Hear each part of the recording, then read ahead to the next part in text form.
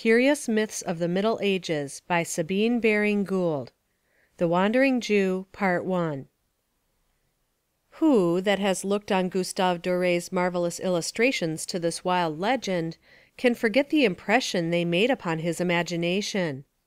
I do not refer to the first illustration as striking, where the Jewish shoemaker is refusing to suffer the cross laden Saviour to rest a moment on his doorstep, and is receiving with scornful lip the judgment to wander restless till the second coming of that same Redeemer. But I refer rather to the second, which represents the Jew, after the lapse of ages, bowed beneath the burden of the curse, worn with unrelieved toil, wearied with ceaseless travelling, trudging onward in the last lights of evening, when a rayless night of unabating rain is creeping on, along a sloppy path between dripping bushes; and suddenly he comes over against a wayside crucifix, on which the white glare of departing daylight falls, to throw it into ghastly relief against the pitch black rain clouds. For a moment we see the working of the miserable shoemaker's mind. We feel that he is recalling the tragedy of the first Good Friday, and his head hangs heavier on his breast, as he recalls the part he had taken in that awful catastrophe. Or is that other illustration more remarkable, where the wanderer is amongst the Alps, at the brink of a hideous chasm; and seeing in the contorted pine branches the ever haunting scene of the Via Dolorosa, he is lured to cast himself into that black gulf in quest of rest; when an angel flashes out of the gloom with the sword of flame turning every way, keeping him back from what would be to him a paradise indeed, the repose of death. Or that last scene, when the trumpet sounds and earth is shivering to its foundations, the fire is bubbling forth through the rents in its surface, and the dead are coming together flesh to flesh and bone to bone and muscle to muscle; then the weary man sits down and casts off his shoes. Strange sights are around him, he sees them not. Strange sounds assail his ears, he hears but one, the trumpet note which gives the signal for him to stay his wanderings and rest his weary feet. I can linger over these noble woodcuts, and learn from them something new each time that I study them; they are picture poems full of latent depths of thought. And now let us to the history of this most thrilling of all mediaeval myths, if a myth. If a myth, I say, for who can say for certain that it is not true? Verily I say unto you, there be some standing here which shall not taste of death till they see the Son of man coming in his kingdom are our Lord's words which I can hardly think apply to the destruction of Jerusalem, as commentators explain it to escape the difficulty. That some should live to see Jerusalem destroyed was not very surprising, and hardly needed the emphatic verily which Christ only used when speaking something of peculiarly solemn or mysterious import. Besides, St. Luke's account manifestly refers the coming in the kingdom to the judgment, for the saying sounds as follows: Whosoever shall be ashamed of me and of my words, of him shall the Son of man be ashamed, when he shall come in his own glory, and in his Father's, and of the holy angels. But I tell you of a truth, there be some standing here which shall not taste of death till they see the kingdom of God. There can, I think, be no doubt in the mind of an unprejudiced person that the words of our Lord do imply that some one or more of those then living should not die till he came again. I do not mean to insist on the literal signification, but I plead that there is no improbability in our Lord's words being fulfilled to the letter. That the circumstance is unrecorded in the Gospels is no evidence that it did not take place, for we are expressly told, Many other signs truly did Jesus in the presence of his disciples, which are not written in this book. And again, There are also many other things which Jesus did, the which, if they should be written every one, I suppose that even the world itself could not contain the books that should be written. We may remember also the mysterious witnesses who are to appear in the last eventful days of the world's history, and bear testimony to the gospel truth before the anti Christian world.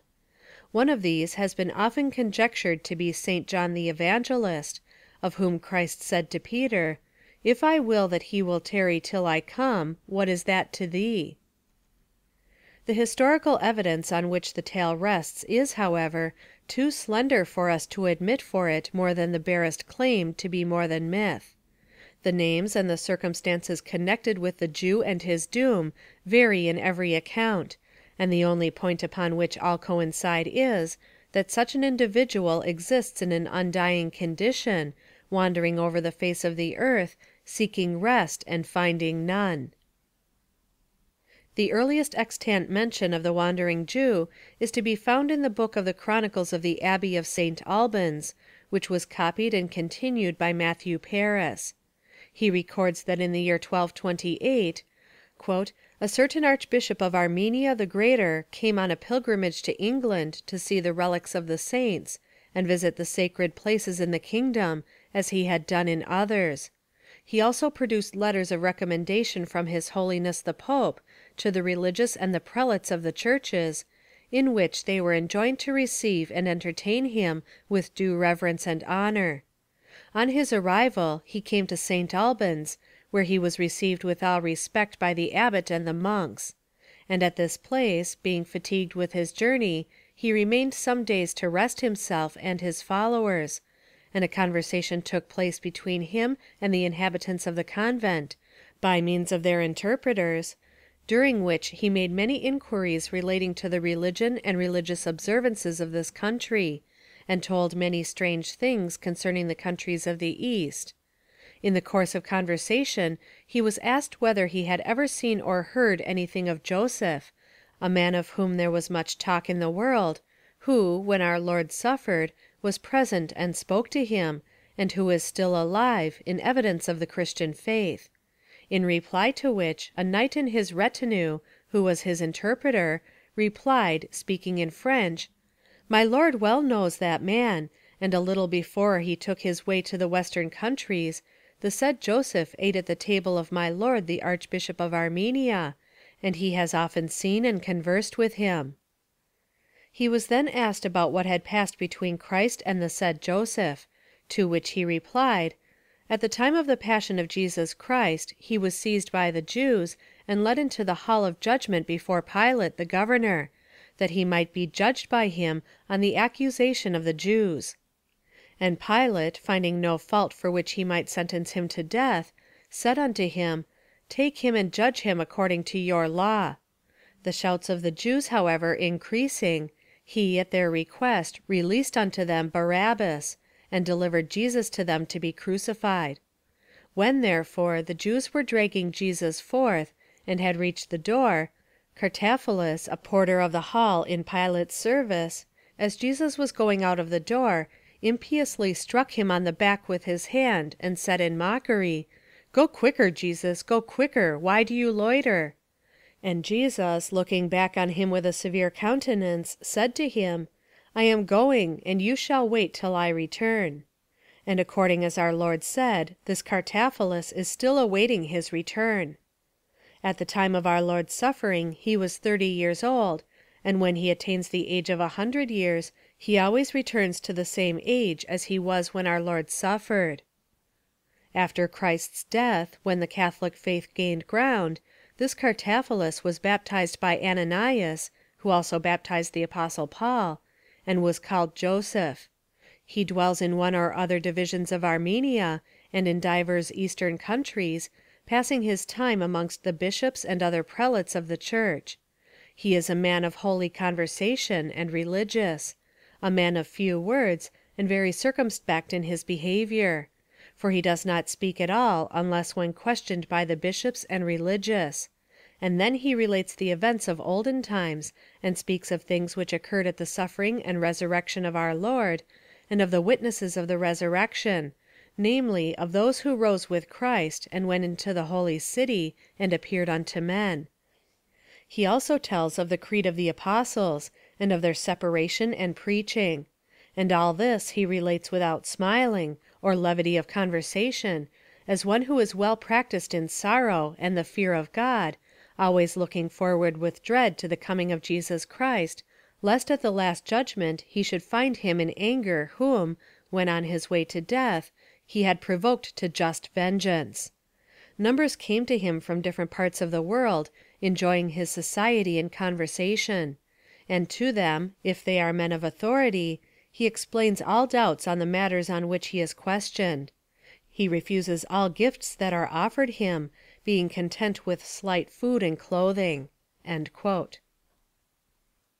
Much about the same date, Philip Musques, afterwards Bishop of Tournai, wrote his rhymed chronicle (1242), which contains a similar account of the Jew, derived from the same Armenian prelate: Adunc ven tun asce ves que disame plan de buntec, pas semblach et fait d'amenier.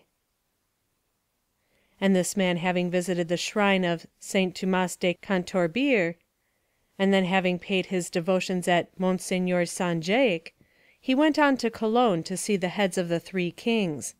The version told in the Netherlands much resembled that related to St. Albans, only that the Jew, seeing the people dragging Christ to his death, exclaims, Attendez moi, j'y vois, c'est mille fois prophète en quoi.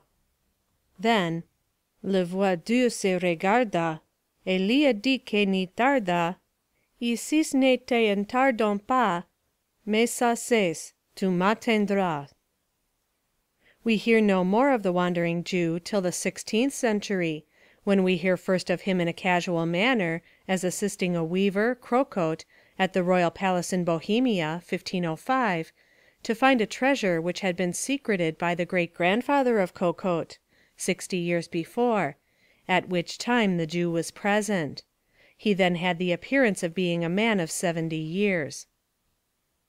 Curiously enough, we next hear of him in the East, where he is confounded with the prophet Elijah. Early in the century he appeared to Fadhilah under peculiar circumstances. After the Arabs had captured the city of Elvan, Fadhilah, at the head of three hundred horsemen, pitched his tents, late in the evening, between two mountains. Fadhilah, having begun his evening prayer with a loud voice, heard the words Allah Akbar (God is great) repeated distinctly, and each word of his prayer was followed in a similar manner. Fadhilah, not believing this to be the result of an echo, was much astonished, and cried out, O thou, whether thou art of the angel ranks, or whether thou art of some other order of spirits, it is well; the power of God be with thee; but if thou art a man, then let mine eyes light upon thee, that I may rejoice in thy presence and society. Scarcely had he spoken these words, before an aged man, with bald head, stood before him, holding a staff in his hand, and much resembling a dervish in appearance. After having courteously saluted him, Fadhilah asked the old man who he was. Thereupon the stranger answered, Basi Hadhret Isa, I am here by command of the Lord Jesus, who has left me in this world, that I may live therein until he comes a second time to earth. I wait for this Lord, who is the fountain of happiness, and in obedience to his command I dwell behind yon mountain. When Fadhilah heard these words, he asked when the Lord Jesus would appear, and the old man replied that his appearing would be at the end of the world, at the last judgment. But this only increased Fadhilah's curiosity, so that he inquired the signs of the approach of the end of all things, whereupon Zerib Bar Elia gave him an account of general, social, and moral dissolution, which would be the climax of the world's history. End of section 1. The Wandering Jew, Part 2. In 1547 he was seen in Europe, if we are to believe the following narration. "Paul von Eitzen, Doctor of the Holy Scriptures and Bishop of Schleswig, related as true for some years past, that when he was young, having studied at Wittenberg, he returned home to his parents in Hamburg in the winter of the year 1547, and that on the following Sunday in church he observed a tall man, with his hair hanging over his shoulders, standing barefoot during the sermon, over against the pulpit, listening with deepest attention to the discourse, and, whenever the name of Jesus was mentioned, bowing himself profoundly and humbly, with sighs and beating of the breast. He had no other clothing, in the bitter cold of winter, except a pair of hose which were in tatters about his feet, and a coat with a girdle which reached to his feet; and his general appearance was that of a man of fifty years. And many people, some of high degree and title, have seen this same man in England, France, Italy, Hungary, Persia, Spain, Poland, Moscow, Lapland, Sweden, Denmark, Scotland, and other places. Every one wondered over the man. Now, after the sermon, the said doctor inquired diligently where the stranger was to be found; and when he had sought him out, he inquired of him privately whence he came, and how long that winter he had been in the place. Thereupon he replied, modestly, that he was a Jew by birth, a native of Jerusalem, by the name Ahasverus, by trade a shoemaker. He had been present at the crucifixion of Christ, and had lived ever since, travelling through various lands and cities, the which he substantiated by accounts he gave. He related also the circumstances of Christ's transference from Pilate to Herod, and the final crucifixion, together with other details not recorded in the evangelists and historians. He gave accounts of the changes of government in many countries, especially of the East, through several centuries; and moreover, he detailed the labors and deaths of the holy apostles of Christ most circumstantially. Now when Dr. Paul von Eitzen heard this with profound astonishment, on account of its incredible novelty, he inquired further, in order that he might obtain more accurate information. Then the man answered, that he had lived in Jerusalem at the time of the crucifixion of Christ, whom he had regarded as a deceiver of the people and a heretic. He had seen him with his own eyes, and had done his best, along with others, to bring this deceiver, as he regarded him, to justice, and to have him put out of the way. When the sentence had been pronounced by Pilate, Christ was about to be dragged past his house; then he ran home and called together his household to have a look at Christ, and see what sort of a person he was. This having been done, he had his little child on his arm, and was standing in his doorway to have a sight of the Lord Jesus Christ. As then Christ was led by, bowed under the weight of the heavy cross, he tried to rest a little, and stood still a moment; but the shoemaker, in zeal and rage, and for the sake of obtaining credit among the other Jews, drove the Lord Christ forward, and told him to hasten on his way. Jesus, obeying, looked at him, and said, I shall stand and rest, but thou shalt go till the last day. At these words the man set down the child; and, unable to remain where he was, he followed Christ, and saw how cruelly he was crucified, how he suffered, how he died. As soon as this had taken place, it came upon him suddenly that he could no more return to Jerusalem, nor see again his wife and child, but must go forth into foreign lands, one after another, like a mournful pilgrim. Now when, years after, he returned to Jerusalem, he found it ruined and utterly razed, and that not one stone was left standing on another, and he could not recognize former localities. He believes that it is God's purpose, in thus driving him about in miserable life, and preserving him undying, to present him before the Jews at the end as a living token, so that the godless and unbelieving may remember the death of Christ and be turned to repentance. For his part, he would well rejoice were God in heaven to release him from this vale of tears. After this conversation, Dr. Paul van Eitzen, along with the rector of the school of Hamburg, who was well read in history and a traveler, questioned him about events which had taken place in the East since the death of Christ, and he was able to give them much information on many ancient matters; so that it was impossible not to be convinced of the truth of his story, and to see that what seems impossible with men is, after all, possible with God. Since the Jew has had his life extended, he has become silent and reserved, and only answers direct questions. When invited to become any one's guest, he eats little, and drinks in great moderation; then hurries on, never remaining long in one place.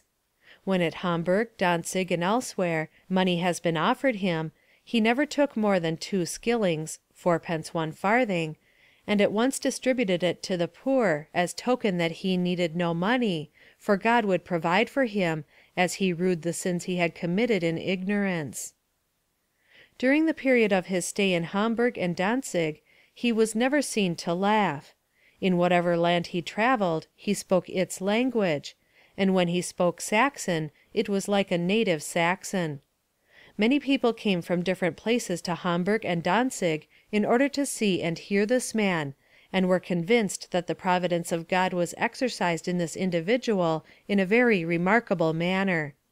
He gladly listened to God's word, or heard it spoken of always with great gravity and compunction, and he ever reverenced with sighs the pronunciation of the name of God, or of Jesus Christ, and could not endure to hear curses; but whenever he heard any one swear by God's death or pains, he waxed indignant, and exclaimed, with vehemence and with sighs, "Wretched man and miserable creature, thus to misuse the name of thy Lord and God and his bitter sufferings and passion!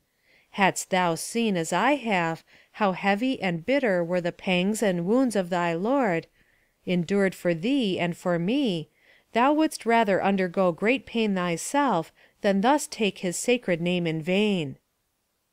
Such is the account given to me by Dr. Paul von Eitzen, with many circumstantial proofs, and corroborated by certain of my own old acquaintances who saw this same individual with their own eyes in Hamburg. In the year 1575 the secretary Christopher Kraus and Master Jacob von Holstein, legates to the court of Spain, and afterwards sent into the Netherlands to pay the soldiers serving his majesty in that country, related on their return home to Schleswig, and confirmed with solemn oaths, that they had come across the same mysterious individual at Madrid in Spain, in appearance, manner of life, habits, clothing, just the same as he had appeared at Hamburg. They said that they had spoken with him, and that many people of all classes had conversed with him, and found him to speak good Spanish. In the year 1599, in December, a reliable person wrote from Brunswick to Strasburg that the same mentioned strange person had been seen alive at Vienna in Austria, and that he had started for Poland and Dantzig; and that he had purposed going on to Moscow. This Ahasverus was at Lubeck in 1601, also about the same date in Revel in Livonia, and at Cracow in Poland. In Moscow he was seen of many and spoken to by many. What thoughtful, God fearing persons are to think of the said person, is at their option. God's works are wondrous and past finding out, and are manifested day by day, only to be revealed in full at the last great day of account. Dated Revel, August 1st, 1613, D.W. D. Chrysostomus Dudileus, Westphalus. The statement that the wandering Jew appeared in Lubeck in 1601 does not tally with the more precise chronicle of Henricus Bangert, which gives, "D. 14 Januarii anno 1603 ad notatum reliquit Lubeccae fuisse Judeum ilium immortalem que si Christi crucifixioni interfuisse affermavit." In 1604 he seems to have appeared in Paris. Rudolph Botorius says, under this date, "I fear lest I be accused of giving ear to old wives' fables, if I insert in these pages what is reported all over Europe of the Jew, coeval with the Saviour Christ. However, nothing is more common, and our popular histories have not scrupled to assert it. Following the lead of those who wrote our annals, I may say that he who appeared not in one century only, in Spain, Italy, and Germany, was also in this year seen and recognized as the same individual who had appeared in Hamburg, anno 1666. The common people, bold in spreading reports, relate many things of him, and this I allude to, lest anything should be left unsaid." J. C. Bulenger puts the date of the Hamburg visit earlier. "It was reported at this time that a Jew of the time of Christ was wandering without food and drink, having for a thousand and odd years been a vagabond and outcast, condemned by God to rove, because he, of that generation of vipers, was the first to cry out for the crucifixion of Christ and the release of Barabbas; and also because soon after, when Christ, panting under the burden of the rood, sought to rest before his workshop (he was a cobbler), the fellow ordered him off with acerbity. Thereupon Christ replied, Because thou grudgest me such a moment of rest, I shall enter into my rest, but thou shalt wander restless. At once, frantic and agitated, he fled through the whole earth, and on the same account to this day he journeys through the world. It was this person who was seen in Hamburg in 1664. Creditat Judaeus Apella. I did not see him, or hear anything authentic concerning him, at that time when I was in Paris." A curious little book, written against the quackery of Paracelsus, by Leonard Doldius, a Nuremberg surgeon, and translated into Latin and augmented by Andreas Libavius, doctor and physician of Rottenburg, alludes to the same story, and gives the Jew a new name nowhere else met with. After having referred to a report that Paracelsus was not dead, but was seated alive, asleep, or napping, in his sepulchre at Strasburg, preserved from death by some of his specifics, Libavius declares that he would sooner believe in the old man, the Jew, Ahasverus, wandering over the world, called by some Butadeus, and otherwise again by others. He is said to have appeared at Naumburg, but the date is not given. He was noticed in church, listening to the sermon. After the service he was questioned, and he related his story. On this occasion he received presents from the burghers. In 1633 he was again in Hamburg. In the year 1640, two citizens, living in the Gerberstrasse in Brussels, were walking in the Sonian wood, when they encountered an aged man, whose clothes were in tatters and of an antiquated appearance. They invited him to go with them to a house of refreshment, and he went with them, but would not seat himself, remaining on foot to drink. When he came before the doors with the two burghers, he told them a great deal, but they were mostly stories of events which had happened many hundred years before. Hence the burghers gathered that their companion was Isaac Laquedem, the Jew who had refused to permit our blessed Lord to rest for a moment at his doorstep, and they left him full of terror. In 1642 he is reported to have visited Leipzig.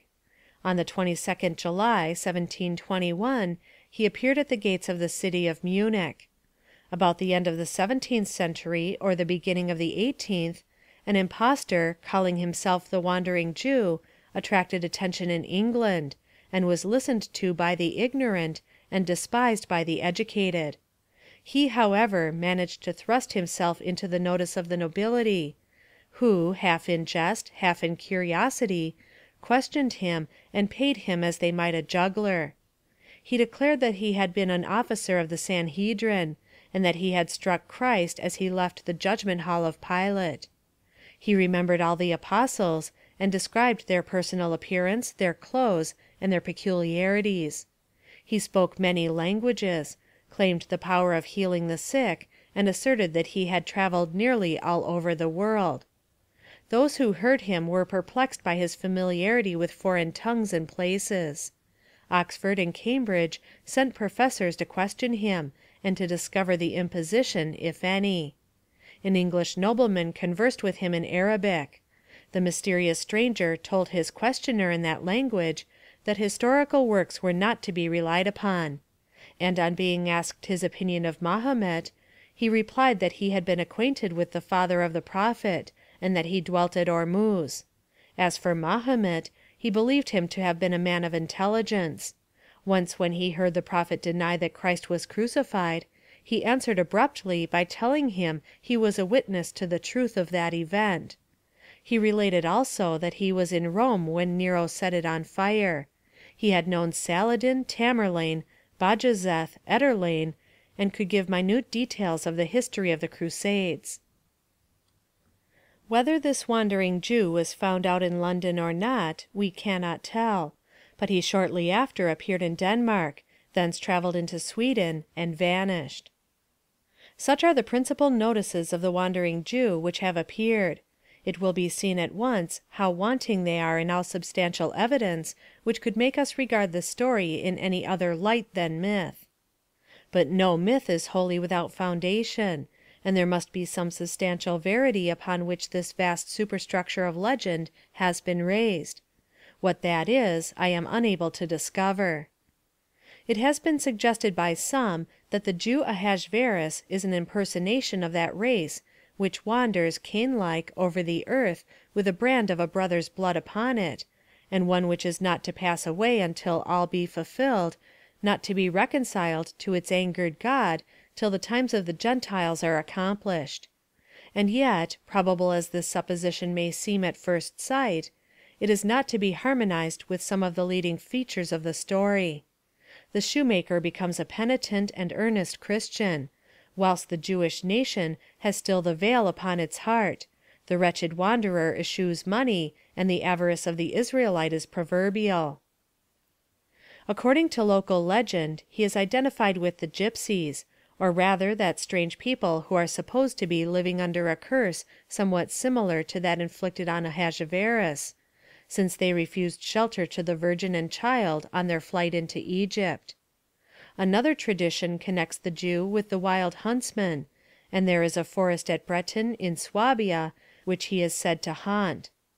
Popular superstition attributes to him there a purse containing a groschen, which, as often as it is expended, returns to the spender.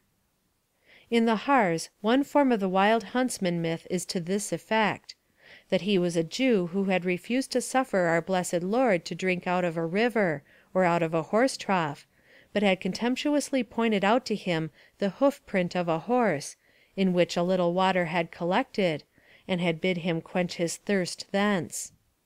As the wild huntsman is the personification of the storm, it is curious to find in parts of France that the sudden roar of a gale at night is attributed by the vulgar to the passing of the everlasting Jew.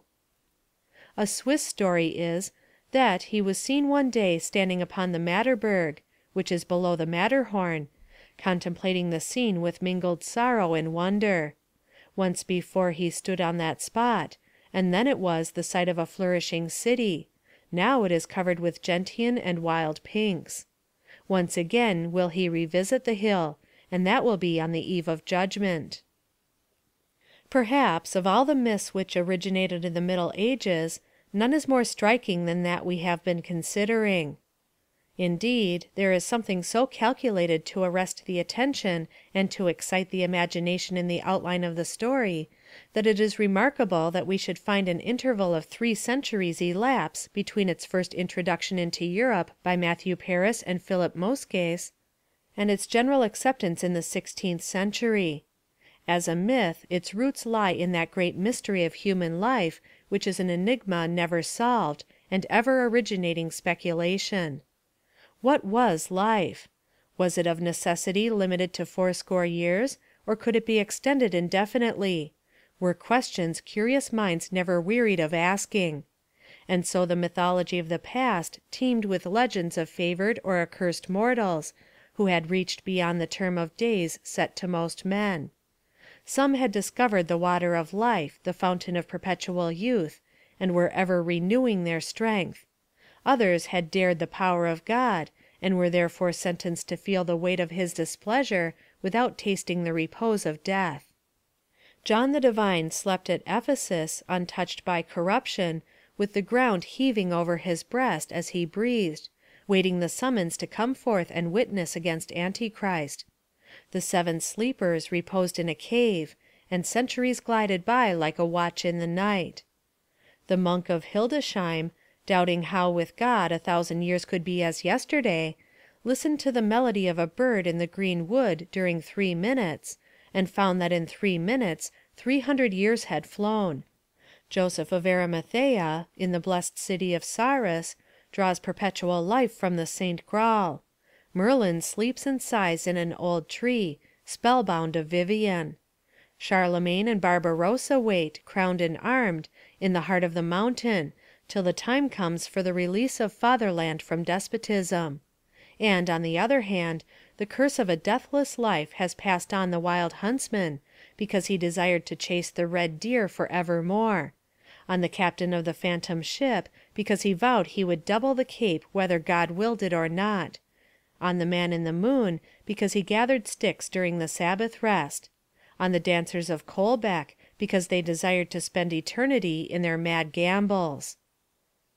I began this article intending to conclude it with a bibliographical account of the tracts, letters, essays, and books written upon the Wandering Jew; but I relinquish my intention at the sight of the multitude of works which have issued from the press upon that subject; and this I do with less compunction, as the bibliographer may at little trouble and expense satisfy himself, by perusing the lists given by Grasse in his essay on the myth, and those to be found in Notices historiques et bibliographiques sur les Juifs errants, par O.B. (Gustave Brunet), Paris, Techener, 1845; also in the article by Messire Mangin, in Causeries et Méditations historiques et littéraires, Paris, Duprat, 1843; and lastly in the essay by Jacob le Bibliophile (M. Lacroix) in his Curiosités de l'Histoire des Croyances Populaires (Paris, Delahaye, 1859). Of the romances of Eugène Sue and Dr. Croly, founded upon the legend, the less said the better. The original legend is so noble in its severe simplicity, that none but a master mind could develop it with any chance of success. Nor have the poetical attempts upon the story fared better. It was reserved for the pencil of Gustave Doré to treat it with the originality it merited, and in a series of wood cuts to produce at once a poem, a romance, and a chef d'œuvre of art. End of chapter III THE WANDERING JEW CHAPTER III PRESTER JOHN About the middle of the twelfth century a rumor circulated through Europe that there reigned in Asia a powerful Christian emperor, Presbyter Johannes. In a bloody fight he had broken the power of the Mussulmans and was ready to come to the assistance of the Crusaders. Great was the exultation in Europe, for of late the news from the East had been gloomy and depressing. The power of the infidel had increased overwhelming masses of men had been brought into the field against the chivalry of Christendom, and it was felt that the cross must yield before the odious crescent. The news of the success of the priest king opened a door of hope to the desponding Christian world.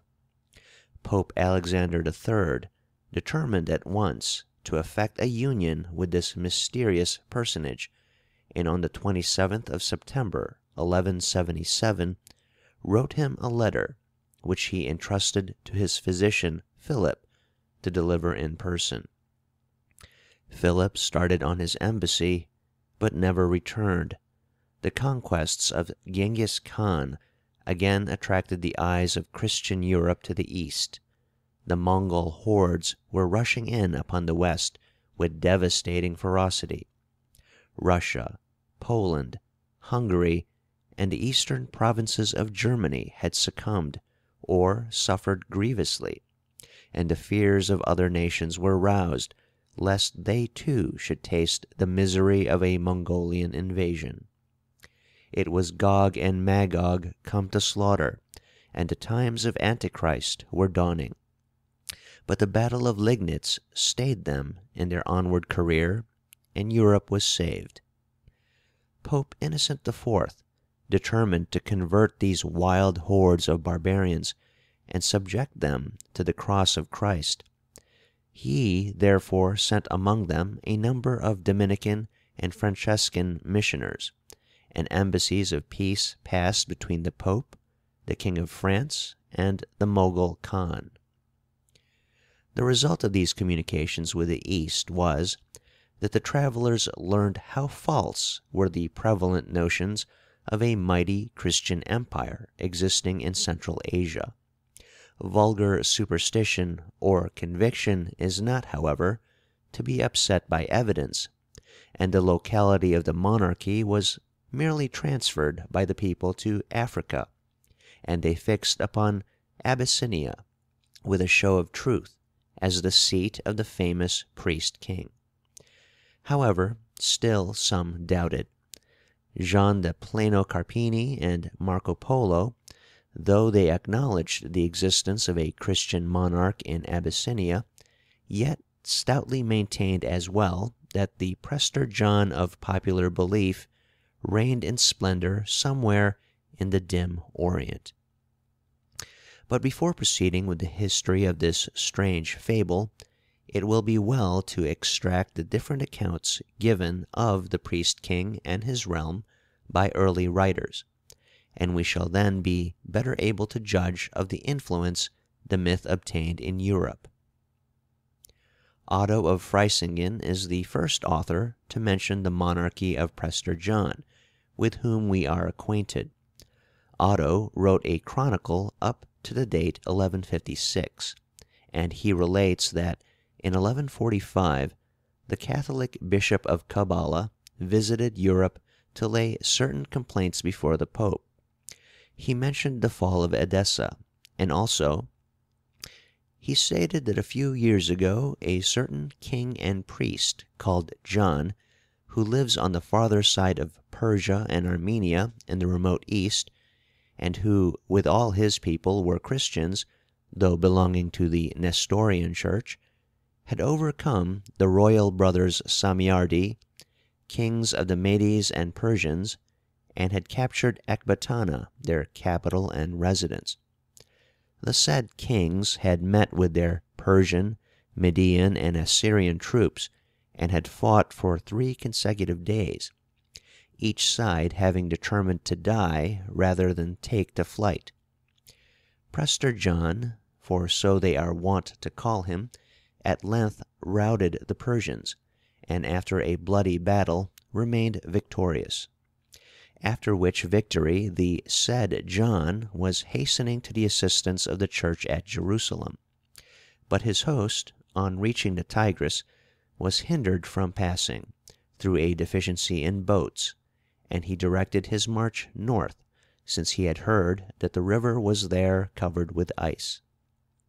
In that place he had waited many years, expecting severe cold, but the winters having proved unpropitious, and the severity of the climate having carried off many soldiers, he had been forced to retreat to his own land. This king belongs to the family of the Magi, mentioned in the Gospel, and he rules over the very people formerly governed by the Magi. Moreover, his fame and his wealth are so great that he uses an emerald scepter only. Excited by the example of his ancestors, who came to worship Christ in his cradle, he had proposed to go to Jerusalem, but had been impeded by the above mentioned causes. At the same time the story crops up in other quarters, so that we cannot look upon Otto as the inventor of the myth. The celebrated Maimonides alludes to it in a passage quoted by Joshua Lorki, a Jewish physician to Benedict XIII. Maimonides lived from 1135 to 1204.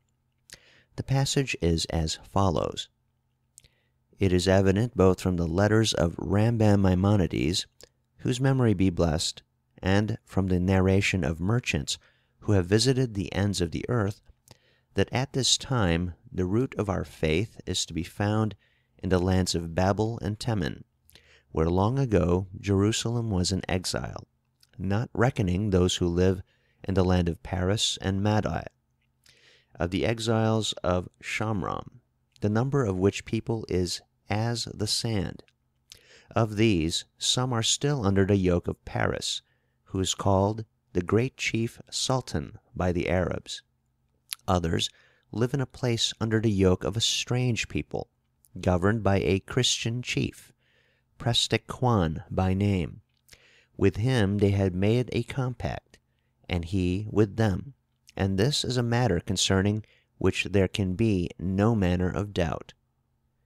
Benjamin of Tudela, another Jew, travelled in the East between the years 1159 and 1173, the last being the date of his death. He wrote an account of his travels, and gives in it some information with regard to a mythical Jew king, who reigned in the utmost splendour over a realm inhabited by Jews alone, situate somewhere in the midst of a desert of vast extent. About this period there appeared a document which produced intense excitement throughout Europe a letter yes, a letter from the mysterious personage himself to Manuel Comnenus, Emperor of Constantinople (1143 1180). The exact date of this extraordinary epistle cannot be fixed with any certainty, but it certainly appeared before 1241, the date of the conclusion of the chronicle of Albericus Trium Fontium. This Albericus relates that in the year 1165 Presbyter Joannes, the Indian king, sent his wonderful letter to various Christian princes, and especially to Manuel of Constantinople and Frederick, the Roman Emperor. Similar letters were sent to Alexander III, to Louis VII of France, and to the King of Portugal, which are alluded to in chronicles and romances, and which were indeed turned into rhyme and sung all over Europe by minstrels and trouvères. The letter is as follows: John, priest by the almighty power of God and the might of our Lord Jesus Christ, King of kings and Lord of lords, to his friend Emmanuel, Prince of Constantinople, greeting, wishing him health, prosperity, and the continuance of divine favor. Our Majesty has been informed that you hold our Excellency in love, and that the report of our greatness has reached you. Moreover, we have heard through our treasurer that you have been pleased to send to us some objects of art and interest, that our exaltedness might be gratified thereby. Being human, I receive it in good part, and we have ordered our treasurer to send you some of our articles in return. Now we desire to be made certain that you hold the right faith, and in all things cleave to Jesus Christ our Lord, for we have heard that your court regard you as a god, though we know that you are mortal, and subject to human infirmities. Should you desire to learn the greatness and excellency of our exaltedness, and of the land subject to our sceptre, then hear and believe. I, Presbyter Johannes, the Lord of lords, surpass all under heaven in virtue, in riches, and in power. Seventy two kings pay us tribute. In the three Indies our magnificence rules, and our land extends beyond India, where rests the body of the holy apostle Thomas. It reaches towards the sunrise over the wastes, and it trends towards deserted Babylon, near the Tower of Babel. Seventy two provinces, of which only a few are Christian, serve us.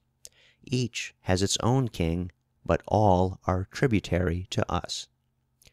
Our land is the home of elephants, dromedaries, camels, crocodiles, Metacolinarum, Camatenus, Tensevites, wild asses, white and red lions, white bears, white meriols, crickets, griffins, tigers, lamias, hyenas, wild horses, wild oxen and wild men, men with horns, one eyed, men with eyes before and behind, centaurs, fauns, satyrs, pygmies, forty ell high giants, cyclopses, and similar women. It is the home, too, of the phoenix, and of nearly all living animals. We have some people subject to us who feed on the flesh of men and of prematurely born animals, and who never fear death. When any of these people die, their friends and relations eat him ravenously, for they regard it as a main duty to munch human flesh. Their names are Gog and Magog, Anye, Agit, Azanak, Famaperi, Bephari, Kone Samat, Agramandri, Vintafole, Casbe, Alane.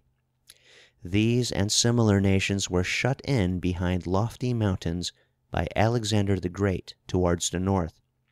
We lead them at our pleasure against our foes, and neither man nor beast is left undevoured, if our Majesty gives the requisite permission. And when all our foes are eaten, then we return with our hosts home again. These accursed fifteen nations will burst forth from the four quarters of the earth at the end of the world, in the times of Antichrist, and overrun all the abodes of the saints as well as the great city Rome, which, by the way, we are prepared to give to our son, who will be born, along with all Italy, Germany, the two Gauls, Britain, and Scotland. We shall also give him Spain, and all the land as far as the icy sea.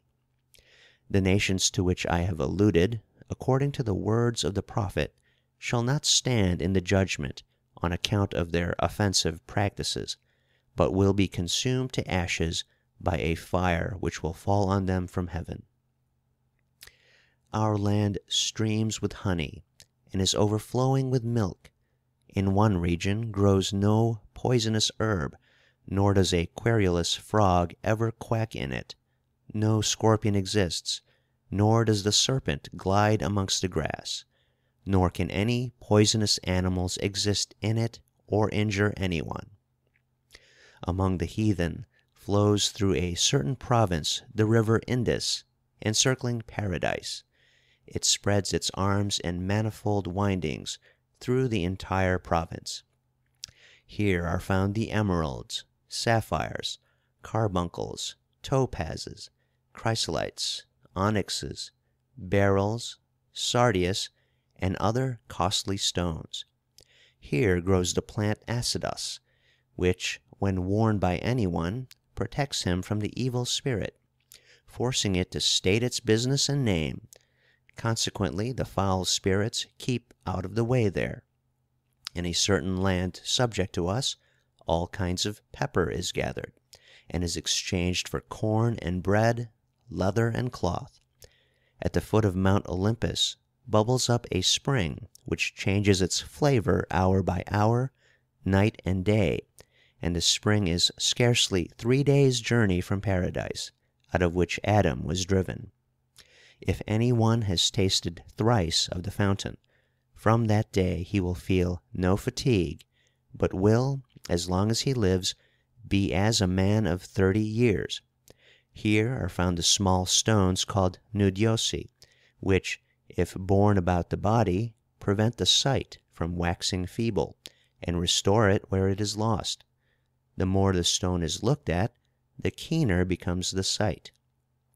In our territory is a certain waterless sea, consisting of tumbling billows of sand, never at rest. None have crossed this sea. It lacks water altogether Yet fish are cast up upon the beach of various kinds, very tasty, and the like are nowhere else to be seen. Three days' journey from this sea are mountains, from which rolls down a stony, waterless river, which opens into the sandy sea. As soon as the stream reaches the sea, its stones vanish in it, and are never seen again. As long as the river is in motion, it cannot be crossed; only four days a week is it possible to traverse it. Between the sandy sea and the said mountains, in a certain plain, is a fountain of singular virtue, which purges Christians and would be Christians from all transgressions. The water stands four inches high in a hollow stone shaped like a mussel shell. Two saintly old men watch by it, and ask the comers whether they are Christians or are about to become Christians. Then, whether they desire healing with all their hearts. If they have answered well, they are bidden to lay aside their clothes, and to step into the mussel. If what they said be true, then the water begins to rise and gush over their heads. Thrice does the water thus lift itself, and every one who has entered the mussel leaves it cured of every complaint. Near the wilderness trickles between barren mountains a subterranean rill, which can only by chance be reached, for only occasionally the earth gapes, and he who would descend must do it with precipitation ere the earth closes again. All that is gathered under the ground there is gem and precious stone. The brook pours into another river, and the inhabitants of the neighborhood obtain thence abundance of precious stones, yet they never venture to sell them without having first offered them to us for our private use. Should we decline them, they are at liberty to dispose of them to strangers. Boys there are trained to remain three or four days under water, diving after the stones. Beyond the Stone River are the ten tribes of the Jews, which though subject to their own kings, are, for all that, our slaves and tributary to our majesty. In one of our lands, Hight Zone, are worms, called in our tongue salamanders. These worms can only live in fire, and they build cocoons like silkworms, which are unwound by the ladies of our palace, and spun into cloth and dresses, which are worn by our exaltedness. These dresses, in order to be cleaned and washed, are cast into flames. When we go to war we have fourteen golden and bejeweled crosses borne before us instead of banners. Each of these crosses is followed by ten thousand horsemen and one hundred thousand foot soldiers, fully armed, without reckoning those in charge of the luggage and provision. When we ride abroad plainly, we have a wooden unadorned cross, without gold or gem about it, borne before us, in order that we may meditate on the sufferings of our Lord Jesus Christ; also a golden bowl filled with earth to remind us of that whence we sprung, and that to which we must return; but besides these there is borne a silver bowl full of gold, as a token to all that we are the Lord of lords. All riches, such as are upon the world, our magnificence possesses in superabundance. With us no one lies, for he who speaks a lie is thenceforth regarded as dead; he is no more thought of or honored by us. No vice is tolerated by us. Every year we undertake a pilgrimage with retinue of war to the body of the holy prophet Daniel, which is near the desolated site of Babylon. In our realm fishes are caught, the blood of which dyes purple. The Amazons and the Brahmins are subject to us. The palace in which our supereminency resides is built after the pattern of the castle built by the Apostle Thomas for the Indian king Gundaforus. Ceilings, joists, and architrave are of Shetham wood, the roof of ebony, which can never catch fire. Over the gable of the palace are, at the extremities, two golden apples, in each of which are two carbuncles, so that the gold may shine by day, and the carbuncles by night. The greater gates of the palace are of sardius, with the horn of the horned snake inwrought so that no one can bring poison within. The other portals are of ebony, the windows are of crystal, the tables are partly of gold, partly of amethyst, and the columns supporting the tables are partly of ivory, partly of amethyst. The court in which we watch the jousting is floored with onyx, in order to increase the courage of the combatants. In the palace, at night, nothing is burned for light but wicks supplied with balsam. Before our palace stands a mirror, the ascent to which consists of five and twenty steps of porphyry and serpentine. After a description of the gems adorning this mirror, which is guarded night and day by three thousand armed men, he explains its use. "We look therein and behold all that is taking place in every province and region subject to our sceptre.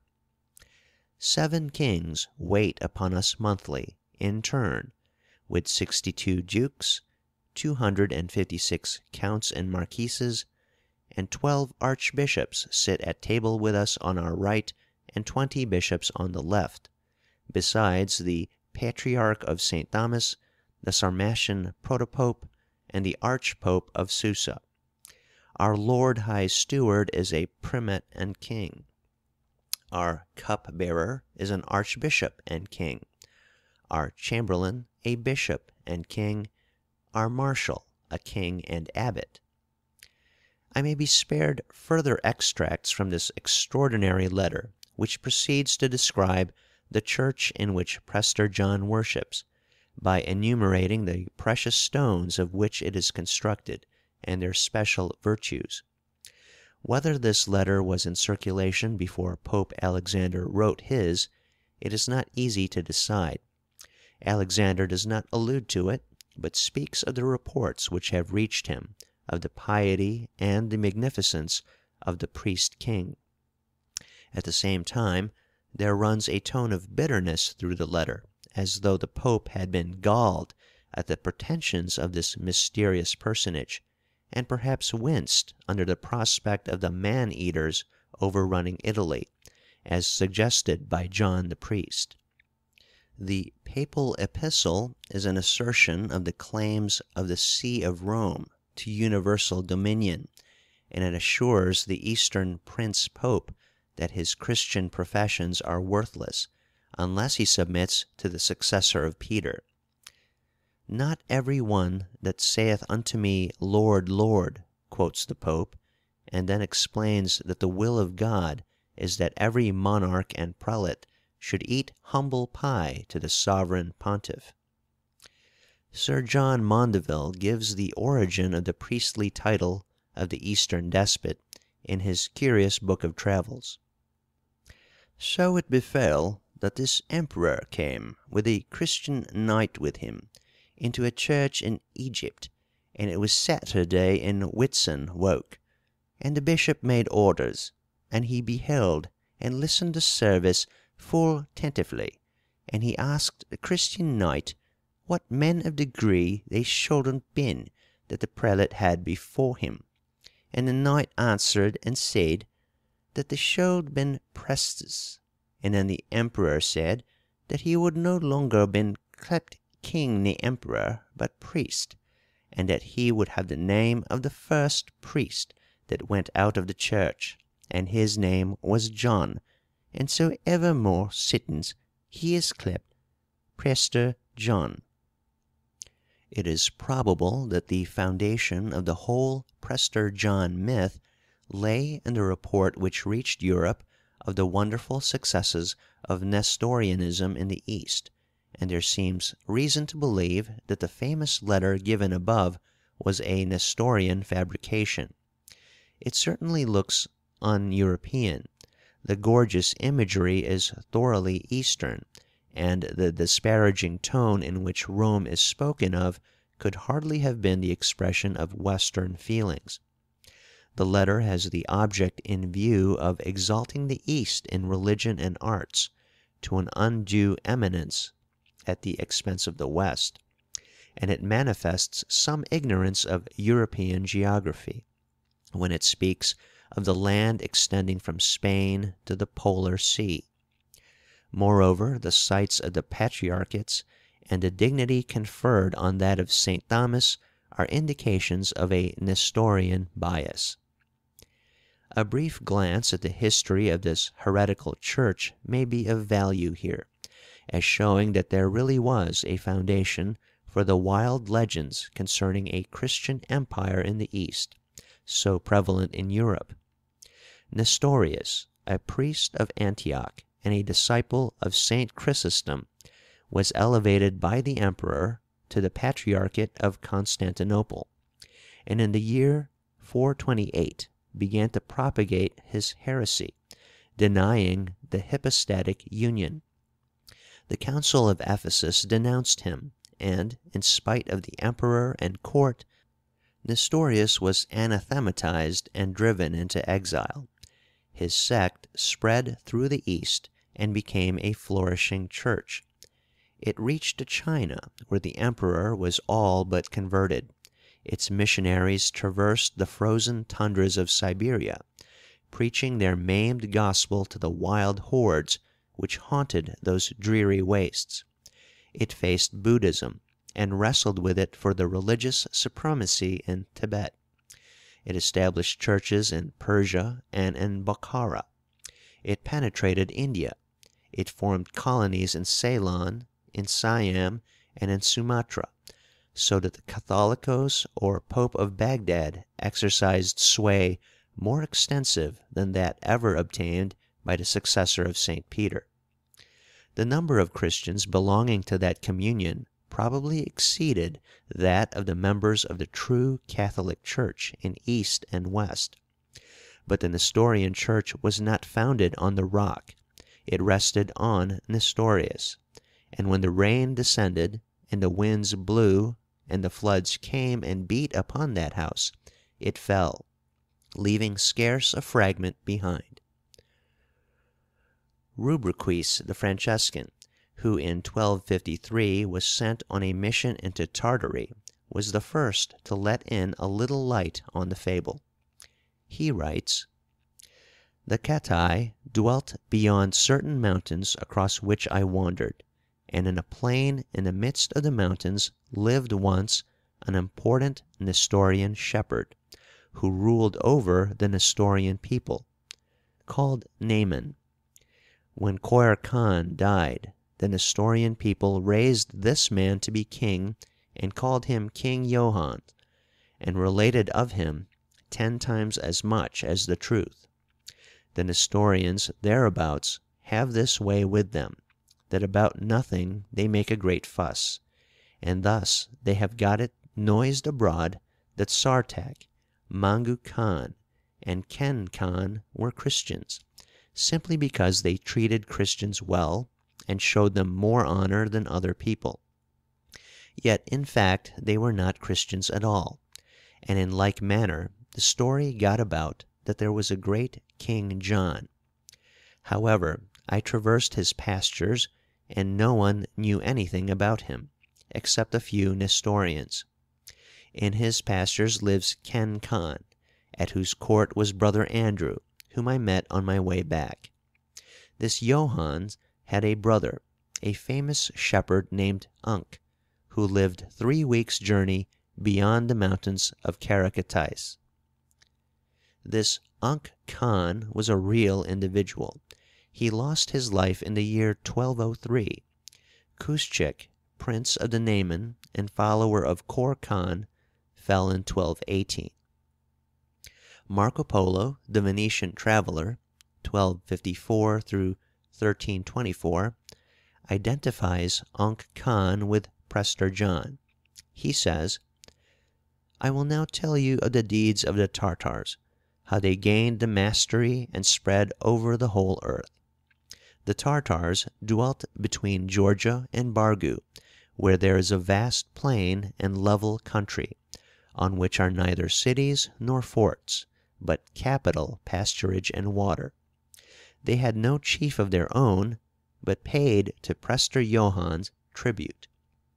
Of the greatness of this Prester Johannes, who was properly called Un Khan, the whole world spake.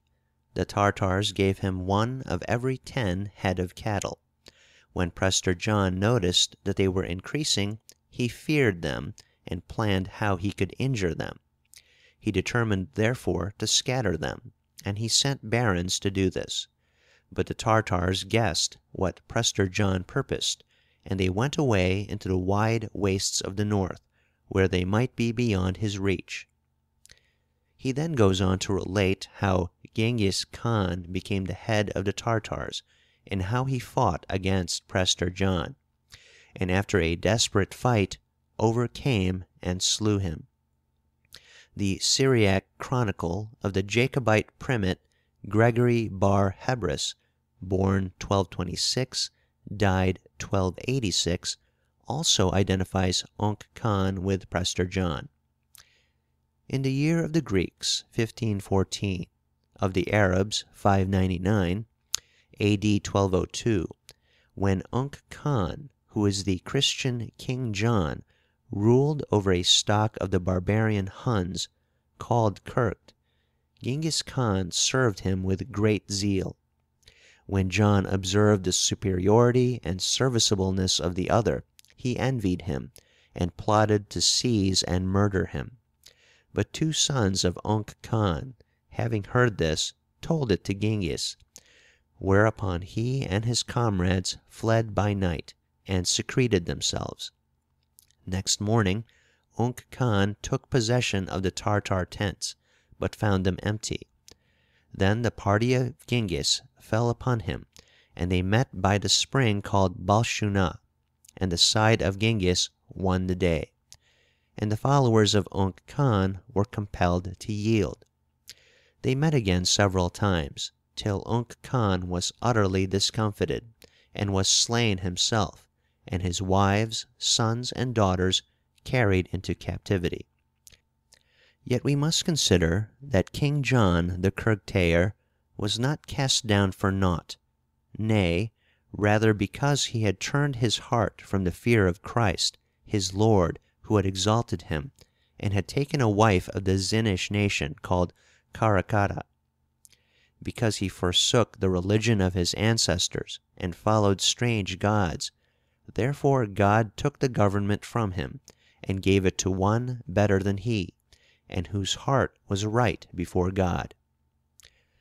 Some of the early travellers, such as John de Plano Carpini and Marco Polo, in disabusing the popular mind of the belief in Prester John as a mighty Asiatic Christian monarch, unintentionally turned the popular faith in that individual into a new direction. They spoke of the black people of Abassia in Ethiopia, which, by the way, they called Middle India, as a great people subject to a Christian monarch.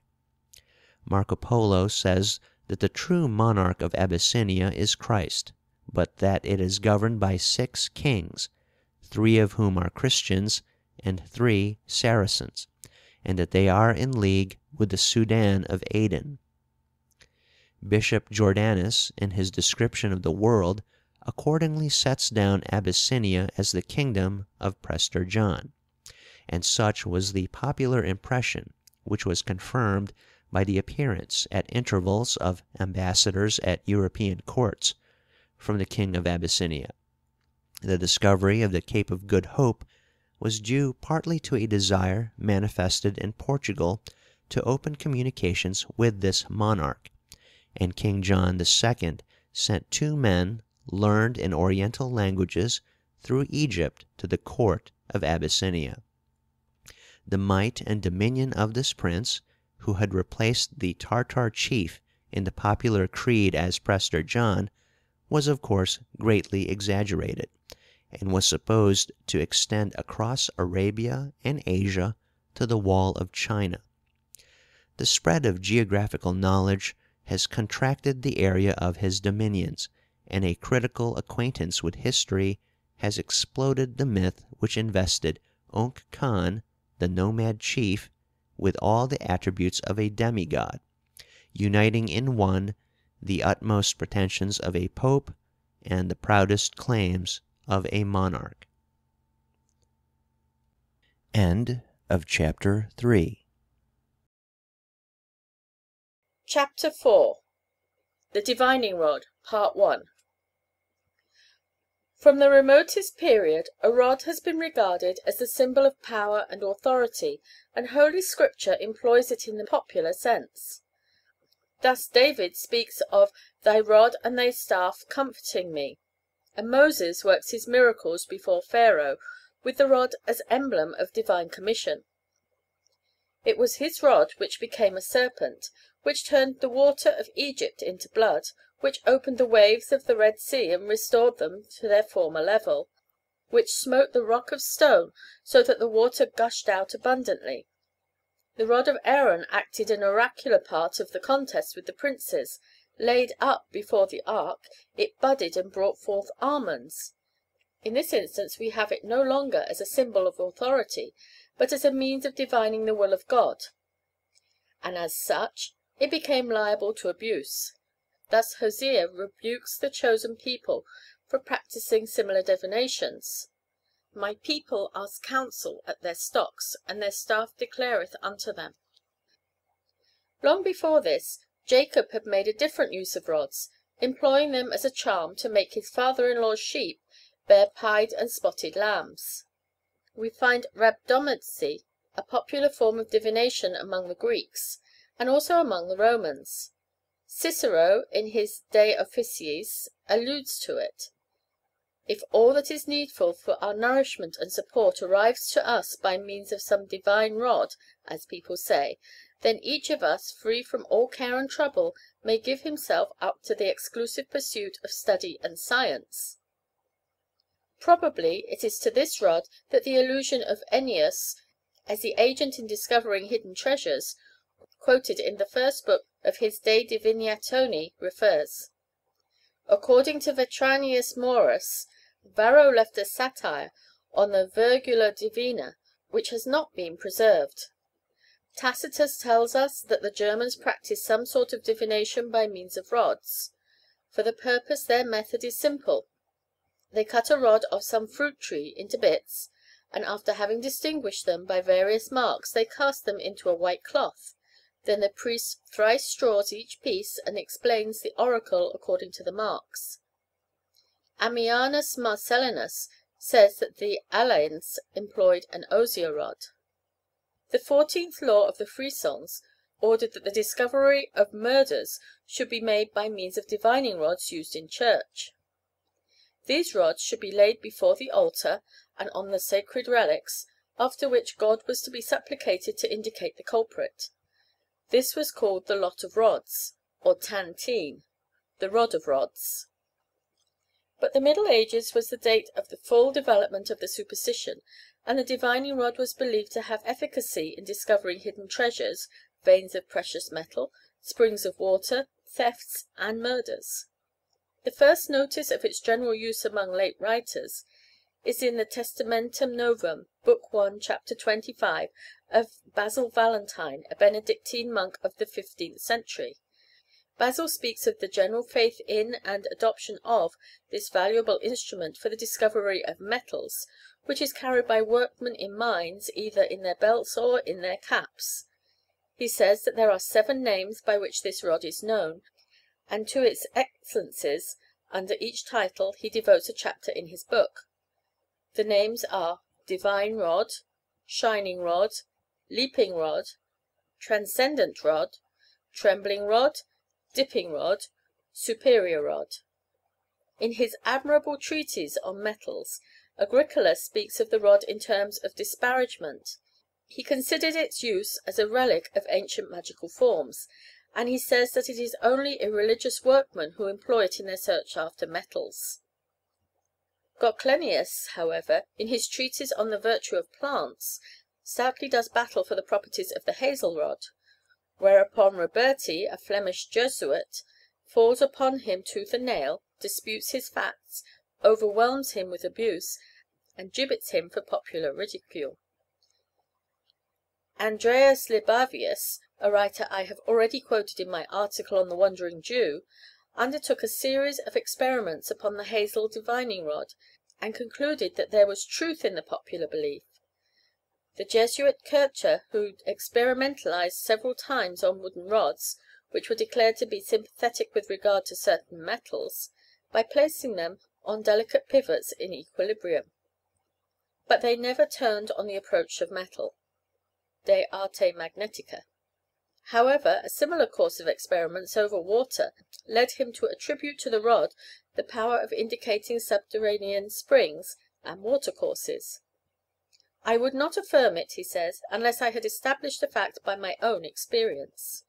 Dechales, another Jesuit, author of a treatise on natural springs, and of a huge tome entitled Mundus Mathematicus, declared in the latter work that no means of discovering sources is equal to the divining rod; and he quotes a friend of his, who, with a hazel rod in his hand, could discover springs with the utmost precision and facility, and could trace on the surface of the ground the course of a subterranean conduit. Another writer, Saint Romain, in his Sciences dégagées des chimères de l'École, exclaims, "Is it not astonishing to see a rod which is held firmly in the hands bow itself and turn visibly in the direction of water or metal, with more or less promptitude, according as the metal or water are near or remote from the surface?" In 1659 the Jesuit Gaspar Schott writes that the rod is used in every town of Germany, and that he had frequently opportunity of seeing it used in the discovery of hidden treasures. "I searched with the greatest care," he adds, "into the question whether the hazel rod had any sympathy with gold and silver, and whether any natural property set it in motion. In like manner I tried whether a ring of metal held suspended by a thread in the midst of a tumbler and which strikes the hours, is moved by any similar force. I ascertained that these effects could only have rise from the deception of those holding the rod or the pendulum, or, may be, from some diabolic impulsion, or, more likely still, because imagination sets the hand in motion." The Sieur Le Royer, a lawyer of Rouen, in 1674, published his Traité du Bâton Universel in which he gives an account of a trial made with the rod in the presence of Father Jean François, who had ridiculed the operation in his treatise on the science of waters, published at Rennes in 1655, and which succeeded in convincing the blasphemer of the divine rod. Le Royer denies to it the power of picking out criminals, which had been popularly attributed to it, as had been unhesitatingly claimed for it by Delrio in his Disquisitio Magica. And now I am brought to the extraordinary story of Jacques Aymar, which attracted the attention of Europe to the marvellous properties of the divining rod. I shall give the history of this man in full, as such an account is rendered necessary by the mutilated versions I have seen current in English magazine articles, which follow the lead of Mrs. Crowe, who narrates the earlier portion of this impostor's career, but says nothing of his expose and downfall. On the 5th of July, 1692, at about ten o'clock in the evening, a wine seller of Lyons and his wife were assassinated in their cellar, and their money carried off. On the morrow the officers of justice arrived, and examined the premises. Besides the corpses lay a large bottle wrapped in straw, and a bloody hedging bill, which undoubtedly had been the instrument used to accomplish the murder. Not a trace of those who had committed the horrible deed was to be found, and the magistrates were quite at fault as to the direction in which they should turn for a clue to the murderer or murderers. At this juncture a neighbour reminded the magistrates of an incident which had taken place four years previous. It was this: in 1688 a theft of clothes had been made in Grenoble. In the parish of Crolles lived a man named Jacques Aymar supposed to be endowed with the faculty of using the divining rod. This man was sent for. On reaching the spot where the theft had been committed, his rod moved in his hand. He followed the track indicated by the rod, and it continued to rotate between his fingers as long as he followed a certain direction, but ceased to turn if he diverged from it in the smallest degree. Guided by his rod, Aymar went from street to street, till he was brought to a standstill before the prison gates. These could not be opened without leave of the magistrate, who hastened to witness the experiment. The gates were unlocked, and Aymar, under the same guidance, directed his steps towards four prisoners lately incarcerated. He ordered the four to be stood in a line, and then he placed his foot on that of the first. The rod remained immovable. He passed to the second, and the rod turned at once. Before the third prisoner there were no signs. The fourth trembled, and begged to be heard. He owned himself the thief, along with the second, who also acknowledged the theft, and mentioned the name of the receiver of the stolen goods. This was a farmer in the neighbourhood of Grenoble. The magistrate and officers visited him and demanded the articles he had obtained. The farmer denied all knowledge of the theft and all participation in the booty. Aymar, however, by means of his rod, discovered the secreted property, and restored it to the persons from whom it had been stolen. On another occasion Aymar had been in quest of a spring of water, when he felt his rod turn sharply in his hand. On digging at the spot, expecting to discover an abundant source, the body of a murdered woman was found in a barrel, with a rope twisted round her neck. The poor creature was recognised as a woman of the neighbourhood who had vanished four months before. Aymar went to the house which the victim had inhabited, and presented his rod to each member of the household. It turned upon the husband of the deceased, who at once took to flight. The magistrates of Lyons, at their wits' ends how to discover the perpetrators of the double murder in the wine shop, urged the Procureur du Roi to make experiment of the powers of Jacques Aymar. The fellow was sent for, and he boldly asserted his capacity for detecting criminals, if he were first brought to the spot of the murder, so as to be put en rapport with the murderers. He was at once conducted to the scene of the outrage, with the rod in his hand. This remained stationary as he traversed the cellar, till he reached the spot where the body of the wine seller had lain. Then the stick became violently agitated, and the man's pulse rose as though he were in an access of fever. The same motions and symptoms manifested themselves when he reached the place where the second victim had lain. Having thus received his impression, Aymar left the cellar, and, guided by his rod, or rather by an internal instinct, he ascended into the shop, and then stepping into the street, he followed from one to another, like the hound upon the scent, the track of the murderers. It conducted him into the court of the archiepiscopal palace, across it, and down to the gates of the Rhone. It was now evening, and the city gates being all closed, the quest for blood was relinquished for the night. Next morning Aymar returned to the scent. Accompanied by three officers, he left the gate and descended the right bank of the Rhone. The rod gave indications of there having been three involved in the murder, and he pursued the traces till two of them led to a gardener's cottage. Into this he entered, and there he asserted with warmth, against the asseverations of the proprietor to the contrary, that the fugitives had entered his room, had seated themselves at his table, and had drunk wine out of one of the bottles which he indicated. Aymar tested each of the household with his rod to see if there had been any contact with the murderers. The rod moved over two children only, aged respectively ten and nine years. These little things, on being questioned, answered with reluctance that during their father's absence on Sunday morning, against his express commands, they had left the door open, and that two men, whom they described, had come in suddenly upon them, and had seated themselves and made free with the wine in the bottle pointed out by the man with the rod. This first verification of the talents of Jacques Aymar convinced some of the sceptical, but the Procurateur Général forbade the prosecution of the experiment till the man had been further tested. As already stated, a hedging bill had been discovered on the scene of the murder, smeared with blood, and unquestionably the weapon with which the crime had been committed. Three bills from the same maker, and of precisely the same description, were obtained, and the four were taken into a garden, and secretly buried at intervals. Aymar was then brought, staff in hand, into the garden, and conducted over the spots where lay the bills. The rod began to vibrate as his feet stood upon the place where was concealed the bill which had been used by the assassins, but was motionless elsewhere. Still unsatisfied, the four bills were exhumed and concealed anew. The comptroller of the province himself bandaged the sorcerer's eyes and led him by the hand from place to place. The divining rod showed no signs of movement till it approached the blood stained weapon, when it began to oscillate.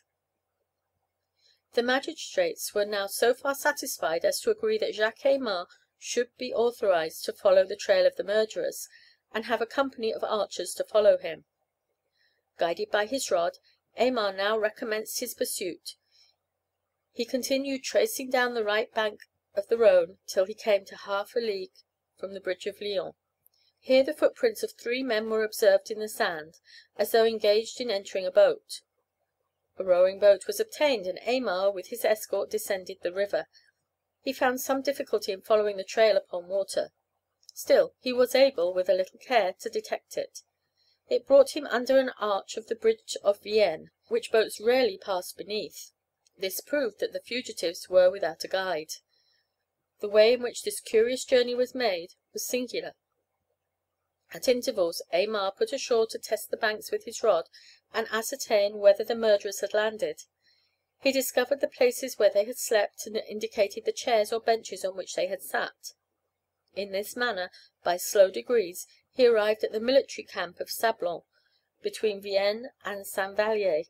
There Aymar felt violent agitation; his cheeks flushed, and his pulse beat with rapidity. He penetrated the crowds of soldiers, but did not venture to use his rod, lest the man should take it ill, and fall upon him.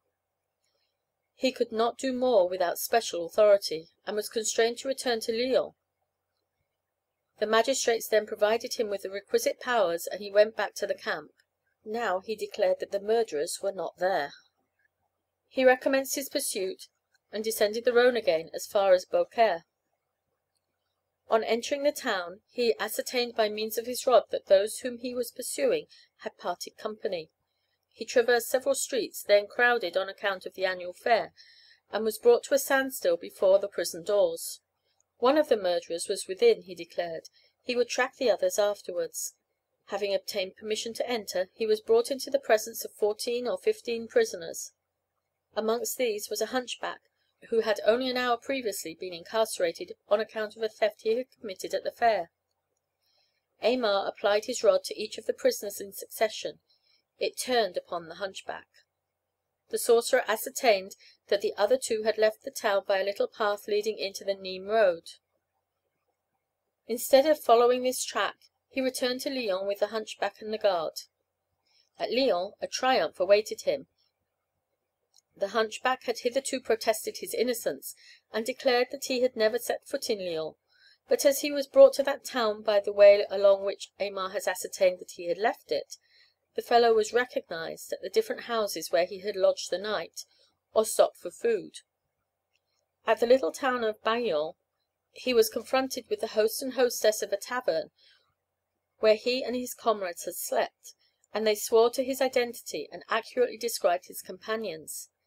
Their description tallied with that given by the children of the gardener.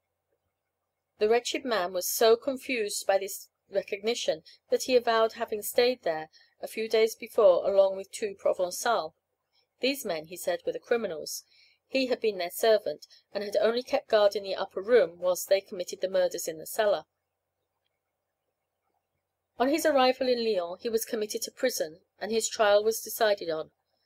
At the first interrogation he told his tale precisely as he had related it before, with these additions: The murderers spoke patois, and had purchased two bills. At ten o'clock in the evening all three had entered the wine shop. The Provençals had a large bottle wrapped in straw, and they persuaded the publican and his wife to descend with them to the cellar to fill it, whilst he, the hunchback, acted as watch in the shop. The two men murdered the wine seller and his wife, with their bills, and then mounted to the shop, where they opened the coffer, and stole from it one hundred and thirty crowns, eight louis d'or, and a silver belt. The crime accomplished, they took refuge in the court of a large house this was the archbishop's palace indicated by Aymar and passed the night in it. Next day, early, they left Lyons, and only stopped for a moment at a gardener's cottage. Some way down the river they found a boat moored to the bank. This they loosed from its mooring and entered. They came ashore at the spot pointed out by the man with the stick. They stayed some days at the camp at Sablon, and then went on to Beaucaire. Aymar was now sent in quest of the other murderers. He resumed their trail at the gate of Beaucaire, and that of one of them, after considerable détour, led him to the prison doors of Beaucaire, and he asked to be allowed to search among the prisoners for his man. This time he was mistaken. The second fugitive was not within; but the gaoler affirmed that a man whom he described and his description tallied with the known appearance of one of the Provençals had called at the gate shortly after the removal of the hunchback to inquire after him, and on learning of his removal to Lyons had hurried off precipitately. Aymar now followed his track from the prison, and this brought him to that of the third criminal.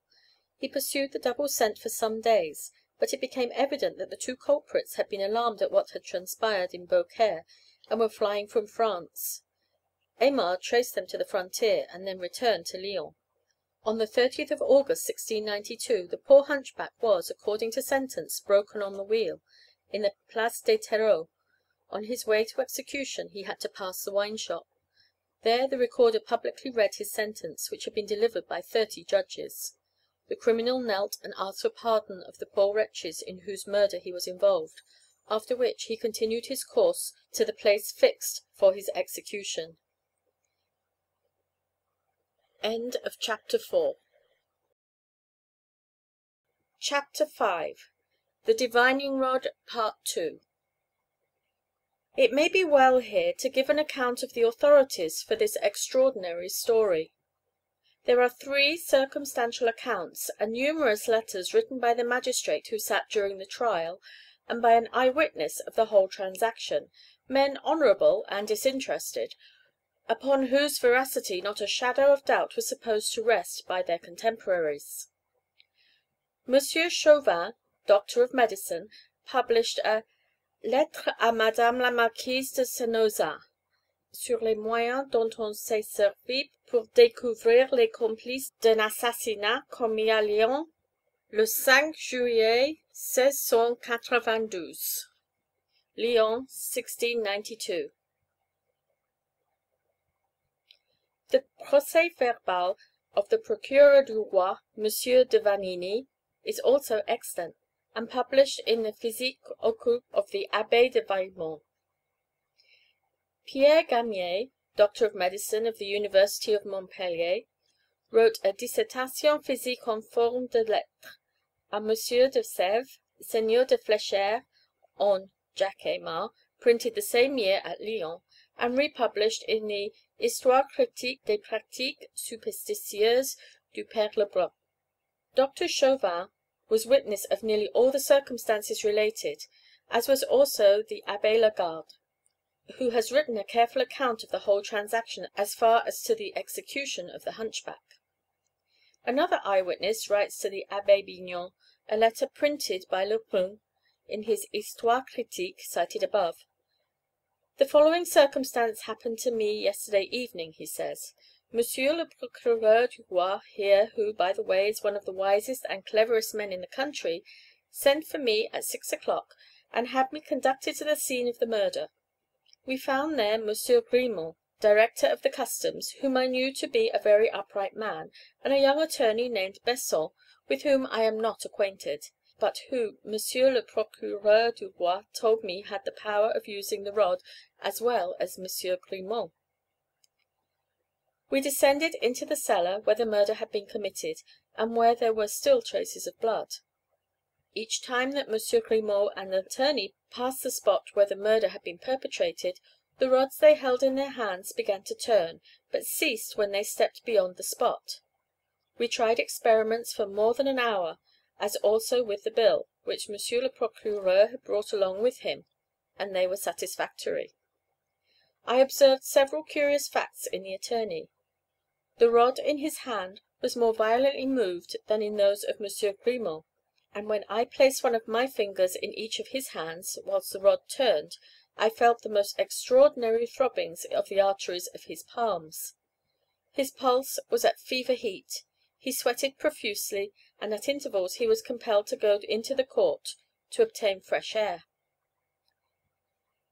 The Sieur Pateau, Dean of the College of Medicine at Lyons, gave his observations to the public as well. Some of them are as follows. We began at the cellar in which the murder had been committed. Into this the man with the rod Aymar shrank from entering, because he felt violent agitations which overcame him when he used the stick over the place where the corpses of those who had been assassinated had lain. On entering the cellar, the rod was put in my hands, and arranged by the master as most suitable for operation. I passed and repassed over the spot where the bodies had been found, but it remained immovable and I felt no agitation. A lady of rank and merit who was with us took the rod after me; she felt it begin to move, and was internally agitated. Then the owner of the rod resumed it, and passing over the same places the stick rotated with such violence that it seemed easier to break than to stop it. The peasant then quitted our company to faint away, as was his wont after similar experiments. I followed him. He turned very pale, and broke into a profuse perspiration, whilst for a quarter of an hour his pulse was violently troubled. Indeed, the faintness was so considerable that they were obliged to dash water in his face and give him water to drink in order to bring him round. He then describes experiments made over the bloody bill, and others similar, which succeeded in the hands of Aymar and the lady, but failed when he attempted them himself. Pierre Garnier, physician of the Medical College of Montpellier, appointed to that of Lyons, has also written an account of what he saw, as mentioned above. He gives a curious proof of Aymar's powers. Monsieur le Lieutenant Général, having been robbed by one of his lackeys seven or eight months ago, and having lost by him twenty five crowns, which had been taken out of one of the cabinets behind his library, sent for Aymar and asked him to discover the circumstances. Aymar went several times round the chamber, rod in hand, placing one foot on the chairs, on the various articles of furniture, and on two bureaus which are in the apartment, each of which contains several drawers. He fixed on the very bureau and the identical drawer out of which the money had been stolen. Monsieur le Lieutenant Général bade him follow the track of the robber. He did so. With his rod he went out on a new terrace, upon which the cabinet opens, thence back into the cabinet and up to the fire, then into the library, and from thence he went direct upstairs to the lackey's sleeping apartment, where the rod guided him to one of the beds, and turned over one side of the bed, remaining motionless over the other. The lackeys then present cried out that the thief had slept on the side indicated by the rod, the bed having been shared with another footman who occupied the further side. Garnier gives a lengthy account of various experiments he made, along with the Lieutenant Général, the uncle of the same, the Abbé de Saint Romain, and Monsieur de Puget, to detect whether there was imposture in the man but all their attempts failed to discover a trace of deception. He gives a report of a verbal examination of Aymar, which is interesting.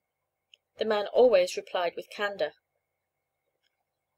The report of the extraordinary discovery of murder made by the divining rod at Lyons attracted the attention of Paris, and Aymar was ordered up to the capital. There, however, his powers left him. The Prince de Condé submitted him to various tests, and he broke down under every one.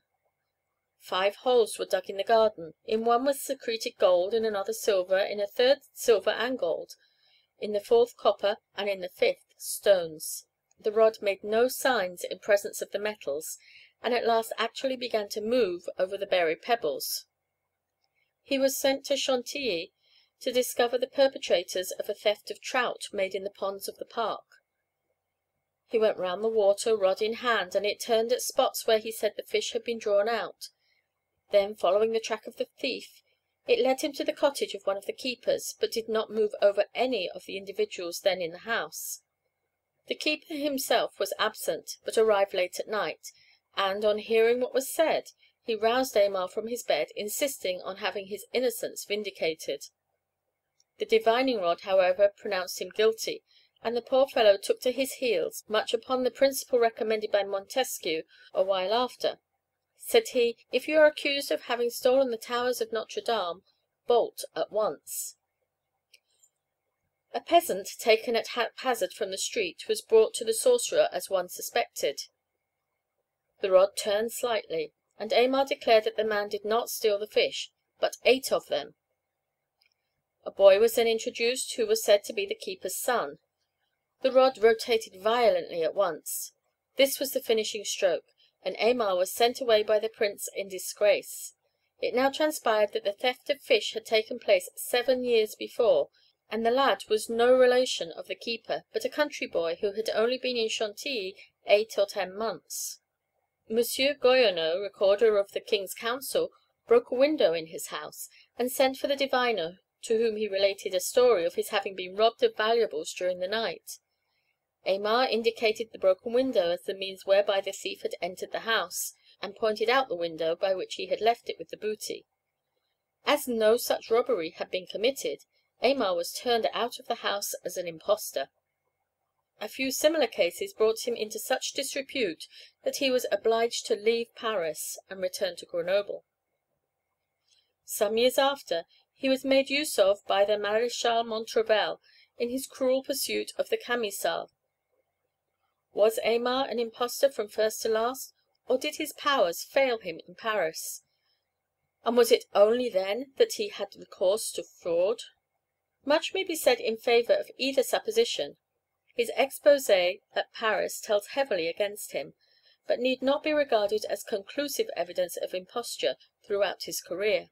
If he really did possess the powers he claimed, it is not to be supposed that these existed in full vigour under all conditions, and Paris is a place most unsuitable for testing them built on artificial soil, and full of disturbing influences of every description.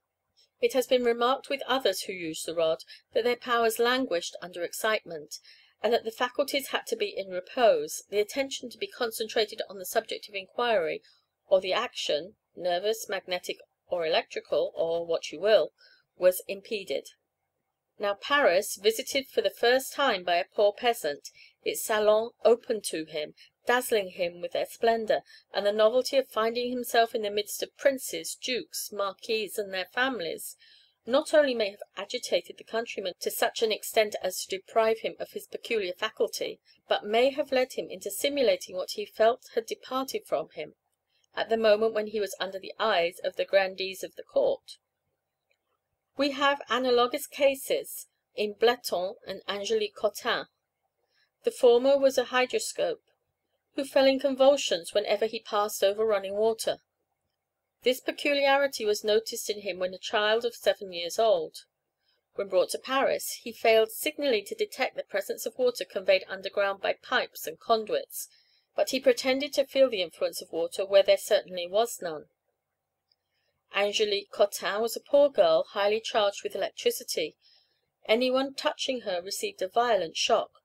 One medical gentleman having seated her on his knee, was knocked clean out of his chair by the electric fluid, which thus exhibited its sense of propriety. But the electric condition of Angelique became feebler as she approached Paris, and failed her altogether in the capital. I believe that the imagination is the principal motive force in those who use a divining rod, but whether it is so solely I am unable to decide. The powers of nature are so mysterious and inscrutable that we must be cautious in limiting them, under abnormal conditions, to the ordinary laws of experience. The manner in which the rod was used by certain persons renders self deception possible.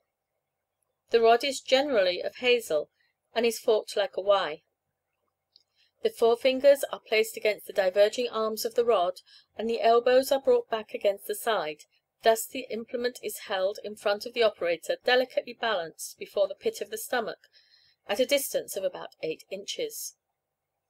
Now, if the pressure of the balls of the digits be in the least relaxed, the stalk of the rod will naturally fall. It has been assumed by some that a restoration of the pressure will bring the stem up again, pointing towards the operator, and a little further pressure will elevate it to a perpendicular position.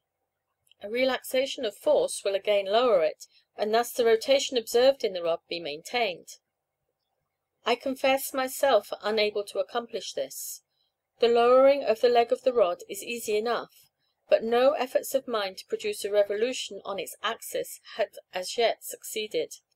The muscles which would contract the fingers upon the arms of the stick pass the shoulder, and it is worthy to remark that one of the medical men who witnessed the experiments made on Bleton the hydroscope, expressly alludes to a slight rising of the shoulders during the rotation of the divining rod. But the manner of using the rod was by no means identical in all cases. If, in all cases, it had simply been balanced between the fingers, some probability might have been given to the suggestion above made, that the rotation was always effected by the involuntary action of the muscles. The usual manner of holding the rod, however, precluded such a possibility. The most ordinary use consisted of taking a forked stick in such a manner that the palms were turned upwards, and the fingers closed upon the branching arms of the rod. Some required a normal position of the rod to be horizontal, others elevated the point, others again depressed it. If the implement were straight, it was held in a similar manner, but the hands were brought somewhat together, so as to produce a slight arc in the rod. Some who practised rhabdomancy sustained this species of rod between their thumbs and forefingers, or else the thumb and forefingers were closed and the rod rested on their points or again it reposed on the flat of the hand, or on the back, the hand being held vertically and the rod held in equilibrium. The third species of divining rod consisted in a straight staff cut in two. One extremity of the one half was hollowed out and the other half was sharpened at the end, and this end was inserted in the hollow, and the pointed stick rotated in the cavity. The way in which Bleton used his rod is thus minutely described. He does not grasp it, nor warm it in his hands, and he does not regard with preference the hazel branch lately cut and full of sap. He places horizontally between his forefingers a rod of any kind given to him, or picked up in the road, of any sort of wood except elder, fresh or dry, not always forked, but sometimes merely bent. If it is straight, it rises slightly at the extremities by little jerks, but does not turn. If bent, it revolves on its axis with more or less rapidity, in more or less time, according to the quantity and current of the water. I counted from thirty to thirty five revolutions in a minute, and afterwards as many as eighty. A curious phenomenon is, that Bleton was able to make the rod turn between another person's fingers even without seeing it or touching it, by approaching his body towards it when his feet stand over a subterranean watercourse. It is true, however, that the motion is much less strong and less durable in other fingers than his own. If Bleton stood on his head and placed the rod between his feet, Though he felt strongly the peculiar sensations produced in him by the flowing water, yet the rod remained stationary. If he were insulated on glass, silk, or wax, the sensations were less vivid and the rotation of the stick ceased. But this experiment failed in Paris, under circumstances which either prove that Bleton's imagination produced the movement, or that his integrity was questionable. It is quite possible that in many instances the action of the muscles is purely involuntary, and is attributable to the imagination, so that the operator deceives himself as well as others.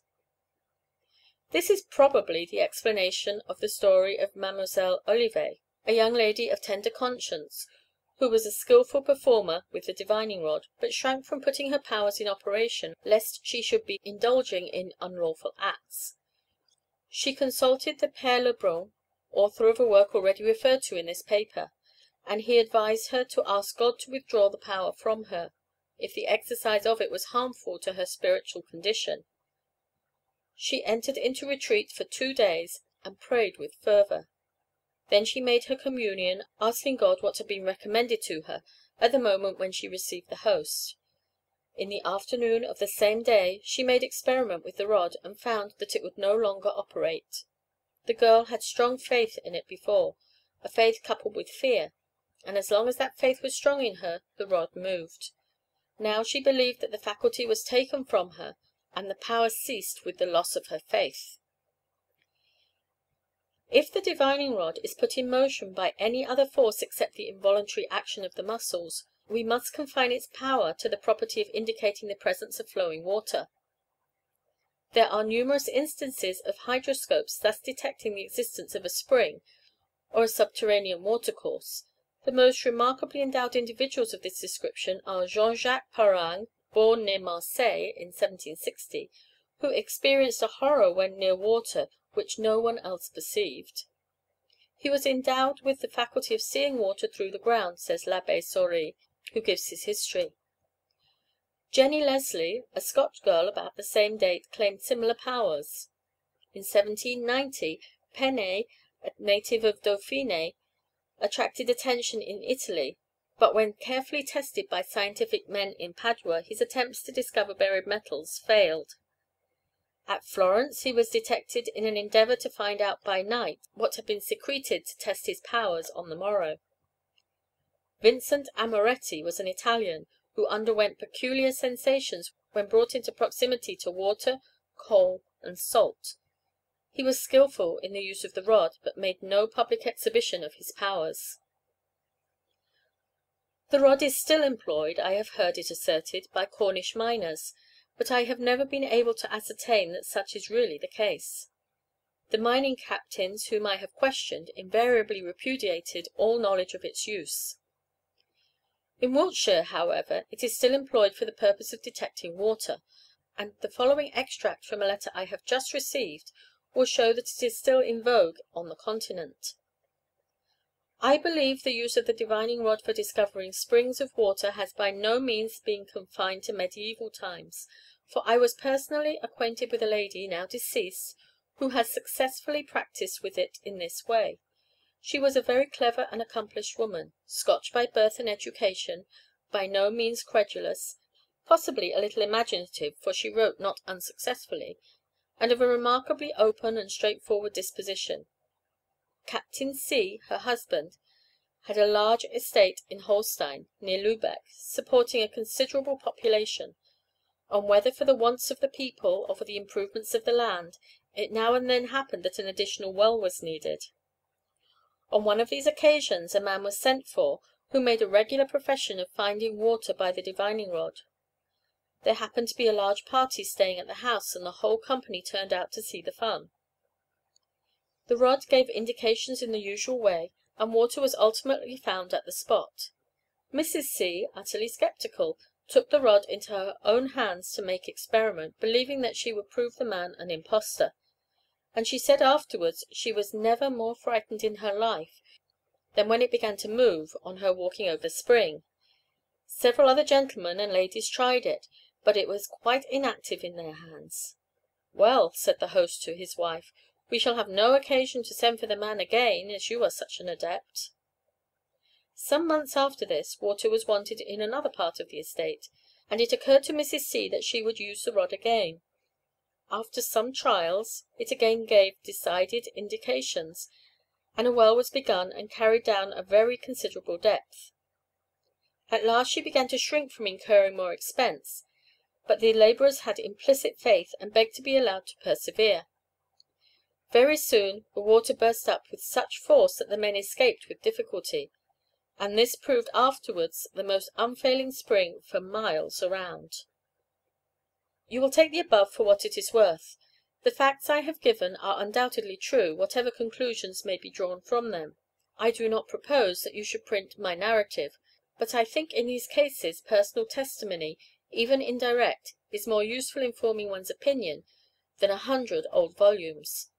I did not hear it from Mrs. C.'s own lips, but I was sufficiently acquainted with her to form a very tolerable estimate of her character and my wife, who has known her intimately from her own childhood, was in her younger days often staying with her for months together. I remember having been much perplexed by reading a series of experiments made with a pendulous ring over metals, by a Mr. Mayo. He ascertained that it oscillated in various directions under peculiar circumstances, when suspended by a thread over the ball of the thumb. I instituted a series of experiments, and was surprised to find the ring vibrate in an unaccountable manner in opposite directions over different metals. On consideration, I closed my eyes whilst the ring was oscillating over gold, and on opening them found that it had become stationary. I got a friend to change the metals whilst I was blindfolded. The ring no longer vibrated.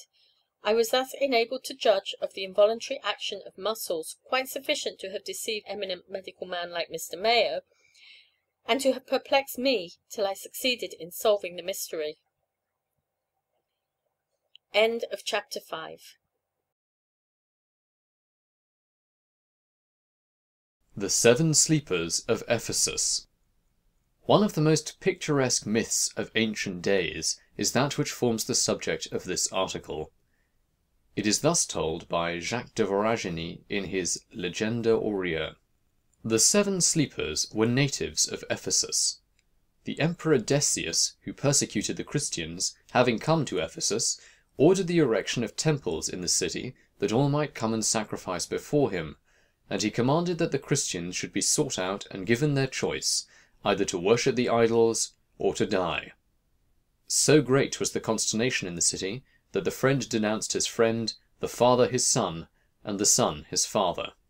Now there were in Ephesus seven Christians Maximian, Malchus, Marcion, Dionysius, John, Serapion, and Constantine by name. These refused to sacrifice to the idols, and remained in their houses, praying and fasting. They were accused before Decius, and they confessed themselves to be Christians. However, the emperor gave them a little time to consider what line they would adopt. They took advantage of this reprieve to dispense of their goods among the poor, and then they retired, all seven, to Mount Celion, where they determined to conceal themselves. One of their number, Malchus, in the disguise of a physician, went to the town to obtain victuals. Decius, who had been absent from Ephesus for a little while, returned, and gave orders for the seven to be sought. Malchus, having escaped from the town, fled, full of fear, to his comrades, and told them of the emperor's fury. They were much alarmed, and Malchus handed them the loaves he had bought, bidding them eat, that, fortified by the food, they might have courage in the time of trial. They ate, and then, as they sat weeping and speaking to one another, by the will of God, they fell asleep. The pagans sought them everywhere, but could not find them, and Decius was greatly irritated at their escape. He had their parents brought before him, and threatened them with death if they did not reveal the place of concealment. But they could only answer that the seven young men had distributed their goods to the poor, and that they were quite ignorant as to their whereabouts. Decius, thinking it possible that they might be hiding in a cavern, blocked up the mouth with stones, that they might perish of hunger. Three hundred and sixty years passed, and in the thirtieth year of the reign of Theodosius there broke forth a heresy denying the resurrection of the dead. Now it happened that an Ephesian was building a stable on the side of Mount Celion, and finding a pile of stones handy, he took them for his edifice, and thus opened the mouth of the cave. Then the seven sleepers awoke, and it was to them as if they had slept but a single night. They began to ask Malchus what decision Decius had given concerning them. He is going to hunt us down, so as to force us to sacrifice to the idols, was his reply. God knows, replied Maximian, we shall never do that. Then, exhorting his companions, he urged Malchus to go back to the town to buy some more bread, and at the same time to obtain fresh information. Malchus took five coins and left the cavern. On seeing the stones, he was filled with astonishment. However, he went on towards the city, but what was his bewilderment, on approaching the gate, to see over it a cross! He went to another gate, and there beheld the same sacred sign, and so he observed it over each gate of the city. He believed that he was suffering from the effects of a dream. Then he entered Ephesus, rubbing his eyes, and he walked to a baker's shop. He heard people using our Lord's name, and he was the more perplexed. Yesterday no one dared pronounce the name of Jesus, and now it is on everyone's lips.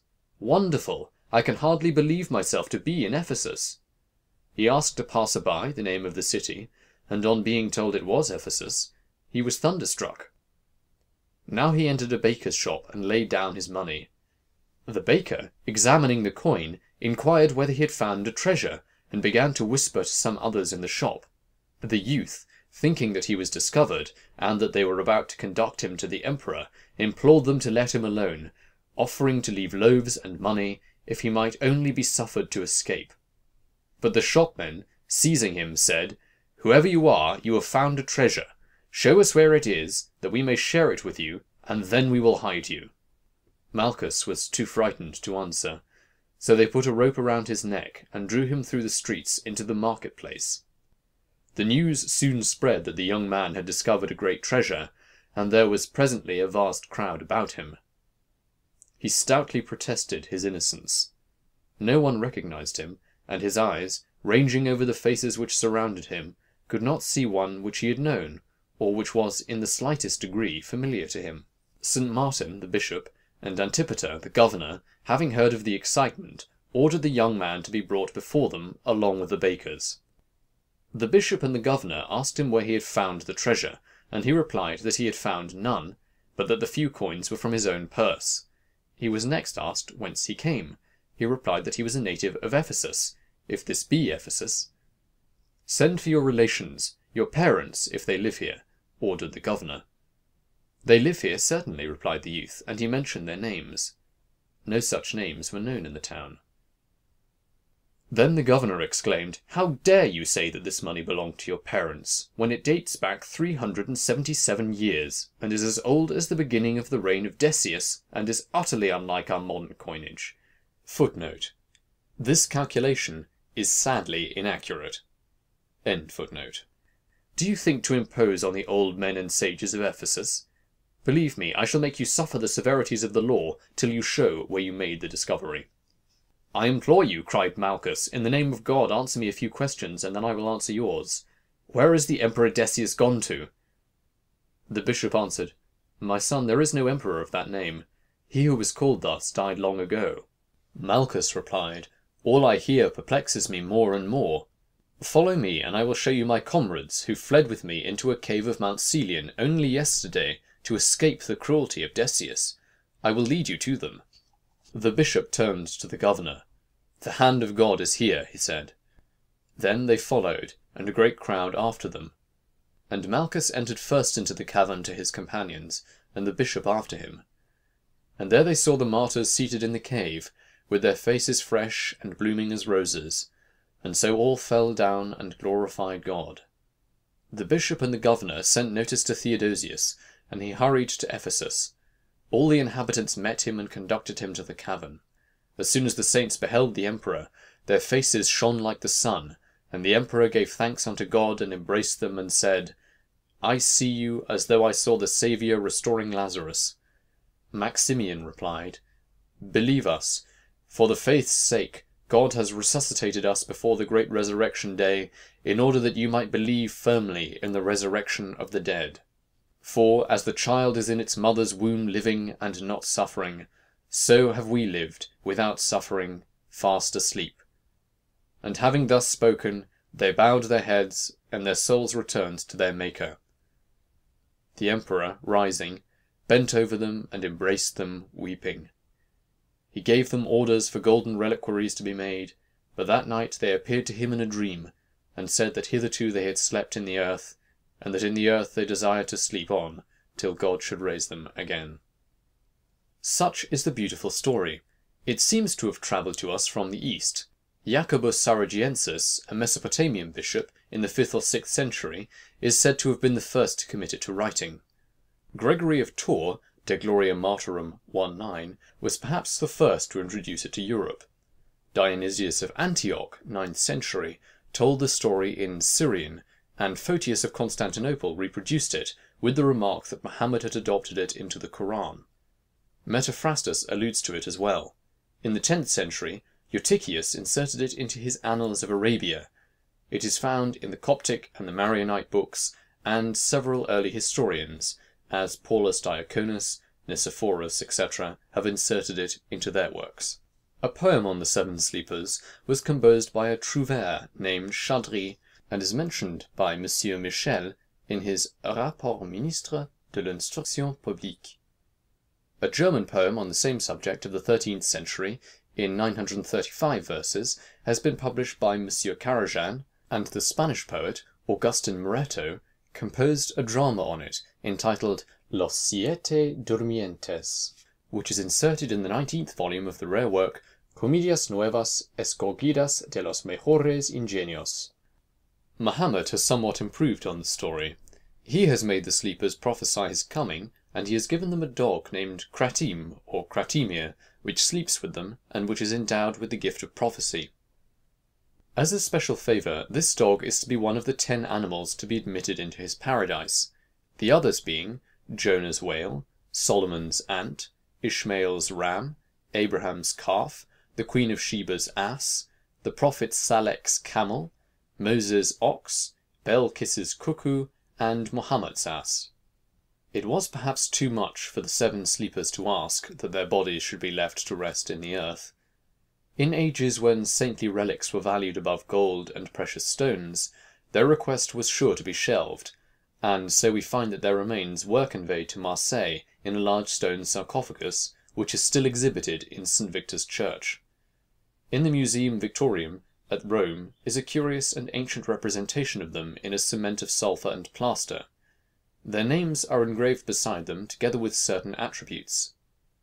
Near Constantine and John are two clubs, near Maximian a knotty club, near Malchus and Martinian two axes, near Serapion a burning torch, and near Dionysius or Dionysius a great nail, such as those spoken of by Horace, Lib. 1, Ode 3, and St. Paulinus, Nat. 9 or Carm. 24, as having been used for torture. In this group of figures the seven are represented as young, without beards, and indeed in ancient martyrologies they are frequently called boys. It has been inferred from this curious plaster representation that the seven may have suffered under Decius (A.D. 250), and have been buried in the aforementioned cave; whilst the discovery and translation of their relics under Theodosius, in 479, may have given rise to the fable. And this I think probable enough. The story of long sleepers and the number seven connected with it is ancient enough, and dates from heathen mythology. Like many another ancient myth, it was laid hold of by Christian hands, and baptized. Pliny relates the story of Epimenides, the epic poet, who, when tending his sheep one hot day, wearied and oppressed with slumber, retreated into a cave, where he fell asleep. After fifty seven years he awoke, and found everything changed. His brother, whom he had left a stripling, was now a hoary man. Epimenides was reckoned one of the seven sages by those who exclude Periander. He flourished in the time of Solon. After his death, at the age of 289, he was revered as a god, and honoured especially by the Athenians. This story is a version of the older legend of the perpetual sleep of the shepherd Endymion, who was thus preserved in unfading youth and beauty by Jupiter. According to an Arabic legend, St. George thrice rose from his grave, and was thrice slain. In Scandinavian mythology we have Siegfried or Sigurd thus resting, and awaiting his call to come forth and fight.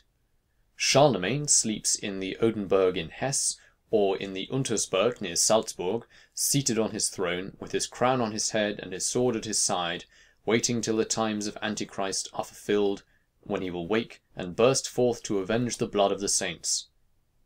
Ogier the Dane, or Olger Dansk, will in like manner shake off his slumber and come forth from the dreamland of Avalon to avenge the right.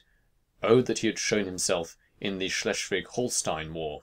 Well do I remember, as a child, contemplating with wondering awe the great Kyffhäuserberg in Thuringia, for therein, I was told, slept Frederick Barbarossa and his six knights. A shepherd once penetrated into the heart of the mountain by a cave, and discovered therein a hall where sat the emperor at a stone table, and his red beard had grown through the slab. At the tread of the shepherd, Frederick awoke from his slumber, and asked, Do ravens still fly over the mountains? Sire, they do. Then we must sleep another hundred years.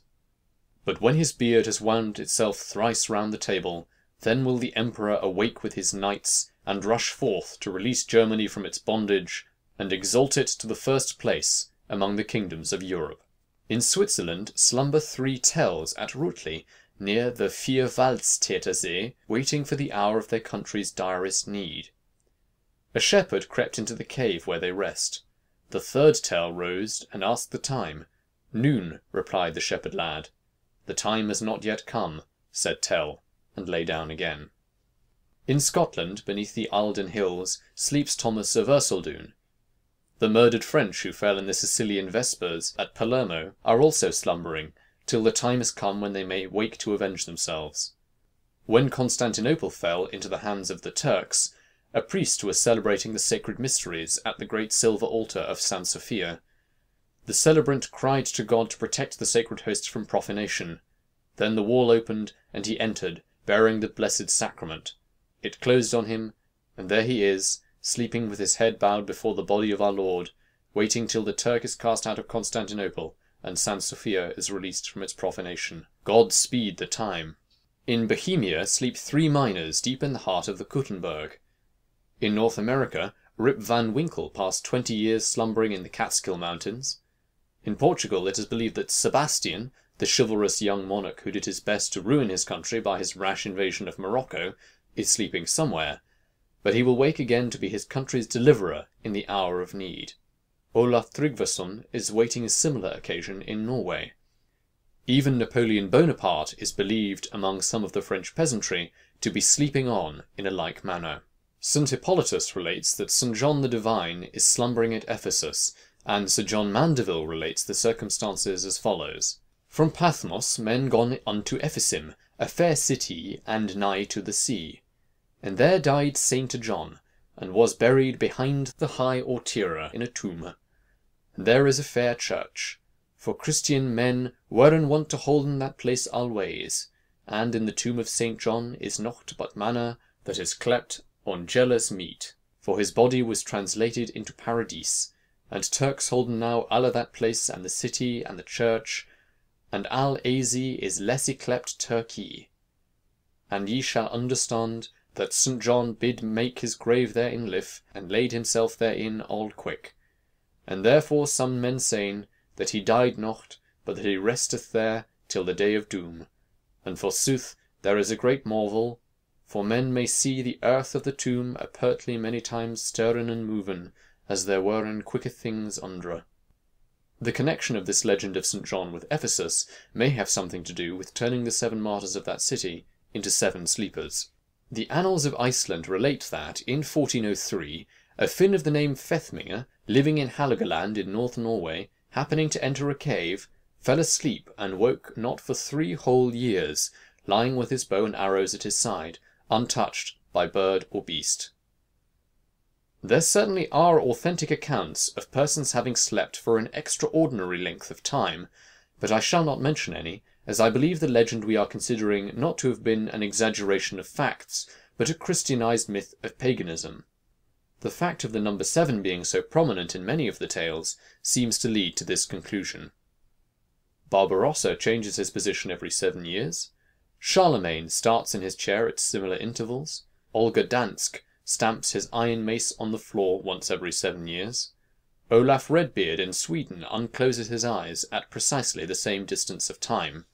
I believe that the mythological core of this picturesque legend is the repose of the earth through the seven winter months. In the north, Frederick and Charlemagne certainly replace Odin. The German and Scandinavian still heathen legends represents the heroes as about to issue forth for the defence of fatherland in the hour of direst need. The converted and Christianized tale brings the martyred youths forth in the hour when a heresy is afflicting the church, that they may destroy the heresy by their witness to the truth of the resurrection. If there is something majestic in the heathen myth, there are singular grace and beauty in the Christian tale, teaching, as it does, such a glorious doctrine, but it is surpassed in delicacy by the modern form which the same myth has assumed, a form which is a real transformation, leaving the doctrine taught the same. It has been made into a romance by Hoffmann, and is versified by Trinius. I may perhaps be allowed to translate with some freedom the poem of the latter. In an ancient shaft of Falun, year by year a body lay, God preserved as though a treasure, kept unto the waking day. Not the turmoil, nor the passions of the busy world o'erhead, Sounds of war, or peace rejoicings, could disturb the placid dead. Once a youthful miner, whistling, hewed the chamber, now his tomb. Crash! the rocky fragments tumbled, closed him in abysmal gloom. Sixty years passed by, ere miners, toiling hundred fathoms deep, Broke upon the shaft where rested that poor miner in his sleep.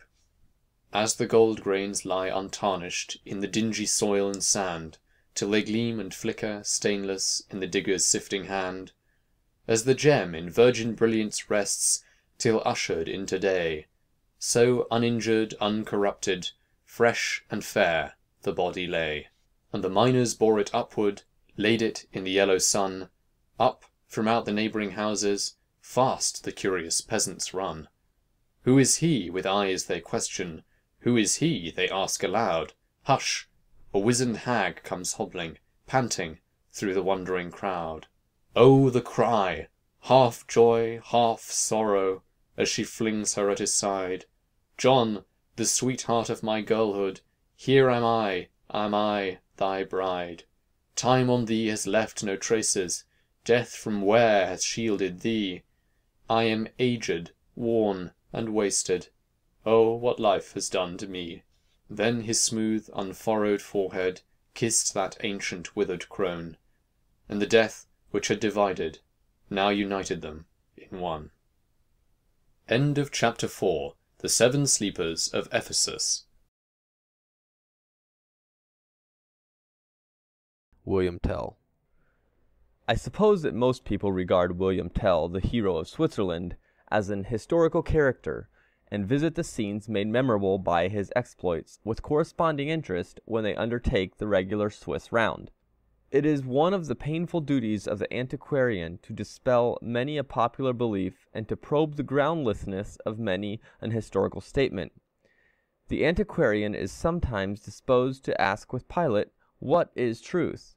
when he finds historical facts crumbling beneath his touch into mythical fables, and he soon learns to doubt and question the most emphatic declarations of, and claims to, reliability. Sir Walter Raleigh, in his prison, was composing the second volume of his History of the World. Leaning on the sill of his window, he meditated on the duties of the historian to mankind, when suddenly his attention was attracted by a disturbance in the courtyard before his cell. He saw one man strike another, whom he supposed by his dress to be an officer. The latter at once drew his sword and ran the former through the body. The wounded man felled his adversary with a stick, and then sank upon the pavement. At this juncture the guard came up and carried off the officer insensible, and then the corpse of the man who had been run through. Next day Raleigh was visited by an intimate friend, to whom he related the circumstances of the quarrel and its issue. To his astonishment, his friend unhesitatingly declared that the prisoner had mistaken the whole series of incidents which had passed before his eyes. The supposed officer was not an officer at all, but the servant of a foreign ambassador. It was he who had dealt the first blow. He had not drawn his sword, but the other had snatched it from his side, and had run him through the body before any one could interfere whereupon a stranger from among the crowd knocked the murderer down with his stick, and some of the foreigners belonging to the ambassador's retinue carried off the corpse. The friend of Raleigh added that government had ordered the arrest and immediate trial of the murderer, as the man assassinated was one of the principal servants of the Spanish ambassador. Excuse me, said Raleigh, but I cannot have been deceived as you suppose, for I was eyewitness to the events which took place under my own window, and the man fell there on that spot where you see a paving stone standing up above the rest. My dear Raleigh, replied his friend, I was sitting on that stone when the fray took place, and I received this slight scratch on my cheek in snatching the sword from the murderer, and upon my word of honor you have been deceived upon every particular. Sir Walter, when alone, took up the second volume of his history, which was in manuscript, and contemplating it, thought, If I cannot believe my own eyes, how can I be assured of the truth of a tithe of the events which happened ages before I was born? And he flung the manuscript into the fire. Now I think that I can show that the story of William Tell is as fabulous as, what shall I say, any other historical event. It is almost too well known to need repetition. In the year 1307, Gessler, Vogt of Emperor Albert of Hapsburg, set a hat on a pole, as symbol of imperial power and ordered everyone who passed by to do obeisance towards it. A mountaineer of the name of Tell boldly traversed the space before it without saluting the abhorred symbol. By Gessler's command he was at once seized and brought before him. As Tell was known to be an expert archer, he was ordered, by way of punishment, to shoot an apple off the head of his own son. Finding remonstrance vain, he submitted. The apple was placed on the child's head. Tell bent his bow, the arrow sped, an apple and arrow fell together to the ground.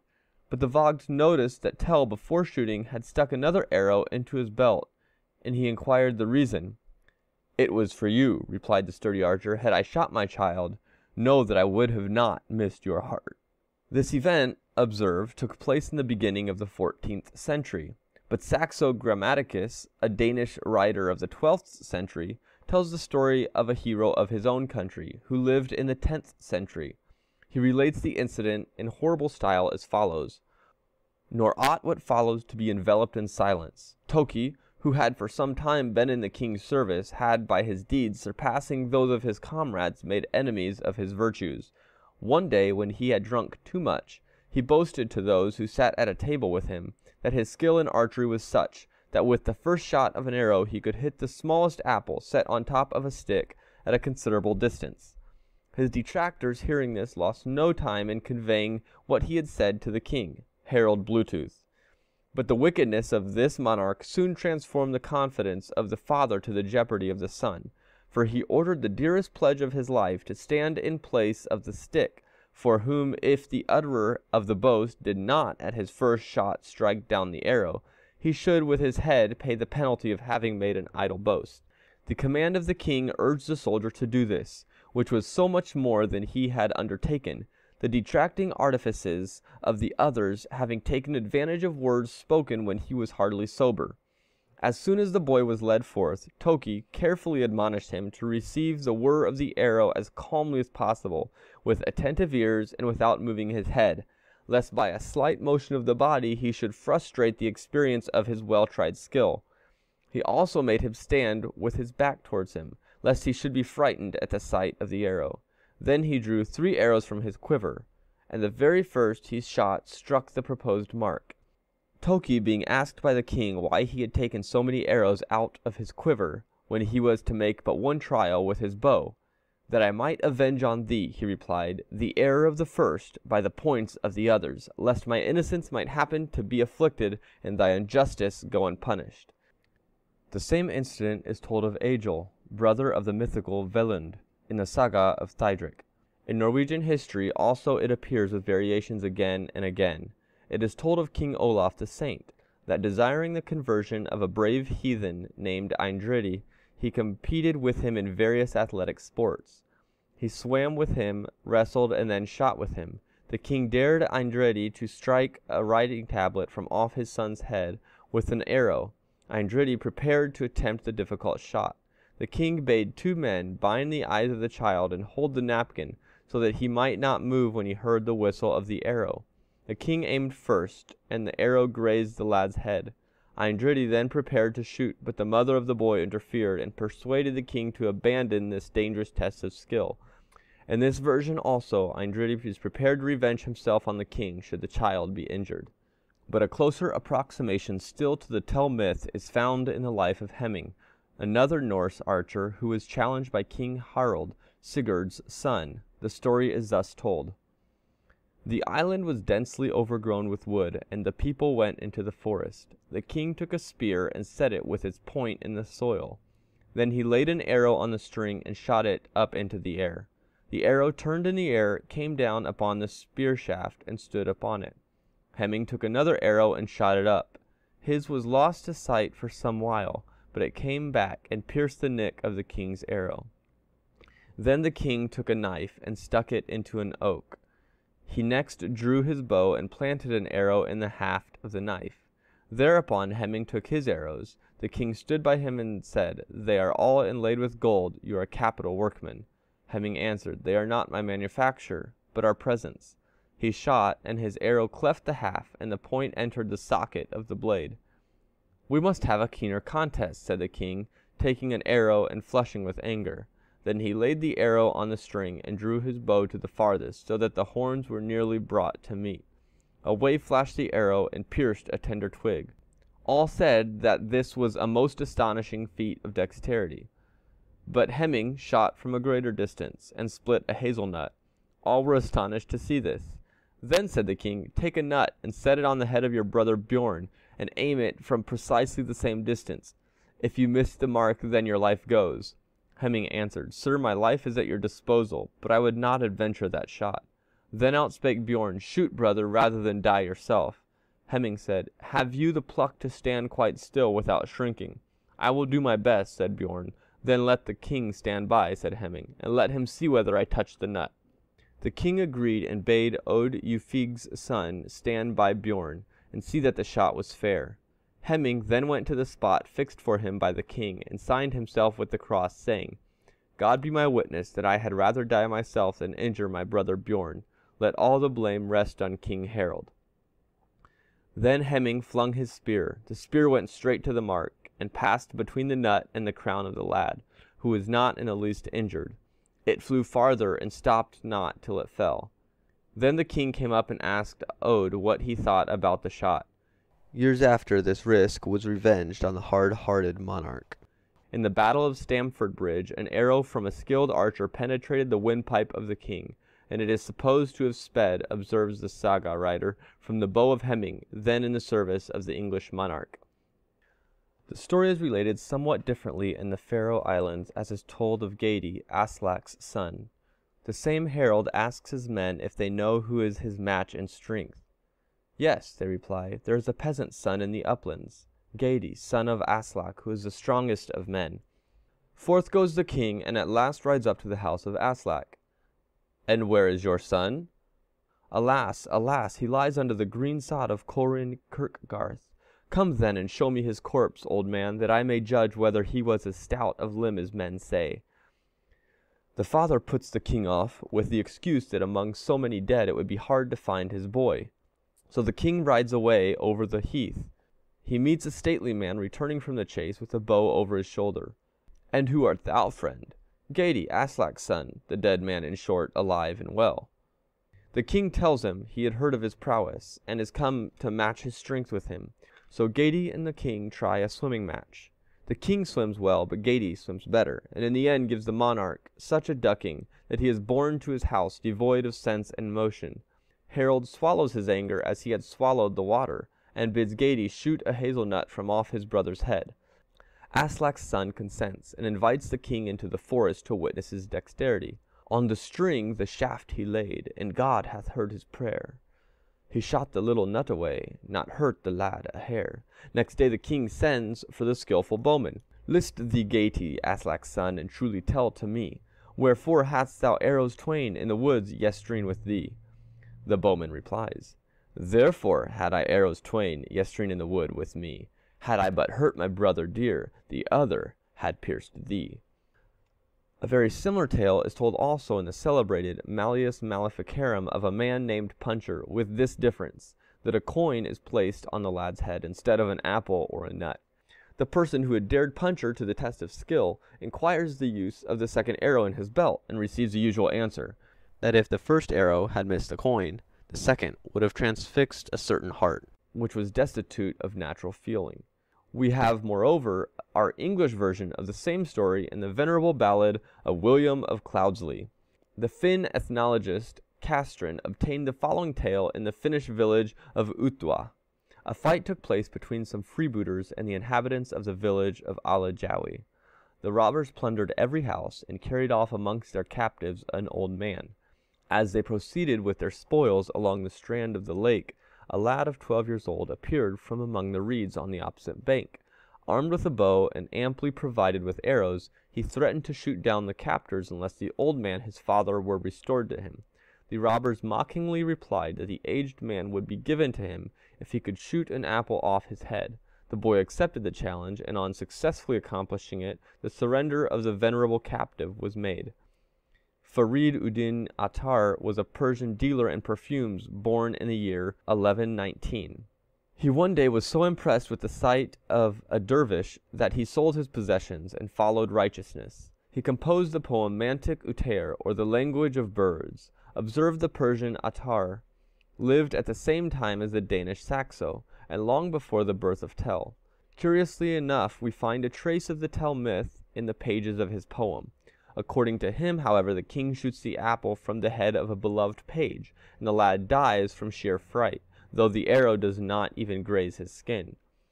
The coincidence of finding so many versions of the same story scattered through countries as remote as Persia and Iceland, Switzerland and Denmark proves, I think, that it can in no way be regarded as history, but is rather one of the numerous household myths common to the whole stock of Aryan nations.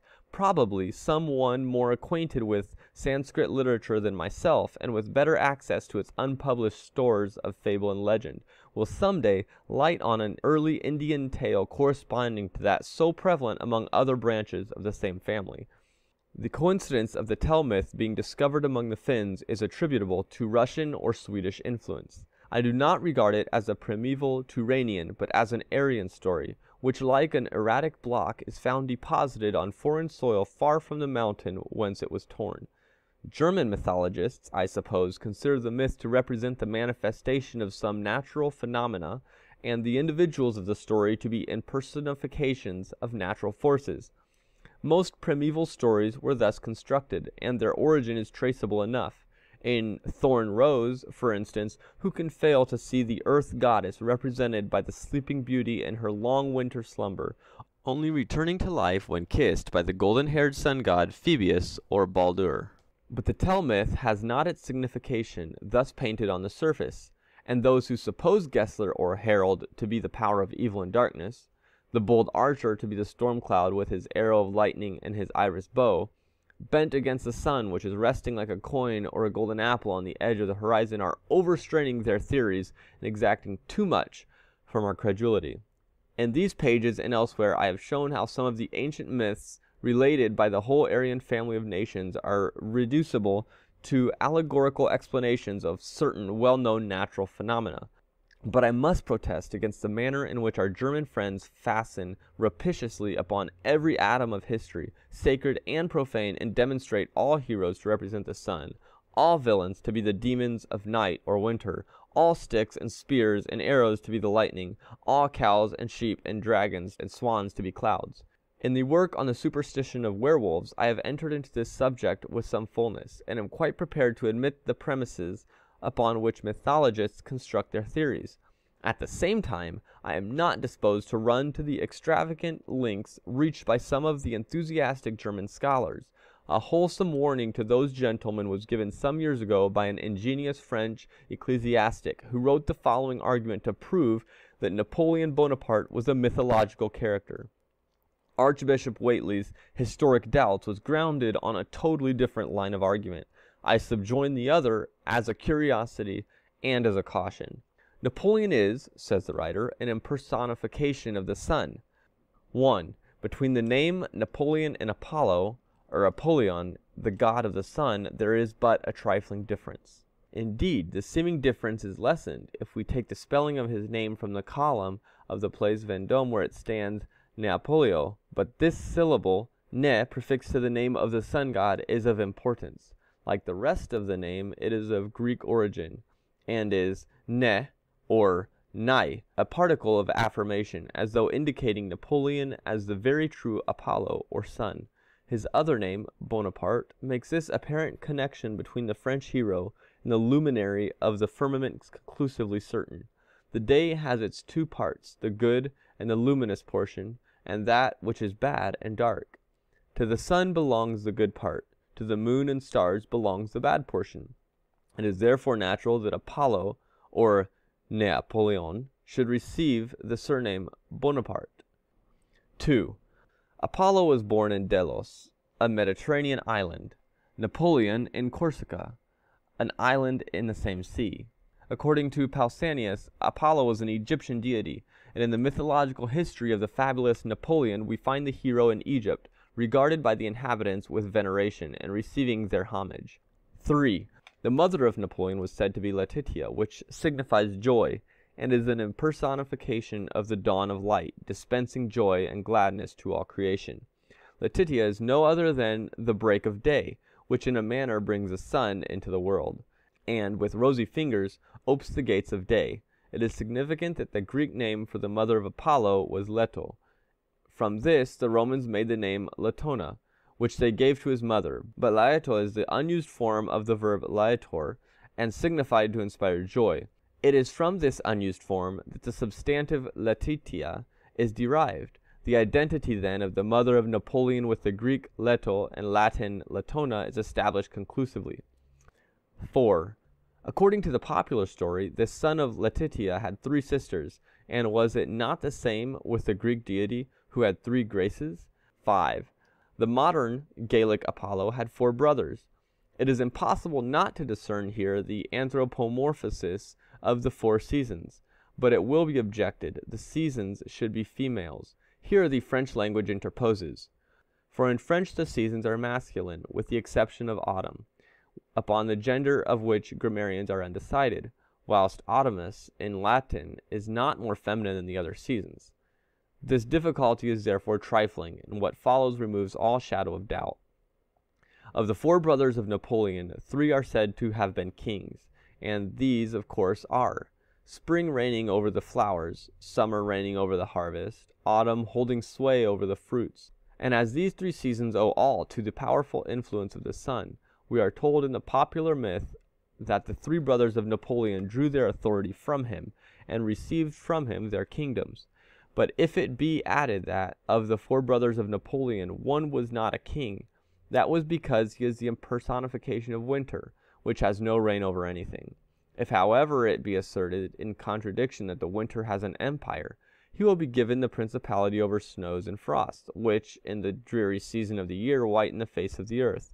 Well, the fourth brother of Napoleon is thus invested by popular tradition, commonly called history, with a vain principality accorded to him in the decline of the power of Napoleon.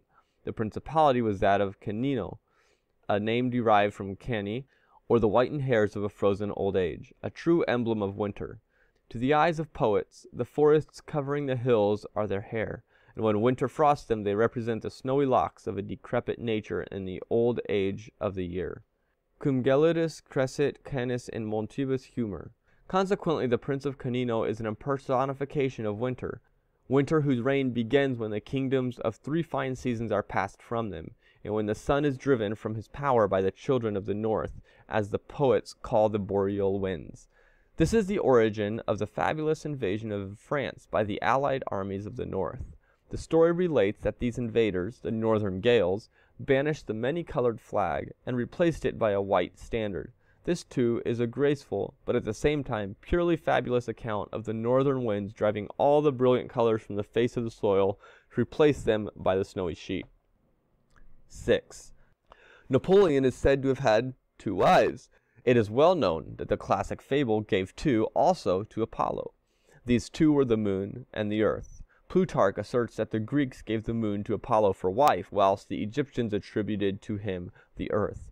By the moon he had no posterity, but by the other he had one son only, the little Horus. This is an Egyptian allegory representing the fruits of agriculture produced by the earth, fertilized by the sun. The pretended son of the fabulous Napoleon is said to have been born on the 20th of March, the season of the spring equinox, when agriculture is assuming its greatest period of activity. 7. Napoleon is said to have released France from the devastating scourge which terrorized over the country, the Hydra of the Revolution, as it was popularly called. Who cannot see in this a Gaelic version of the Greek legend of Apollo releasing Hellas from the terrible Python? The very name revolution, derived from the Latin verb revolvo, is indicative of the coils of a serpent like the python. 8. The famous hero of the nineteenth century had, it is asserted, twelve marshals at the head of his armies, and four who were stationary and inactive.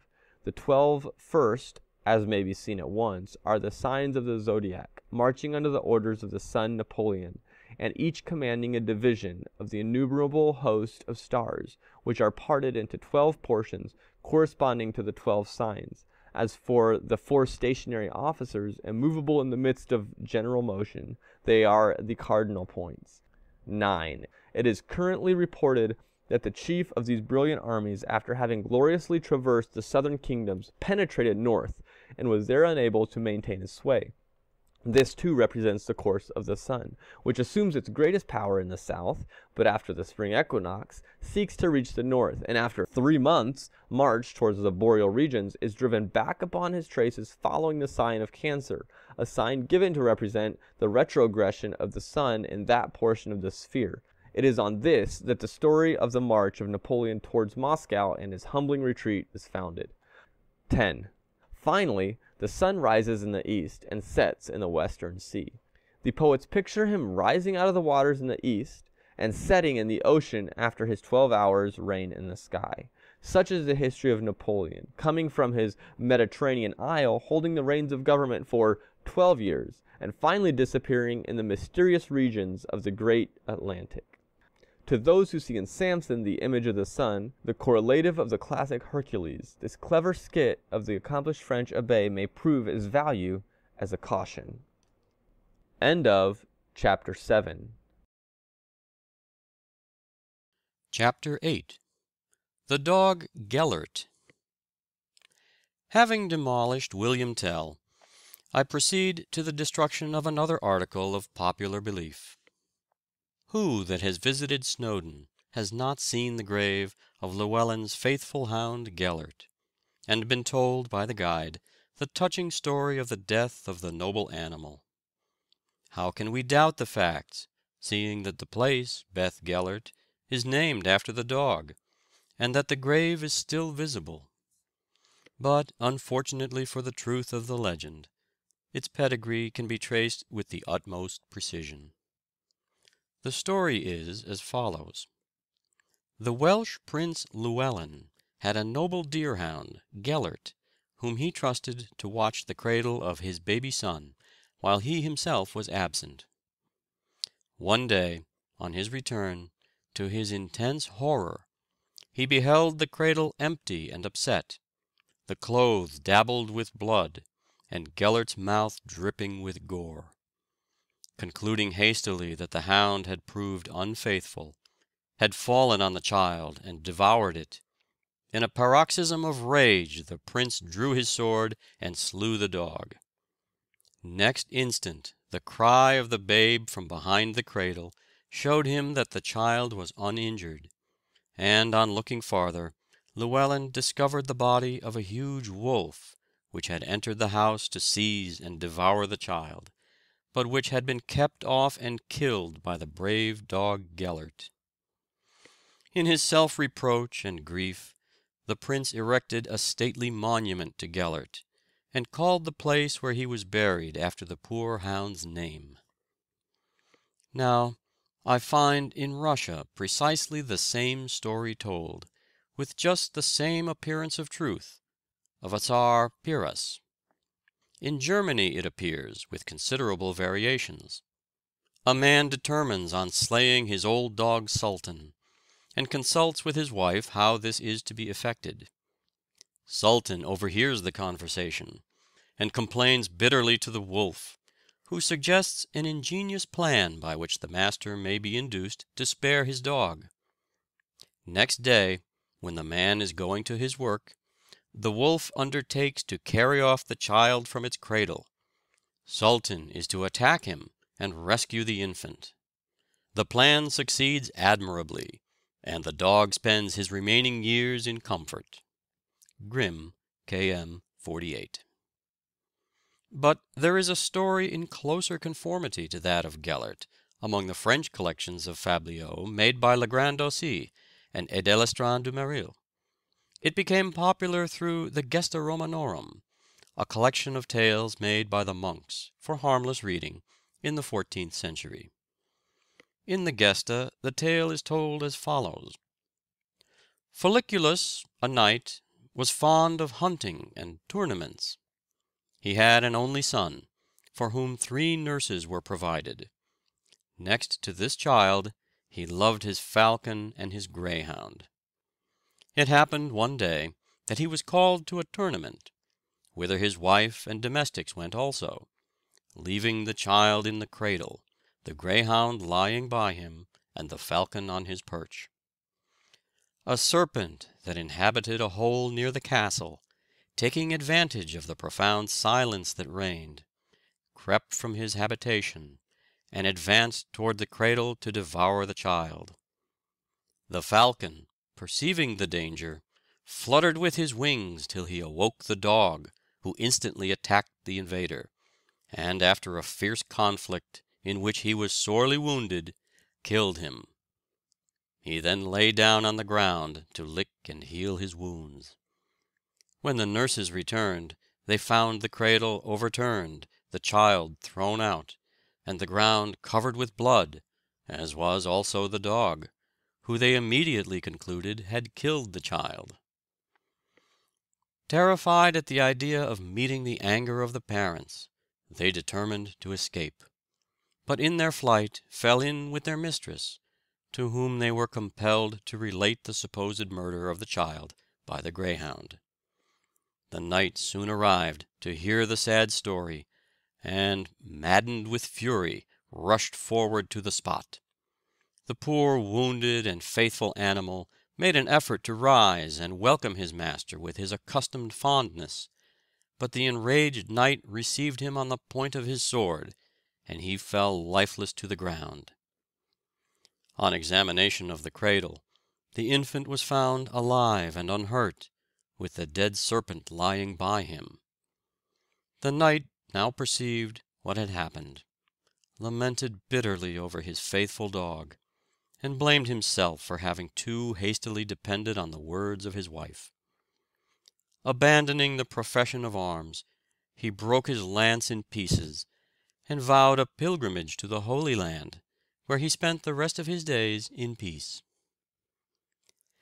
The monkish hit at the wife is amusing, and might have been supposed to have originated with those determined misogynists, as the gallant Welshman lay all the blame on the man.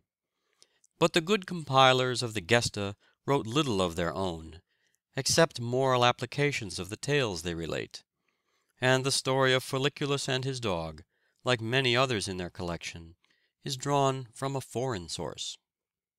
It occurs in the Seven Wise Masters, and in the Calumnia Novercalis as well, so that it must have been popular throughout medieval Europe. Now, the tales of the Seven Wise Masters are translations from a Hebrew monk, the Kalilah and Dimnah of Rabbi Joel, composed about A.D. 1250, or from Simeon Seth's Greek Kalilah and Dimni, written in 1080. These Greek and Hebrew works were derived from kindred sources. That of Rabbi Joel was a translation from an Arabic version, made by Nasr Allah in the twelfth century, whilst Simeon Seth's was a translation of the Persian Kalila and Dimna. But the Persian Kalila and Dimna was not either an original work. It was, in turn, a translation from the Sanskrit Panchatantra, made about A.D. 540.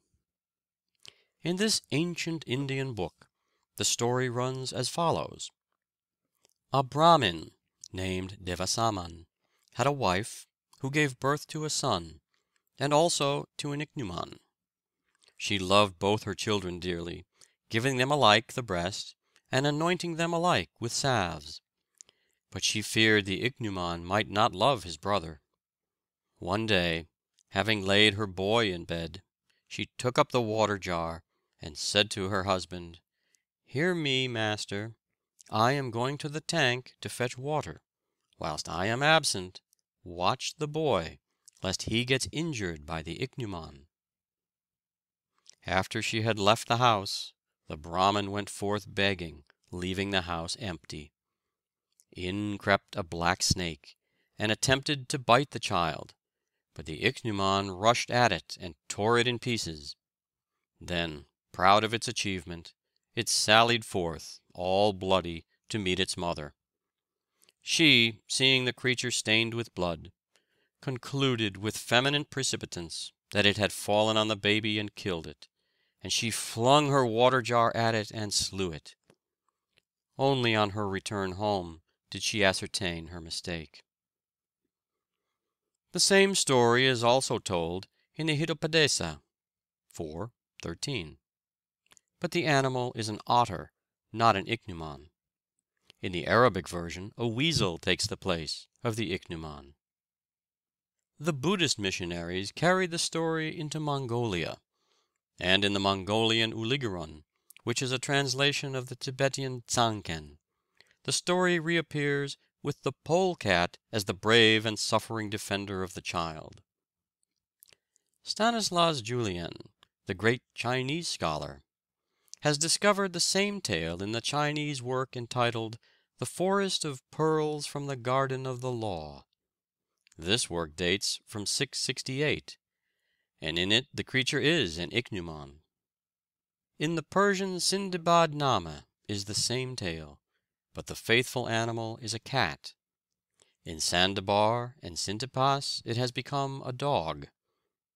Through the influence of Sandabar on the Hebrew translation of the Kalilah and Dimnah, the ichneumon is also replaced by a dog. Such is the history of the Gellert legend. It is an introduction into Europe from India, every step of its transmission being clearly demonstrable. From the Gesta Romanorum it passed into a popular tale throughout Europe, and in different countries it was, like the Tell myth, localized and individualized. Many a Welsh story, such as those contained in the Mabinogion, are as easily traced to an Eastern origin. But every story has its root. The root of the Gellert tale is this. A man forms an alliance of friendship with a beast or bird. The dumb animal renders him a signal service. He misunderstands the act, and kills his preserver. We have tracked this myth under the Gellert form from India to Wales, but under another form it is the property of the whole Aryan family, and forms a portion of the traditional lore of all nations sprung from that stock. Thence arose the classic fable of the peasant, who, as he slept, was bitten by a fly. He awoke, and in a rage killed the insect. When, too late, he observed that the little creature had aroused him that he might avoid a snake which lay coiled up near his pillow. In the Anvar Issohaili is the following kindred tale. A king had a falcon. One day, whilst hunting, he filled a goblet with water dropping from a rock. As he put the vessel to his lips, his falcon dashed upon it, and upset it with its wings. The king, in a fury, slew the bird, and then discovered that the water dripped from the jaws of a serpent of the most poisonous description. This story, with some variations, occurs in Aesop, Aelian, and Aphthonius. In the Greek fable, a peasant liberates an eagle from the clutches of a dragon. The dragon spurts poison into the water, which the peasant is about to drink without observing what the monster had done. The grateful eagle upsets the goblet with his wings. The story appears in Egypt under a whimsical form. A wali once smashed a pot full of herbs which a cook had prepared.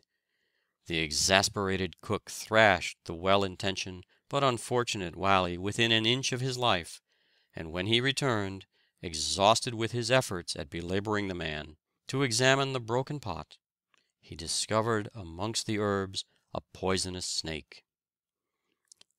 How many brothers, sisters, uncles, aunts, and cousins of all degrees this little story has! And how few of the tales we listen to can lay any claim to originality! There is scarcely a story which I hear which I cannot connect with some family of myths, and whose pedigree I cannot ascertain with more or less precision. Shakespeare drew the plots of his plays from Boccaccio or Straparola. But these Italians did not invent the tales they lent to the English dramatist. King Lear does not originate with Geoffrey of Monmouth, but comes from early Indian stores of fable, whence also are derived the Merchant of Venice and the Pound of Flesh, ay, and the very incident of the three caskets.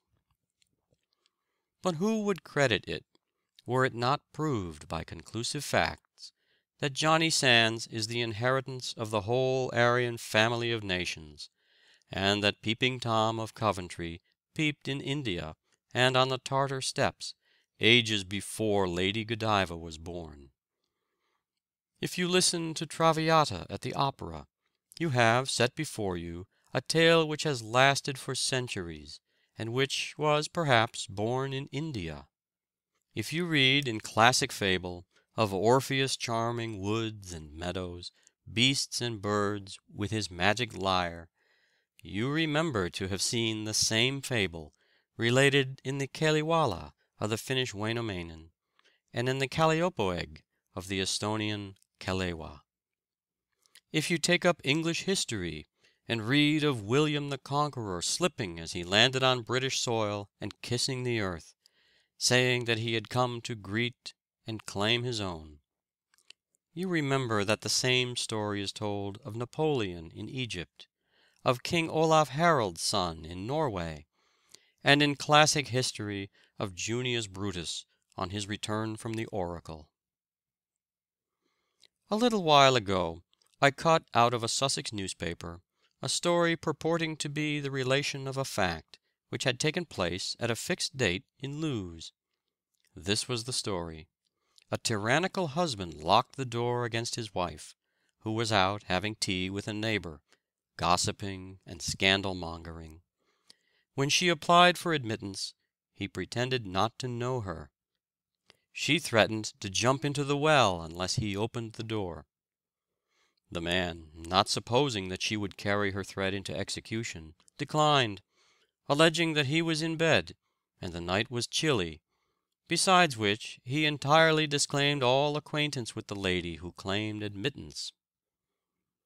The wife then flung a log into a well, and secreted herself behind the door. The man, hearing the splash, fancied that his good lady was really in the deeps, and forth he darted in his nocturnal costume, which was of the lightest, to ascertain whether his deliverance was complete. At once the lady darted into the house, locked the door, and on the husband pleading for admittance, she declared most solemnly from the window that she did not know him.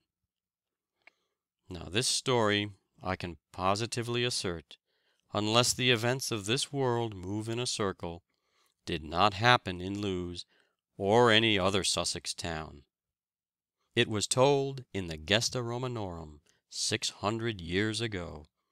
And it was told, may be, as many hundred years before in India, for it is still to be found in Sanskrit collections of tales.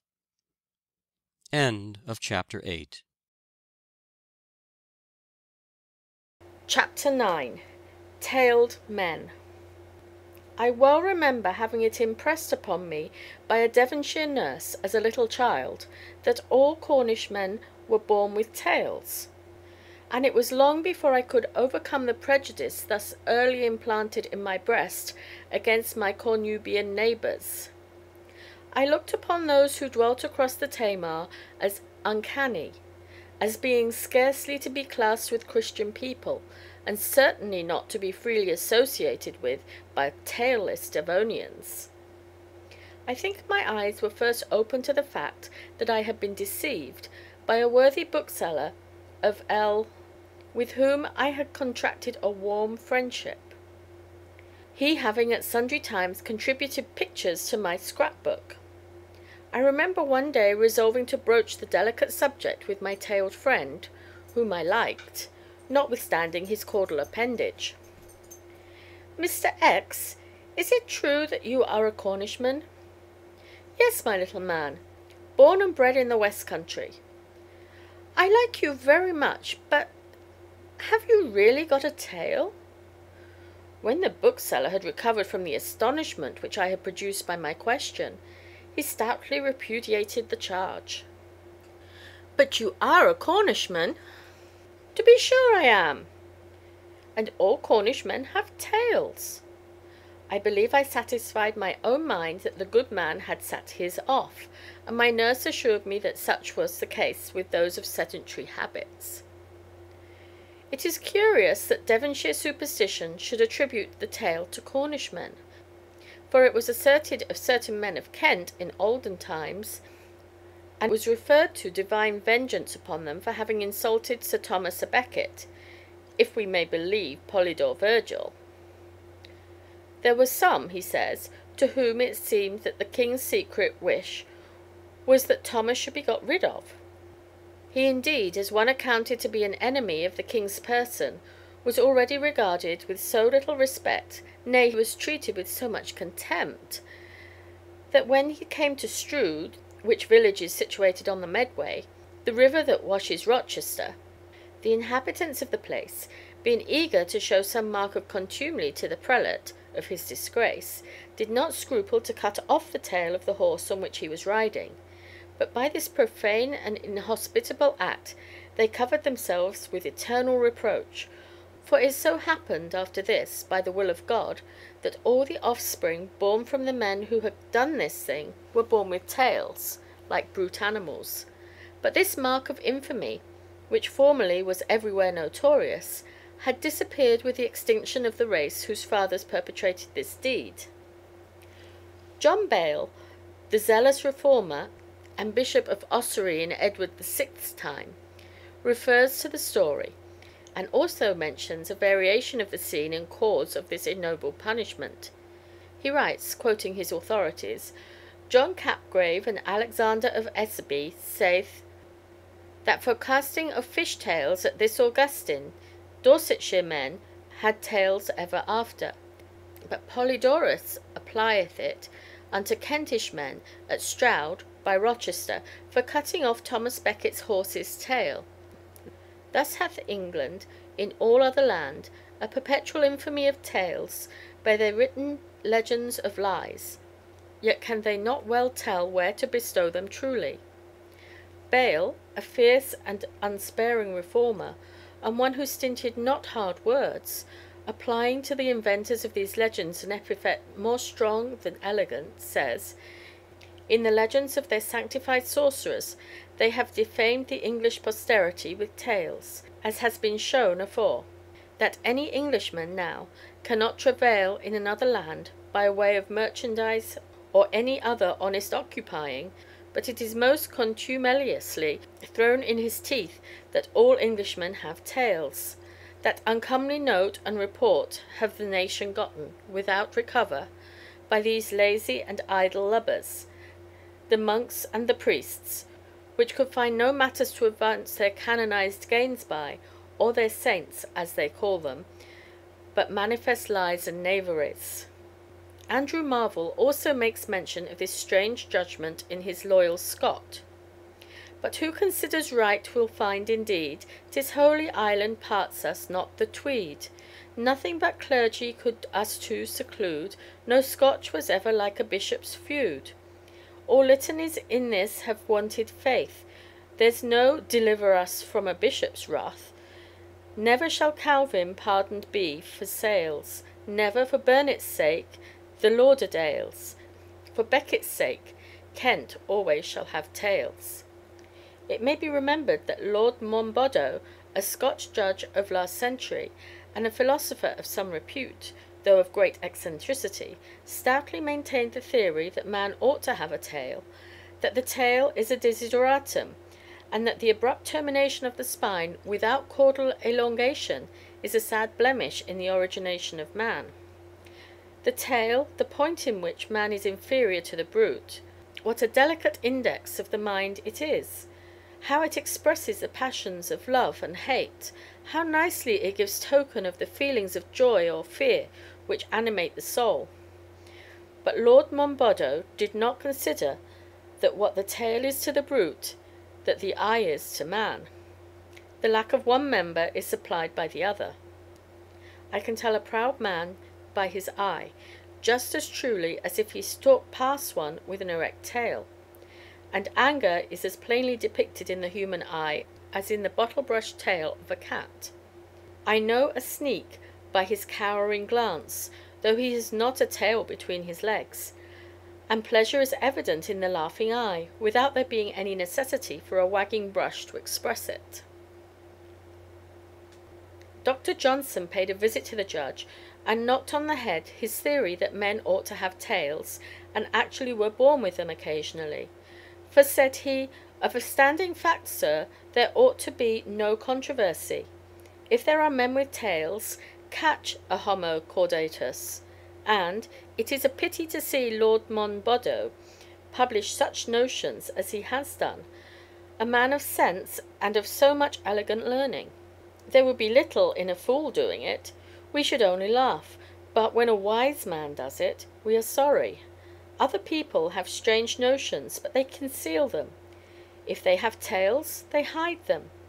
But Monboddo is as jealous of his tail as a squirrel. And yet Johnson seems to have been tickled with the idea, and to have been amused with the notion of an appendage like a tail being regarded as a complement of human perfection. It may be remembered how Johnson made the acquaintance of the young Laird of Coll during his Highland tour, and how pleased he was with him.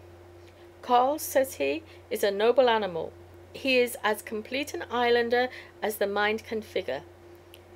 He is a farmer, a sailor, a hunter, a fisher. He will run you down a dog.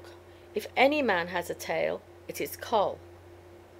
And notwithstanding all his aversion to puns, the great doctor was fain to yield to human weakness on one occasion, under the influence of the mirth which Monboddo's name seems to have excited. Johnson writes to Mrs. Thrale of a party he had met one night, which he thus enumerates: "There was Smelt, and the Bishop of St. Asaph, who comes to every place, and Sir Joshua, and Lord Monboddo, and ladies out of tale." There is a Polish story of a witch who made a girdle of human skin and laid it across the threshold of a door where a marriage feast was being held. On the bridal pair stepping across the girdle they were transformed into wolves. Three years after, the witch sought them out and cast over them dresses of fur with the hair turned outward, whereupon they recovered their human forms, but, unfortunately, the dress cast over the bridegroom was too scanty and did not extend over his tail, so that, when he was restored to his former condition, he retained his lupine caudal appendage, and this became hereditary in his family, so that all Poles with tails are lineal descendants of the ancestor to whom this little misfortune happened. John Struys, a Dutch traveller, who visited the Isle of Formosa in 1677, gives a curious story which is worth transcribing. "Before I visited this island," he writes, "I had often heard tell that there were men who had long tails, like brute beasts; but I have never been able to believe it, and I regarded it as a thing so alien to our nature that I should now have difficulty in accepting it, if my own senses had not removed me from every pretence of doubting the fact, by the following strange adventure. The inhabitants of Formosa being used to see us, were in the habit of receiving us on terms which left nothing to apprehend on either side, so that, although mere foreigners, we always believed ourselves in safety, and had grown familiar enough to ramble at large without an escort, when grave experience taught us that, in so doing, we were hazarding too much.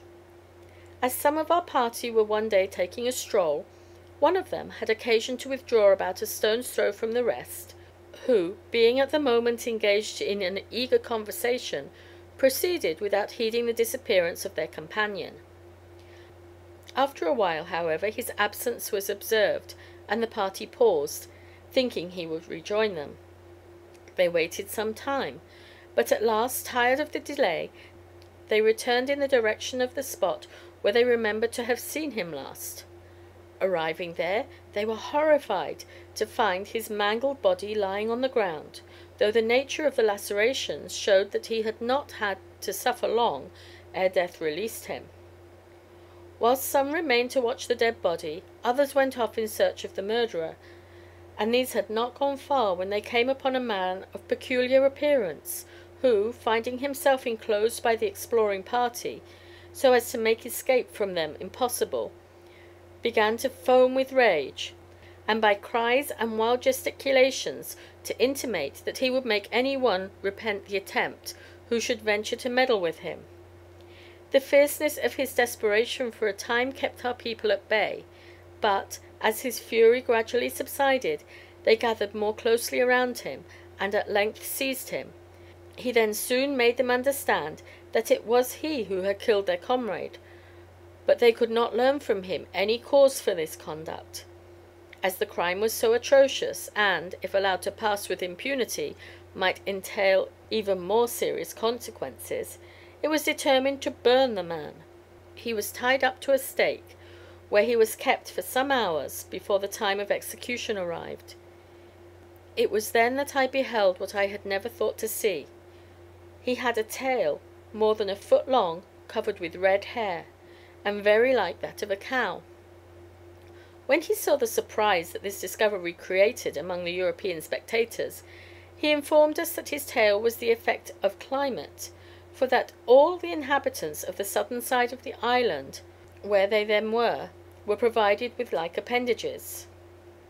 After Struys, Hornemann reported that, between the Gulf of Benin and Abyssinia, were tailed anthropophagi, named by the natives Niam Niams, and in 1849 Monsieur Descouret, on his return from Mecca, affirmed that such was a common report, and added that they had long arms, low and narrow foreheads, long and erect ears, and slim legs. Mr. Harrison, in his Highlands of Ethiopia, alludes to the common belief among the Abyssinians in a pygmy race of this nature.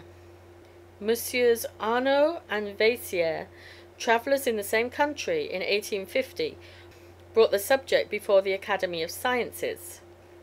In 1851 M. de Castelnau gave additional details relative to an expedition against these tailed men. The Niam Niams, he said, were sleeping in the sun. The Haoussas approached, and, falling on them, massacred them to the last man. They had all of them tails forty centimetres long, and from two to three in diameter. This organ is smooth.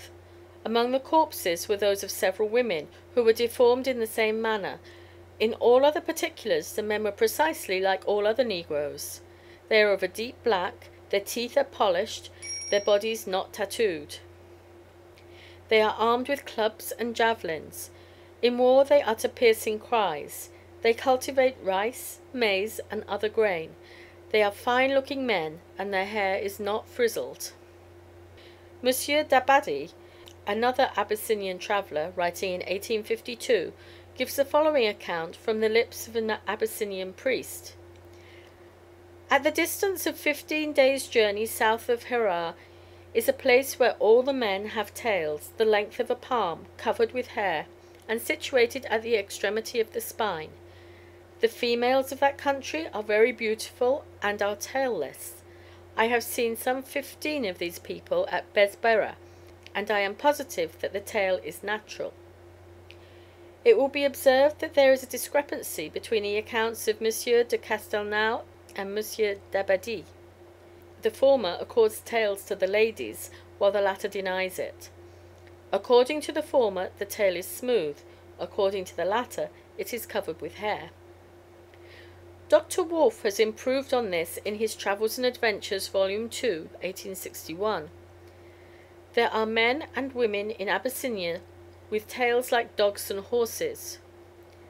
Wolff also heard from a great many Abyssinians and Armenians, and Wolff is convinced of the truth of it, that there are near Narea, in Abyssinia, people, men and women, with large tails, with which they are able to knock down a horse, and there are also such people near China." And in a note, "In the College of Surgeons at Dublin may be seen a human skeleton with a tail seven inches long." There may be known instances of this elongation of the caudal vertebra, as in the Punangs in Borneo.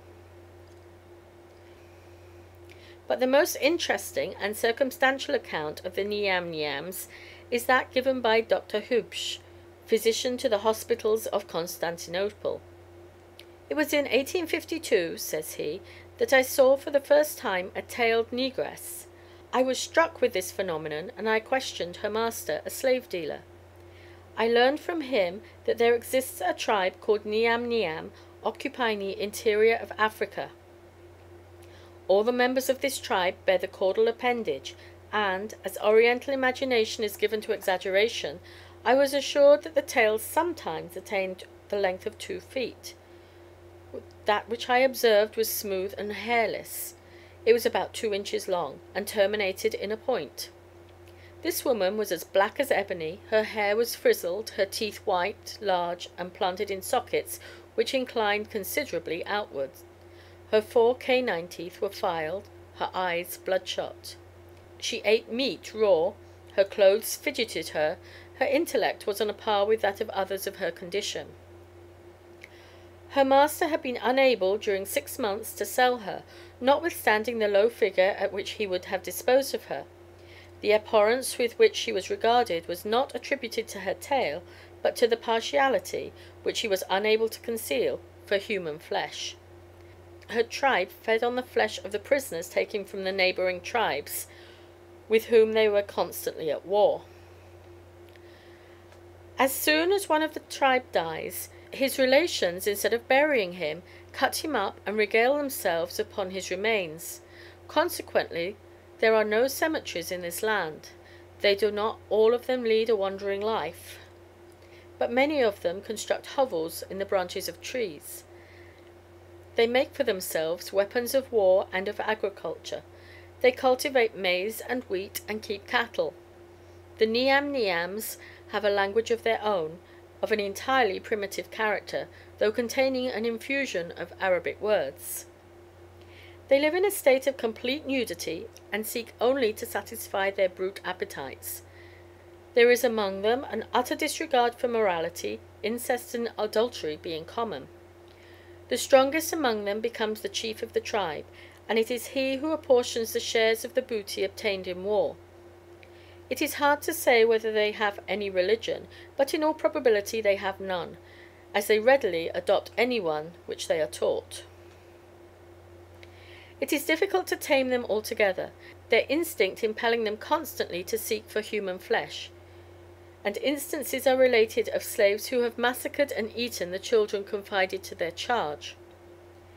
I have seen a man of the same race who had a tail an inch and a half long, covered with a few hairs. He appeared to be thirty five years old. He was robust, well built, of an ebon blackness, and had the same peculiar formation of jaw noticed above; that is to say, the tooth sockets were inclined outwards. Their four canine teeth are filed down to diminish their power of mastication. I know also, at Constantinople, the son of a physician, aged two years, who was born with a tail an inch long. He belonged to the white Caucasian race. One of his grandfathers possessed the same appendage. This phenomenon is regarded generally in the East as a sign of great brute force. About ten years ago a newspaper paragraph recorded the birth of a boy in Newcastle upon Tyne, provided with a tail about an inch and a quarter long. It was asserted that the child, when sucking, wagged his stump as a token of pleasure. Yet, notwithstanding all this testimony in favour of tailed men and women, it is simply a matter of impossibility for a human being to have a tail, for the spinal vertebrae in man do not admit of elongation, as in many animals; for the spine terminates in the os sacrum, a large and expanded bone of peculiar character, entirely precluding all possibility of production to the spine as in caudate animals. End of chapter X.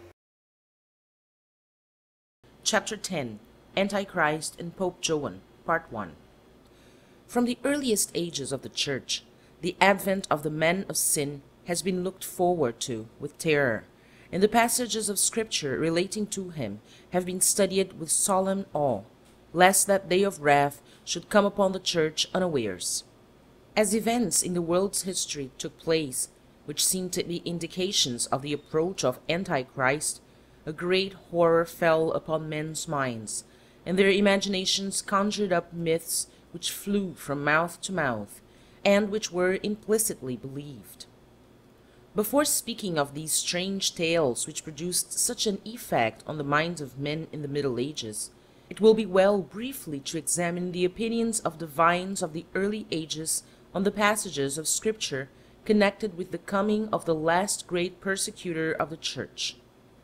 Antichrist was believed by most ancient writers to be destined to arise out of the tribe of Dan, a belief founded on the prediction of Jacob: Dan shall be a serpent by the way, an adder in the path (cf. Jeremiah 8:16), and on the exclamation of the dying patriarch when looking on his son Dan, I have waited for thy salvation, O Lord, as though the long suffering of God had borne long with that tribe, but in vain, and it was to be extinguished without hope. This, indeed, is implied in the sealing of the servants of God in their foreheads, Revelation 7, when twelve thousand out of every tribe, except Dan, were seen by St. John to receive the seal of adoption, whilst of the tribe of Dan not one was sealed, as though it, to a man, had apostatized. Opinions as to the nature of Antichrist were divided. Some held that he was to be a devil in phantom body, and of this number was Hippolytus. Others again believed that he would be an incarnate demon, true man and true devil, in fearful and diabolical parody of the incarnation of our Lord. A third view was that he would be merely a desperately wicked man, acting upon diabolical inspirations just as the saints act upon divine inspirations. St. John Damascene expressly asserts that he will not be an incarnate demon, but a devilish man, for he says, Not as Christ assumed humanity, so will the devil become human, but the man will receive all the inspiration of Satan, and will suffer the devil to take up his abode within him. In this manner, Antichrist could have many forerunners, and so St. Jerome and St. Augustine saw an Antichrist in Nero, not the Antichrist, but one of those of whom the Apostle speaks. Even now are there many Antichrists. Thus also every enemy of the faith, such as Diocletian, Julian, and Mohammed, has been regarded as a precursor of the arch persecutor, who was expected to sum up in himself the cruelty of a Nero or Diocletian, the show of virtue of a Julian, and the spiritual pride of a Mohammed. From infancy, the evil one is to take possession of Antichrist and to train him for his office, instilling into him cunning, cruelty, and pride. His doctrine will be not downright infidelity, but a show of godliness, whilst denying the power thereof, that is, the miraculous origin and divine authority of Christianity. He will sow doubts of our Lord's manifestation in the flesh.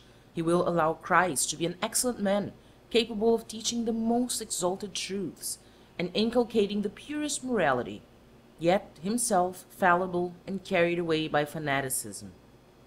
In the end, however, Antichrist will exalt himself to sit as God in the temple of God, and become the abomination of desolation standing in the holy place. At the same time, there is to be an awful alliance struck between himself, the impersonification of the world power, and the Church of God, some high pontiff of which, or the episcopacy in general, will enter into league with the unbelieving state to oppress the very elect. It is a strange instance of religionary virulence which makes some detect the Pope of Rome in the man of sin, the harlot, the beast, and the priest going before it. The man of sin and the beast are unmistakably identical and refer to an anti-Christian world power, whilst the harlot and the priest are symbols of an apostasy in the church. There's nothing Roman in this, but something very much the opposite. How the abomination of desolation can be considered as set up in a church where every sanctuary is adorned with all that can draw the heart to the crucified, and raise the thoughts to the imposing ritual of heaven, is a puzzle to me. To the man uninitiated in the law that revelation is to be interpreted by contraries, it would seem more like the abomination of desolation in the holy place if he entered a Scotch Presbyterian or a Dutch Calvinist place of worship. Rome does not fight against the daily sacrifice and endeavor to abolish it. That has been rather the labor of so-called church reformers, who, with the suppression of the doctrine of Eucharistic sacrifice and sacramental adoration, have well nigh obliterated all notion of worship to be addressed to the God-man. Rome does not deny the power of the godliness of which she makes show, but insists on that power with no broken accents. It is rather in other communities, where authority is flung aside, and any man is permitted to believe or reject what he likes, that we must look for the leaven of the anti-Christian spirit at work. It is evident that this spirit will infect the church, and especially those in place of authority therein, so that the elect will have to wrestle against both principalities and powers in the state, and also spiritual wickedness in the high places of the church. Perhaps it will be this feeling of antagonism between the inferior orders and the highest which will throw the bishops into the arms of the state, and establish that unholy alliance which will be cemented for the purpose of oppressing all who hold the truth in sincerity, who are definite in their dogmatic statements of Christ's having been manifested in the flesh, who labor to establish the daily sacrifice, and offer in every place the pure offering spoken of by Malachi. Perhaps it was in anticipation of this that ancient mystical interpreters explained the scene at the well in Midian as having reference to the last times. The church, like the daughters of Reuel, comes to the well of living waters to water her parched flock, whereupon the shepherds, her chief pastors, arise and strive with her. Fear not, O flock, fear not, O daughter, exclaims the commentator. Thy true Moses is seated on the well, and he will arise out of his resting place, and will with his own hand smite the shepherds, and water the flock. Let the sheep be in barren and dry pastures, so long the shepherds strive not. Let the sheep pant and die, so long the shepherds show no signs of irritation. But let the church approach the limpid well of life, and at once her prelates will, in the latter days, combine to strive with her, and keep back the flock from the reviving streams. In the time of Antichrist, the church will be divided. One portion will hold to the world power, the other will seek out the old paths and cling to the only true guide. The high places will be filled with unbelievers in the incarnation, and the church will be in a condition of the utmost spiritual degradation, but enjoying the highest state of patronage. The religion in favor will be one of morality, but not of dogma. And the man of sin will be able to promulgate his doctrine according to St. Anselm through his great eloquence and wisdom, his vast learning and mightiness in the Holy Scriptures, which will rest to the overthrowing of dogma. He will be liberal in bribes, for he will be of unbounded wealth. He will be capable of performing great signs and wonders, so as to deceive the very elect. And at the last he will tear the moral veil from his countenance, and the monster of impiety and cruelty he will inaugurate the awful persecution, which is to last for three years and a half, and to excel in horror all the persecutions that have gone before. In that terrible season of confusion faith will be all but extinguished. When the Son of Man cometh, shall he find faith on the earth? asks our blessed Lord, as though expecting the answer, No. And then, says Marchantius, the vessel of the church will disappear in the foam of that boiling deep of infidelity, and be hidden in the blackness of that storm of destruction which sweeps over the earth. The sun shall be darkened, and the moon shall not give her light, and the stars shall fall from heaven. The sun of faith shall have gone out. The moon, the church, shall not give her light, being turned into blood through stress of persecution. And the stars, the great ecclesiastical dignitaries, shall fall into apostasy. But still the church will remain unwrecked, she will weather the storm. Still will she come forth, beautiful as the moon, terrible as an army with banners. For after the lapse of those three and a half years, Christ will descend to avenge the blood of the saints, by destroying Antichrist and the world power. Such is a brief sketch of the scriptural doctrine of Antichrist, as held by the early and medieval church. Let us now see to what myths it gave rise among the vulgar and the imaginative. Rabanus Maurus, in his work on the life of Antichrist, gives a full account of the miracles he will perform. He tells us the man fiend will heal the sick, raise the dead, restore sight to the blind, hearing to the deaf, speech to the dumb. He will raise storms and calm them, will remove mountains, make trees flourish or wither at a word. He will rebuild the temple at Jerusalem, and making the holy city the great capital of the world. Popular opinion added that his vast wealth would be obtained from hidden treasures, which are now being concealed by the demons for his use. Various possessed persons, when interrogated, announced that such was the case, and that the amount of buried gold was vast. In the year 1599, says Canon Moreau, a contemporary historian, a rumor circulated with prodigious rapidity through Europe that Antichrist had been born at Babylon, and that already the Jews of that part were hurrying to receive and recognize him as their Messiah. The news came from Italy and Germany, and extended to Spain, England, and other western kingdoms, troubling many people, even the most discreet. However, the learned gave it no credence, saying that the signs predicted in Scripture to precede that event were not yet accomplished, and among other that the Roman Empire was not yet abolished. Others said that, as for the signs, the majority had already appeared to the best of their knowledge, and with regard to the rest, they might have taken place in distant regions without their having been made known to them; that the Roman Empire existed but in name, and that the interpretation of the passage on which its destruction was predicted might be incorrect; that for many centuries the most learned and pious had believed in the near approach of Antichrist, some believing that he had already come, on account of the persecutions which had fallen on the Christians; others on account of fires, or eclipses, or earthquakes. Every one was in excitement; some declared that the news must be correct, others believed nothing about it; and the agitation became so excessive that Henry IV, who was then on the throne, was compelled by edict to forbid any mention of the subject. The report spoken of by Moreau gained additional confirmation from the announcement made by an exorcised demoniac that in 1600 the men of sin had been born in the neighborhood of Paris of a Jewess named Blanchefleur, who had conceived by Satan.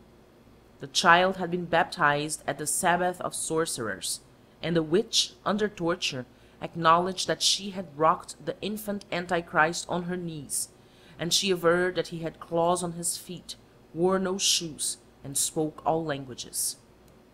In 1623 appeared the following startling announcement, which obtained an immense circulation among the lower orders: "We, brothers of the Order of St. John of Jerusalem, in the Isle of Malta, have received letters from our spies, who are engaged in our service in the country of Babylon, now possessed by the Grand Turk; by the which letters we are advertised that on the first of May, in the year of our Lord 1623, a child was born in the town of Buhido, otherwise called Kalka, near Babylon; of the which child the mother is a very aged woman, of race unknown, called Fort Judah; of the father nothing is known. The child is dusky, has pleasant mouth and ears, teeth pointed like those of a cat, ears large, stature by no means exceeding that of other children. The said child, incontinent on his birth, walked and talked perfectly well. His speech is comprehended by every one, admonishing the people that he is the true Messiah and the Son of God, and that in him all must believe. Our spies also swear and protest that they have seen the said child with their own eyes, and they add that, on the occasion of his nativity, there appeared marvellous signs in heaven, for at full noon the sun lost its brightness, and was for some time obscured. This is followed by a list of other signs appearing, the most remarkable being a swarm of flying serpents and a shower of precious stones. According to Sebastian Michaelis, in his history of the possessed of Flanders, on the authority of the exorcised demons, we learn that Antichrist is to be a son of Beelzebub, who will accompany his offspring under the form of a bird, with four feet and a bull's head; that he will torture Christians with the same tortures with which the lost souls are racked; that he will be able to fly, speak all languages, and will have any number of names. We find that Antichrist is known to the Mussulmans as well as to the Christians. Lane, in his edition of the Arabian Nights, gives some curious details on Moslem ideas regarding him. According to these, Antichrist will overrun the earth, mounted on an ass, and followed by forty thousand Jews. His empire will last forty days, whereof the first day will be a year long, the duration of the second will be a month, that of the third a week, the others being of their usual length. He will devastate the whole world, leaving Mecca and Medina alone in security, as these holy cities will be guarded by angelic legions. Christ at last will descend to earth, and in a great battle will destroy the man devil. Several writers of different denominations, no less superstitious than the common people, connected the apparition of Antichrist with the fable of Pope Joan, which attained such general credence at one time, but which modern criticism has at length succeeded in excluding from history. Perhaps the earliest writer to mention Pope Joan is Marianus Scotus, who in his chronicle inserts the following passage: A.D. 854, Lotharii 14, Joanna, a woman, succeeded Leo and reigned two years, five months, and four days. Marianus Scotus died A.D. 1086. Sigebert de Glembour (death 5th October 1112) inserts the same story in his valuable chronicle, copying from an interpolated passage in the work of Anastasius the librarian. His words are: "It is reported that this John was a female, and that she conceived by one of her servants. The Pope, becoming pregnant, gave birth to a child, wherefore some do not number her among the pontiffs." Hence the story spread among the medieval chroniclers, who were great plagiarists. Otto of Frisingen and Gottfried of Viterbo mention the lady pope in their histories, and Martin Polonus gives details as follows: After Leo IV, John Anglus, a native of Metz, reigned two years, five months, and four days, and the pontificate was vacant for a month. He died in Rome. He is related to have been a female, and when a girl, to have accompanied her sweetheart in male costume to Athens. There she advanced in various sciences, and none could be found to equal her. So, after having studied for three years in Rome, she had great masters for her pupils and hearers. And when there arose a high opinion in the city of her virtue and knowledge, she was unanimously elected pope. But during her papacy she became in the family way by a familiar. Not knowing the time of birth, as she was on her way from St. Peter's to the Lateran, she had a painful delivery, between the Colosseum and St. Clement's Church, in the street. Having died after, it is said that she was buried on the spot, and therefore the Lord Pope always turns aside from that way, and it is supposed by some out of detestation for what happened there. Nor on that account is she placed in the catalogue of the holy pontiffs, not only on account of her sex, but also because of the horribleness of the circumstance. Certainly a story at all scandalous crescit eundo. William Ockham alludes to the story, and John Huss, only too happy to believe it, provides the lady with a name, and asserts that she was baptized Agnes, or, as he will have it with a strong aspirate, Hagnes. Others, however, insist upon her name having been Gilberta, and some stout Germans, not relishing the notion of her being a daughter of fatherland, palm her off on England. As soon as we arrive at Reformation times, the German and French Protestants fasten on the story with the utmost avidity, and add sweet little touches of their own, and draw conclusions galling enough to the Roman see, illustrating their accounts with wood engravings vigorous and graphic, but hardly decent. One of these represents the event in a peculiarly startling manner. The procession of bishops, with the host and tapers, is sweeping along, when suddenly the cross-bearer before the triple-crowned and vested pope starts aside to witness the unexpected arrival. This engraving, which it is quite impossible for me to reproduce, is in a curious little book entitled Puerperium Johannis Papae, 8 1530. The following jingling record of the events is from the rhythmical Vitae Pontificum of Gulielmus Jacobus of Egmondon, a work never printed. This fragment is preserved in Wolfii Lectionum Memorabilium Centenarii, Sedecim. Prius quam reconditur Sergius vocatur ad summam, qui dicitur Johannes, huic adatur Anglicus, mongutia iste procreatur, qui, ut dat sententia, foeminis aptatur sexu, quod sequentia monstrant breviatur haec vox nam prolixius chronica procedunt. Ista de Coabreuius dictaminus laedunt. Huic erat Amasius, ut scriptores credunt. Patria relinquitur moguntia, Graecorum studiose petitur scola. Post doctorum haec doctrix efficitur Romae legens, horum haec auditu fungitur loquens.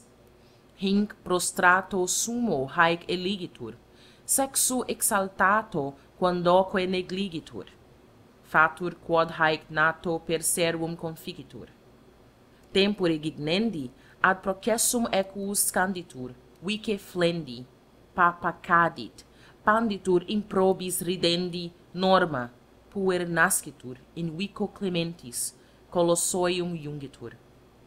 Corpus parentis in eodem traditur sepulturae gentis faturque scriptoribus, quod papa praefato, vico senioribus transiens amato, congruo ductoribus sequitur negato loco, quo ecclesia partu denigratur, quamuis inter spacia pontificum ponatur propter sexum. End of chapter 10. Chapter 11 Antichrist and the Pope Joan, Part 2. Stephen Blanch, in his Urbis Romae Mirabilia, says that an angel of heaven appeared to Joan before the event, and asked her to choose whether she would prefer burning eternally in hell or having her confinement in public. With sense which does her credit, she chose the latter. The Protestant writers were not satisfied that the father of the unhappy baby should have been a servant. Some made him a cardinal, and others the devil himself. According to an eminent Dutch minister, it is immaterial whether the child be fathered on Satan or a monk. At all events, the former took a lively interest in the youthful Antichrist, and, on the occasion of his birth, was seen and heard fluttering overhead, crowing and chanting in an unmusical voice the Sibylline verses announcing the birth of the arch-persecutor. Papa pater patrum, papissae pandito partum, et tibitunque adem de corpore quando requedam.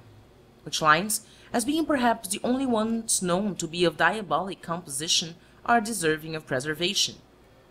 The reformers, in order to reconcile dates, were put to the somewhat perplexing necessity of moving Pope Joan to their own times, or else of giving to the youthful Antichrist an age of seven hundred years.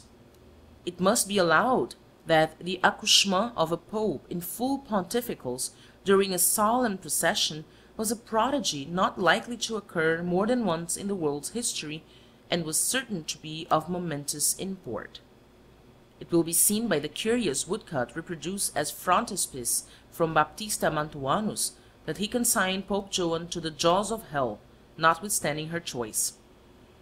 The verses accompanying this picture are Hic pendebat ad hoc sexum mentita virile, foemina, cui triplici pruigiam diadema te mitram extolebat apex, et pontificalis adulter. It need hardly be stated that the whole story of Pope Joan is fabulous, and rests on not the slightest historical foundation. It was probably a Greek invention to throw discredit on the papal hierarchy, first circulated more than two hundred years after the date of the supposed pope.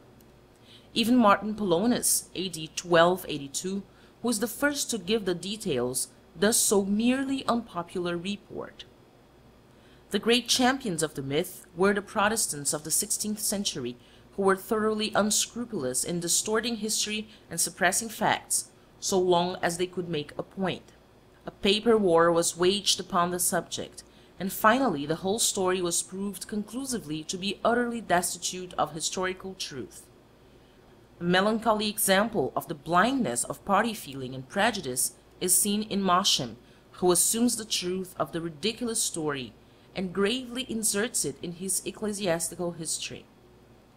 Between Leo IV, who died 1855, and Benedict III, a woman who concealed her sex and assumed the name of John, it is said, opened her way to the pontifical throne by her learning and genius, and governed the church for a time. She is commonly called the Papess Joan.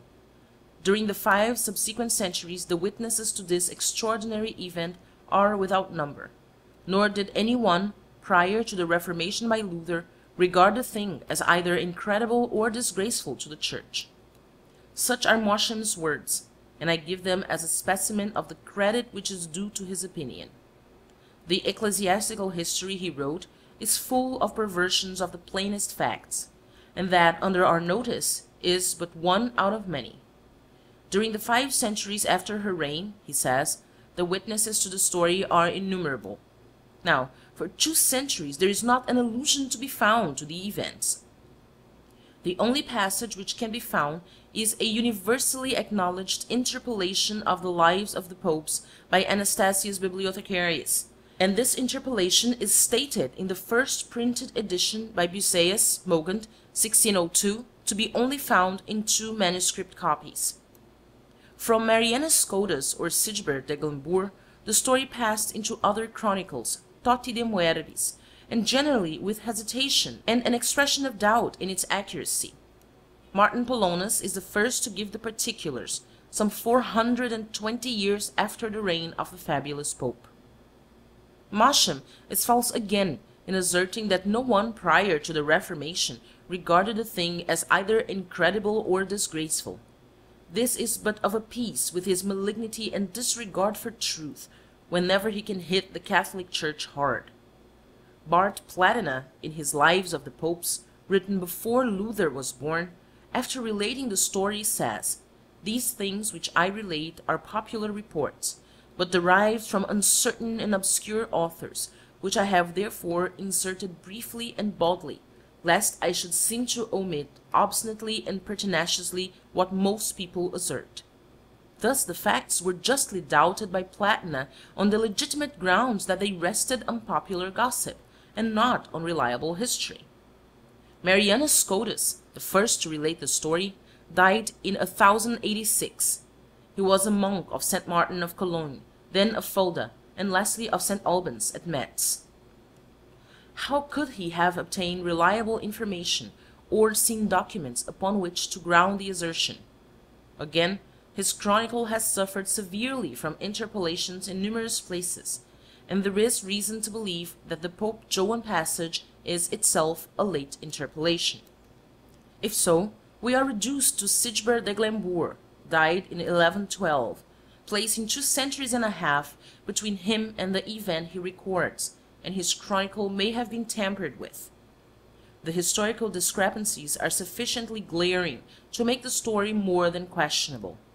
Leo IV died on the 17th of July, 855, and Benedict III was consecrated on the 1st of September in the same year, so that it is impossible to insert between their pontificates a reign of two years, five months, and four days. It is, however, true that there was an anti-pope elected upon the death of Leo, at the instance of the Emperor Louis, but his name was Anastasius. This man possessed himself of the palace of the popes, and obtained the incarceration of Benedict. However, his supporters almost immediately deserted him, and Benedict assumed the pontificate. The reign of Benedict was only for two years and a half, so that Anastasius cannot be the supposed Joan, nor do we hear of any charge brought against him to the effect of his being a woman. But the stout partisans of the Pope Joan tale assert on the authority of the Annales Augustani [Footnote: These annals were written in 1135.] and some other but late authorities that the female pope was John VIII, who consecrated Louis II of France and Ethelwulf of England. Here again is confusion. Ethelwulf sent Alfred to Rome in 853, and the youth received regal unction from the hands of Leo IV. In 855 Ethelwulf visited Rome, it is true, but was not consecrated by the existing pope, whilst Charles the Bald was anointed by John the VIII in 875. John the VIII was a Roman, son of Gundus, and an archdeacon of the Eternal City. He assumed the triple crown in 872, and reigned till December the 18th, 882. John took an active part in the troubles of the Church under the incursions of the Saracens, and 325 letters of his are extant, addressed to the princes and prelates of his day. Any one desirous of pursuing this examination into the untenable nature of the story may find an excellent summary of the arguments used on both sides in Gieseler, Lehrbuch, etc., Cunningham's translation, volume 2, pages 20 and 21, or on Bayle Dictionnaire, tome 3, article Papesse. The arguments in favor of the myth may be seen in Spanheim, Exercitationes de Papa Foemina, Opera, tome 2, page 577, or in L'Enfant, Histoire de la Papesse Jeanne, La Haye, 1736, two volumes, duodecimo. The arguments on the other side may be had in Allatii Confutatio Fabulae de Johanna Papissa, Cologne, 1645, in Lequien, Oriens Christianus, tome 3, page 777, and in the pages of the Lutheran Heumann Sylloge Dissertationum Sacrarum, tome 1, part 2, page 352. The final development of this extraordinary story under the delicate fingers of the German and French Protestant controversialists may not prove uninteresting. Joan was the daughter of an English missionary who left England to preach the gospel to the recently converted Saxons. She was born at Engelheim, and according to different authors she was christened Agnes, Gerberta, Joanna, Margaret, Isabel, Dorothy, or Jut. The last must have been a nickname, surely. She early distinguished herself for genius and love of letters.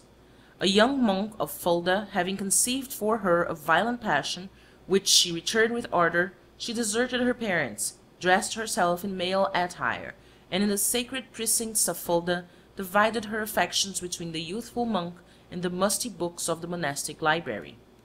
Not satisfied with the restraints of conventual life, nor finding the library sufficiently well provided with books of abstruse science, she eloped with her young man, and after visiting England, France, and Italy, she brought him to Athens, where she addicted herself with unflagging devotion to her literary pursuits. Wearied out by his journey, the monk expired in the arms of the blue stocking who had influenced his life for evil, and the young lady of so many aliases was for a while inconsolable. She left Athens and repaired to Rome. There she opened a school, and acquired such a reputation for learning and feigned sanctity, that, on the death of Leo IV, she was unanimously elected pope. For two years and five months, under the name of John VIII, she filled the papal chair with reputation, no one suspecting her sex. But having taken a fancy to one of the cardinals, by him she became pregnant. At length arrived the time of rogation processions. Whilst passing the street between the amphitheatre and St. Clement's, she was seized with violent pains, fell to the ground amidst the crowd, and, whilst her attendants ministered to her, was delivered of a son. Some say the child and mother died on the spot, some that she survived but was incarcerated, some that the child was spirited away to be the Antichrist of the last days. A marble monument representing the papist with her baby was erected on the spot, which was declared to be a curse to all ages. I have little doubt myself that Pope Joan is an impersonification of the great whore of Revelation, seated on the seven hills, and is the popular expression of the idea prevalent from the twelfth to the sixteenth centuries that the mystery of iniquity was somehow working in the papal court. The scandal of the anti-popes the utter worldliness and pride of others, the spiritual fornication with the kings of the earth, along with the words of Revelation prophesying the advent of an adulterous woman who should rule over the imperial city, and her connection with Antichrist, crystallized into this curious myth, much as the floating uncertainty as to the signification of our Lord's words, There be some standing here which shall not taste of death till they see the kingdom of God condensed into the myth of the Wandering Jew. The literature connected with Antichrist is voluminous. I need only specify some of the most curious works which have appeared on the subject. St. Hippolytus and Rabanus Maurus have been already alluded to. Commodianus wrote Carmen Apologeticum Adversus Gentes, which has been published by Dom Pitra in his Spicilegium Solesmense, with an introduction containing Jewish and Christian traditions relating to Antichrist. De turpissima conceptione nativitate et aliis praesagiis diabolicis Ilius Turpissimi Hominis Antichristi, is the title of a strange little volume published by Lenoir in A.D. 1500, containing rude yet characteristic woodcuts representing the birth, life, and death of the men of sin, each picture accompanied by French verses in explanation. An equally remarkable illustrated work on Antichrist is the famous Liber de Antichristo, a block book of an early date. It is in 27 folios and is excessively rare. Dibdin has reproduced three of the plates in his Bibliotheca Spenceriana, and Falkenstein has given full details of the work in his Geschichte der Buchdruckerkunst. There is an Easter miracle play of the twelfth century still extant, the subject of which is the life and death of Antichrist. More curious still is the Farce de l'Antéchrist et des Trois Femmes, a composition of the sixteenth century, when that mysterious personage occupied all brains. The farce consists in a scene at a fish stall, with three good ladies quarrelling over some fish. Antichrist steps in, for no particular reason that one can see, upsets fish and fishwomen, sets them fighting, and skips off the stage. The best book on Antichrist, and that most full of learning and judgment, is Malvenda's great work in two folio volumes, De Antichristo Libri Duodecim, Lyon, 1647. For the fable of the Pope Joan, see J. L'Enfant, Histoire de la Papesse Jeanne, La Haye, 1736, 2 volumes, duodecimo. Alatii Confutatio Fabulae de Johanna Papissa, Cologne, 1645. End of chapter 11. Chapter 12 The Man in the Moon From L. Richter Every one knows that the moon is inhabited by a man with a bundle of sticks on his back, who has been exiled thither for many centuries, and who is so far off that he is beyond the reach of death. He has once visited this earth, if the nursery rhyme is to be credited, when it asserts that the man in the moon came down too soon and asked his way to Norwich. But whether he ever reached that city, the same authority does not state. The story, as told by nurses, is that this man was found by Moses gathering sticks on a Sabbath, and that for this crime he was doomed to reside in the moon till the end of all things, and they refer to Numbers 15, 32 36. Quote, and while the children of Israel were in the wilderness, they found a man that gathered sticks upon the Sabbath day. And they that found him gathering sticks brought him unto Moses and Aaron, and unto all the congregation. And they put him in a word, because it was not declared what should be done to him. And the Lord said unto Moses, The man shall be surely put to death. All the congregation shall stone him with stones without the camp. And all the congregation brought him without the camp, and stoned him with stones till he died. Of. Of course, in sacred writings there is no allusion to the moon. The German tale is as follows. Ages ago there went one Sunday morning an old man to the wood to hew sticks. He cut a fagot and slung it on a stout staff, cast it over his shoulder, and began to trudge home with his burden. On his way he met a handsome man in Sunday suit walking towards the church. This man stopped and asked the fagot bearer, "Do you know that this is Sunday on earth, when all must rest from their labors?" "Sunday on earth or Monday in heaven, it is all one to me," laughed the woodcutter. "Then bear your bundle forever," answered the stranger, "and as you value not Sunday on earth, yours shall be a perpetual moon day in heaven, and you shall stand for eternity in the moon." A warning to all Sabbath breakers. Thereupon the stranger vanished, and the man was caught up with his stock and his fagot into the moon, where he stands yet.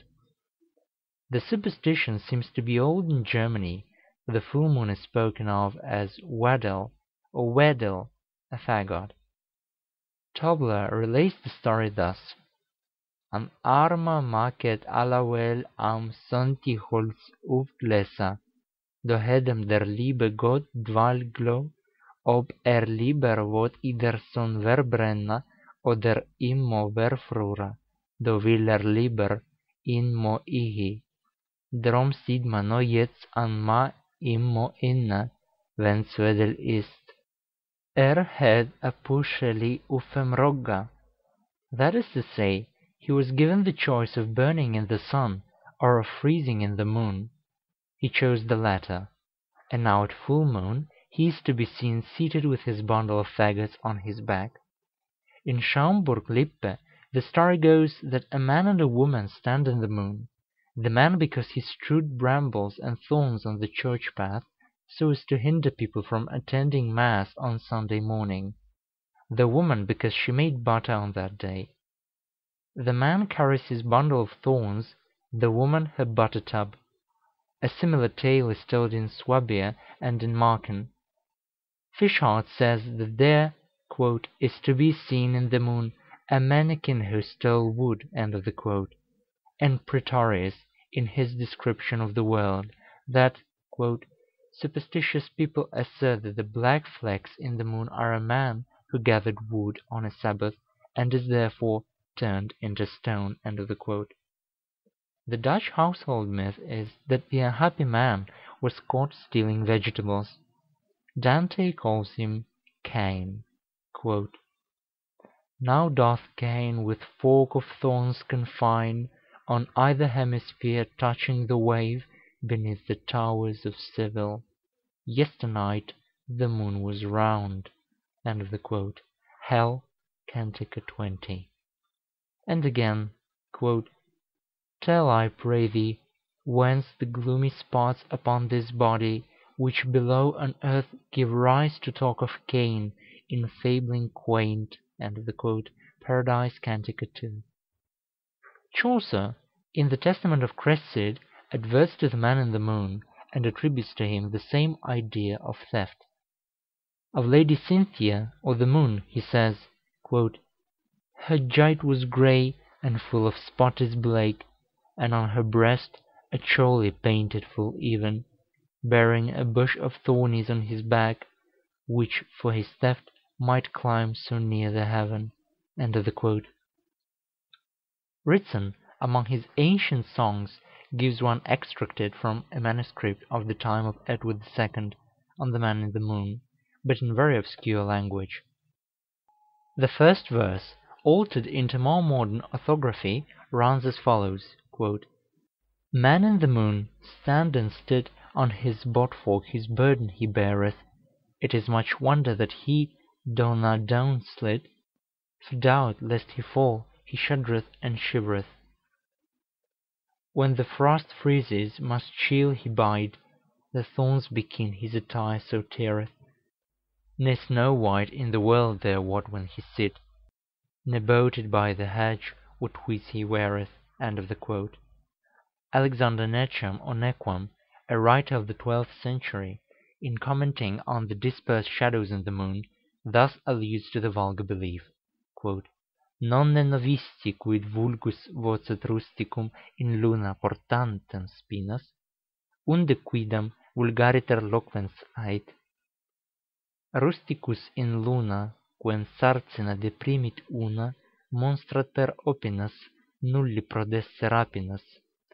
End of the quote, which may be translated thus: Do you know what they call the rustic in the moon, who carries the faggot of sticks? So that one vulgarly speaking says, See the rustic in the moon, how his bundle weighs him down; Thus his sticks the truth reveal, it never profits men to steal.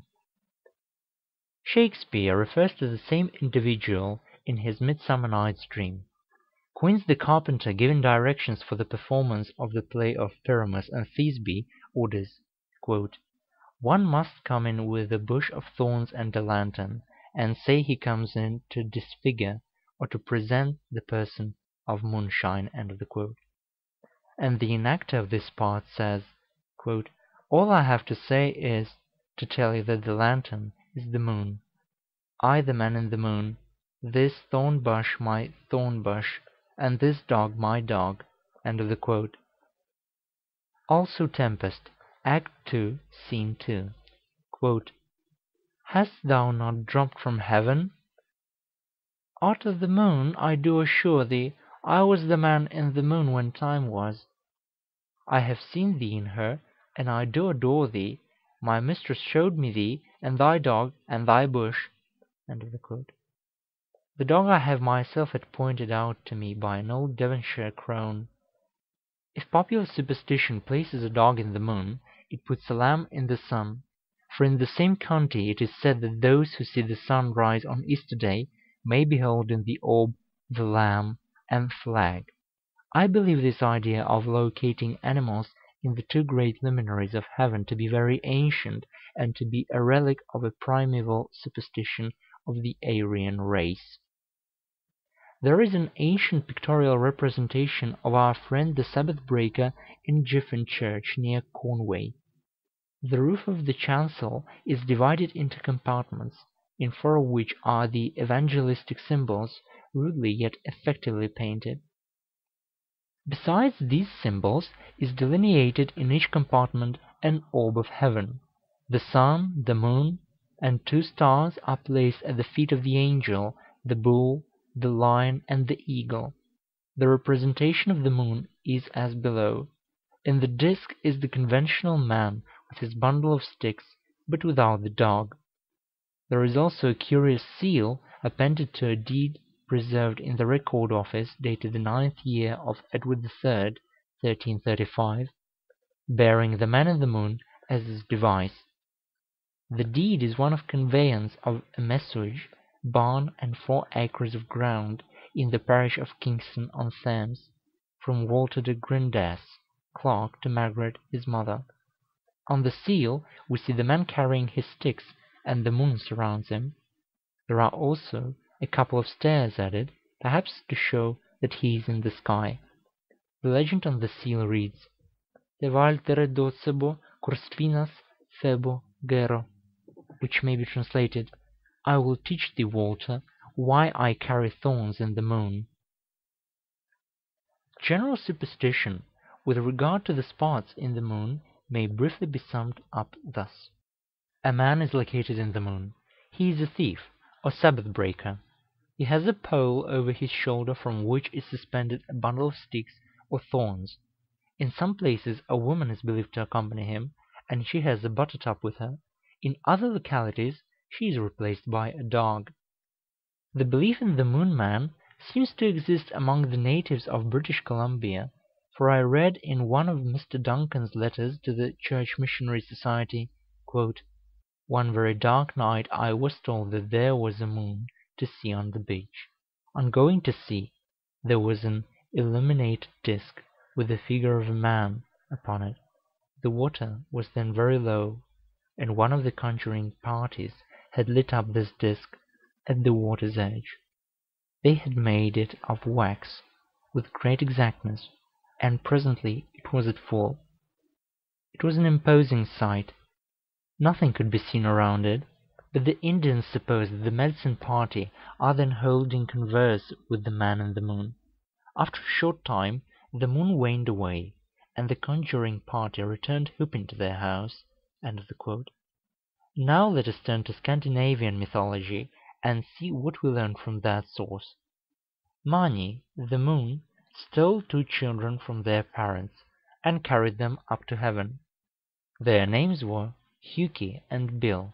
They had been drawing water from the well Byrgir in the bucket Soegr, suspended from the pole Simul, which they bore upon their shoulders. These children, pole and bucket, were placed in heaven "where they could be seen from earth." This refers undoubtedly to the spots in the moon and so the Swedish peasantry explain these spots to this day as representing a boy and a girl bearing a pail of water between them. Are we not reminded at once of our nursery rhyme, "Jack and Jill went up a hill to fetch a pail of water. Jack fell down and broke his crown, and Jill came tumbling after." The quote. This verse, which to us seems at first sight nonsense, I have no hesitation in saying has a high antiquity, and refers to the Hjuki and Bil. The names indicate as much. Hjuki in Norse would be pronounced Yuki, which would readily become Jack, and Bill, for the sake of euphony, and in order to give a female name to one of the children, would become Jill. The fall of Jack and the subsequent fall of Jill simply represent the vanishing of one moon spot after another as the moon wanes. But the old Norse myth had a deeper signification than merely an explanation of the moon spots. Hjuki is derived from the verb yakka, to heap or pile together, to assemble and increase, and Bil from bila, to break up or dissolve. Hjuki and Bil therefore signify nothing more than the waxing and waning of the moon, and the water they are represented as bearing signifies the fact that the rainfall depends on the phases of the moon. Waxing and waning were individualized, and the meteorological fact of the connection of the rain with the moon was represented by the children as water bearers. But though Jack and Jill became by degrees dissevered in the popular mind from the moon, the original myth went through a fresh phase, and exists still under a new form. The Norse superstition attributed theft to the moon, and the vulgar soon began to believe that the figure they saw in the moon was the thief. The lunar specks certainly may be made to resemble one figure, and only a lively imagination can discern two. The girl soon dropped out of popular mythology, the boy oldened into a venerable man, he retained his pole, and the bucket was transformed into the thing he had stolen, sticks or vegetables. The theft was in some places exchanged for Sabbath breaking, especially among those in Protestant countries who were acquainted with the Bible story of the stick gatherer. The Indian superstition is worth examining because of the connection existing between Indian and European mythology, on account of our belonging to the same Aryan stock. According to a Buddhist legend, Shakyamuni himself, in one of his earlier stages of existence, was a hare, and lived in friendship with a fox and an ape. In order to test the virtue of the Bodhisattva, Indra came to the friends, and in the form of an old man, asking for food, hare, ape, and fox went forth in quest of victuals for their guest. The two latter returned from their foraging expedition successful, but the hare had found nothing. Then, rather than that he should treat the old man with inhospitality, the hare had a fire kindled, and cast himself into the flames, that he might himself become food for his guest. In reward for this act of self-sacrifice, Indra carried the hare to heaven, and placed him in the moon. Here we have an old man and a hare in connection with the lunar planet, just as in Shakespeare we have a fagot bearer and a dog. The fable rests upon the name of the moon in Sanskrit, Kashin, or "that marked with the hare." But whether the belief in the spots taking the shape of a hare gave the name Kashin to the moon, or the lunar name Kashin originated the belief, it is impossible for us to say. Grounded upon this myth is the curious story of the hare and the elephant in the Panchatantra, an ancient collection of Sanskrit fables. It will be found as the first tale in the third book. I have room only for an outline of the story. End of chapter 12. Chapter 13 The Mountain of Venus Ragged, bald, and desolate, as though a curse rested upon it, rises the Hörselberg out of the rich and populous land between Eisenach and Gotha, looking from a distance like a huge stone sarcophagus, a sarcophagus in which rests in a magical slumber, till the end of all things, a mysterious world of wonders. High up on the northwest flank of the mountain, in a precipitous wall of rock, opens a cavern, called the Hörselloch, from the depths of which issues a muffled roar of water, as though a subterraneous stream were rushing over rapidly whirling mill wheels. "When I have stood alone on the ridge of the mountain," says Bechstein, "after having sought the chasm in vain, I have heard a mighty rush, like that of falling water, beneath my feet, and after scrambling down the scarp, have found myself, how I never knew, in front of the cave." Sagen Schatz de Thuringisch Landes, 1835. In ancient days, according to Thuringian chronicles, bitter cries and long drawn moans were heard issuing from this cavern, and at night wild shrieks and the burst of diabolical laughter would ring from it over the vale, and fill the inhabitants with terror.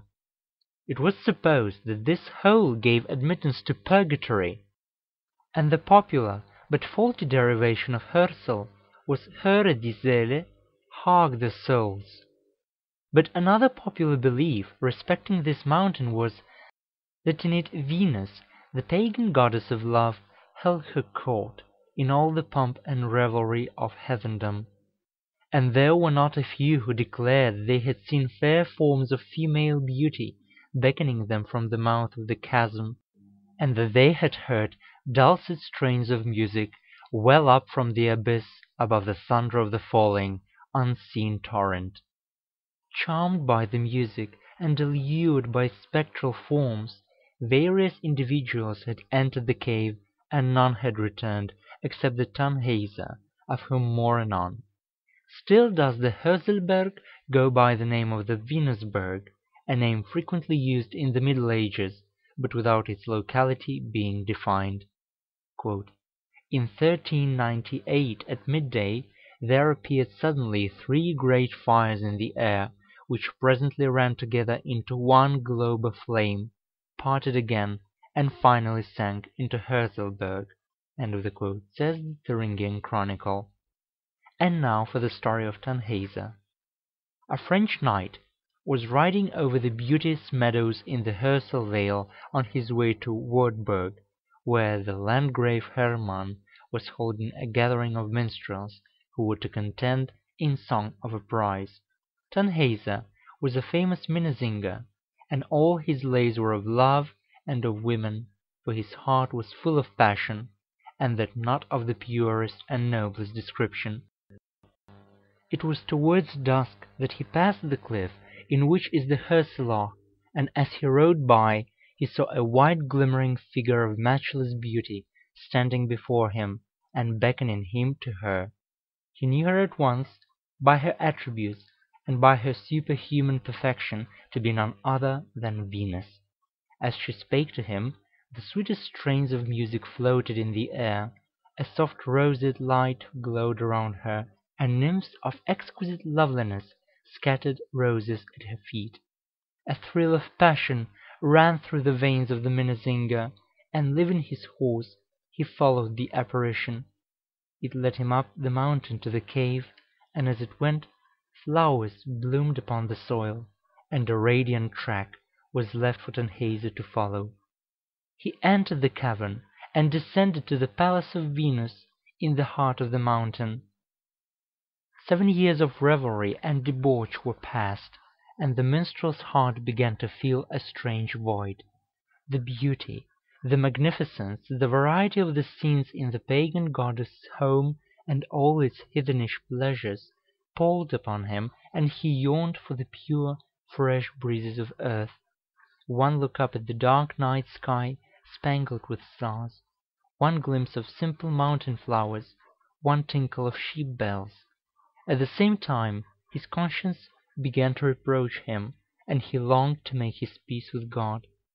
In vain did he entreat Venus to permit him to depart, and it was only when in the bitterness of his grief he called upon the Virgin Mother, that a rift in the mountain side appeared to him, and he stood again above ground.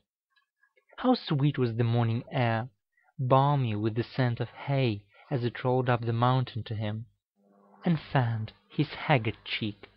How delightful to him was the cushion of moss and scanty grass after the downy couches of the palace of revelry below!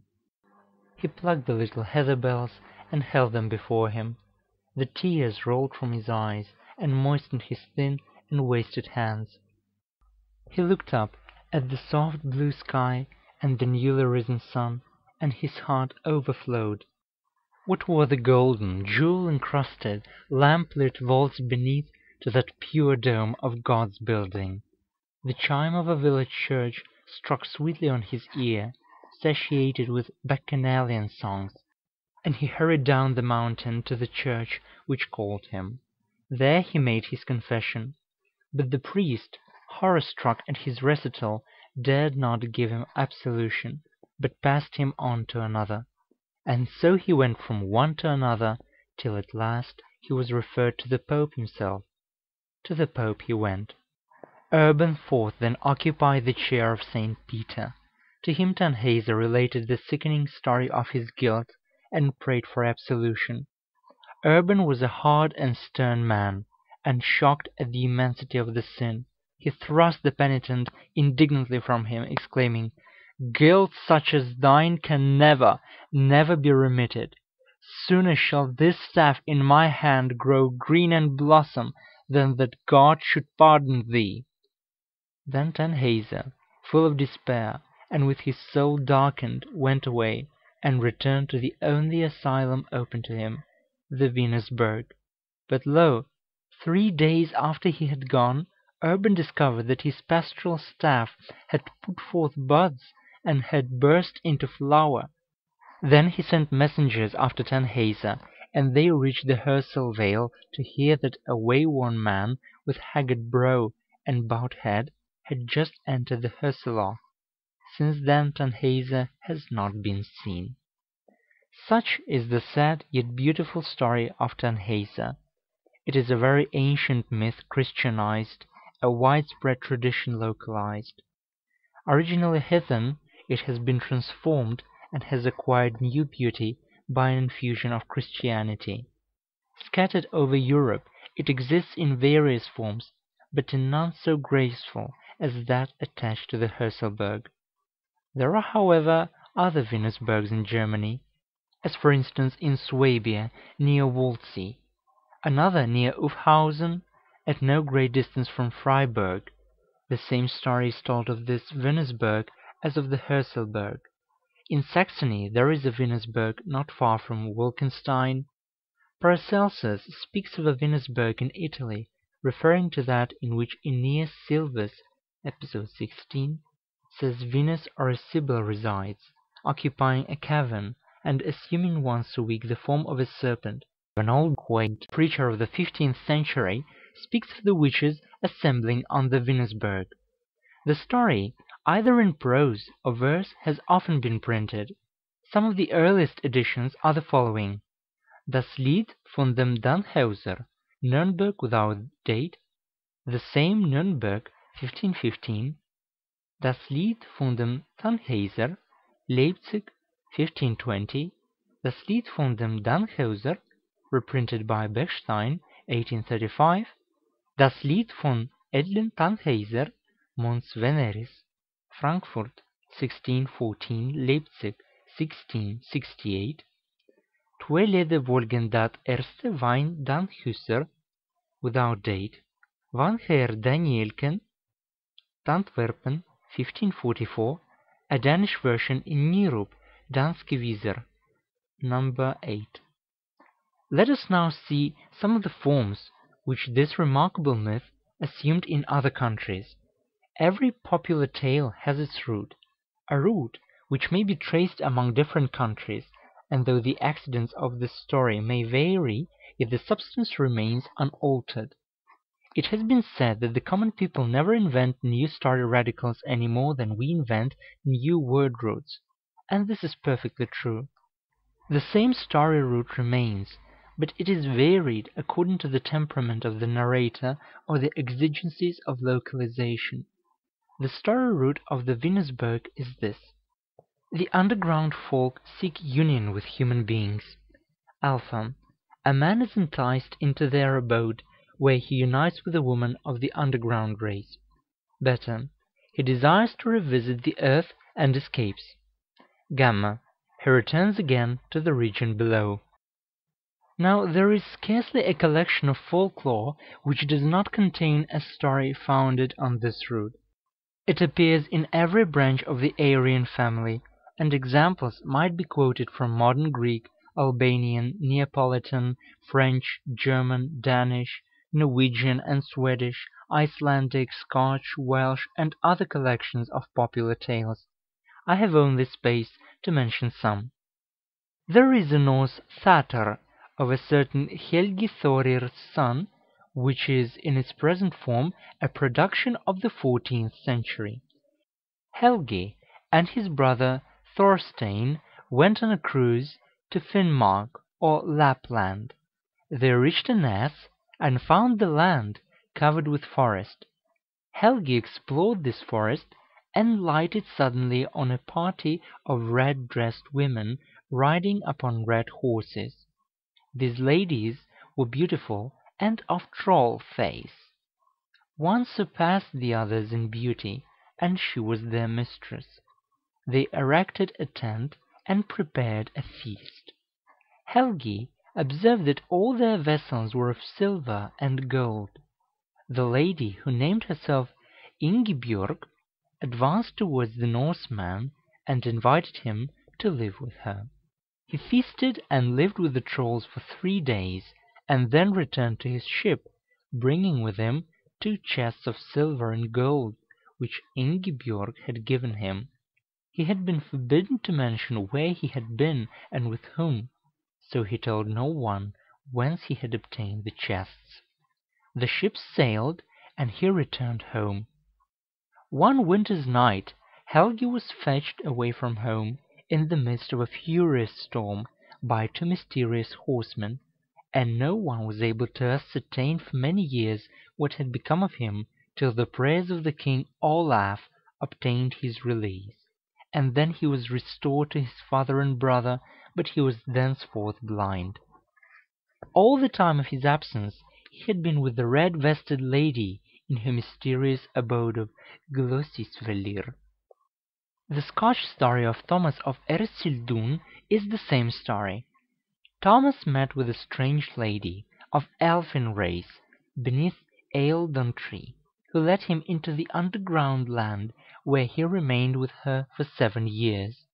He then returned to earth still, however, remaining bound to come to his royal mistress whenever she should summon him.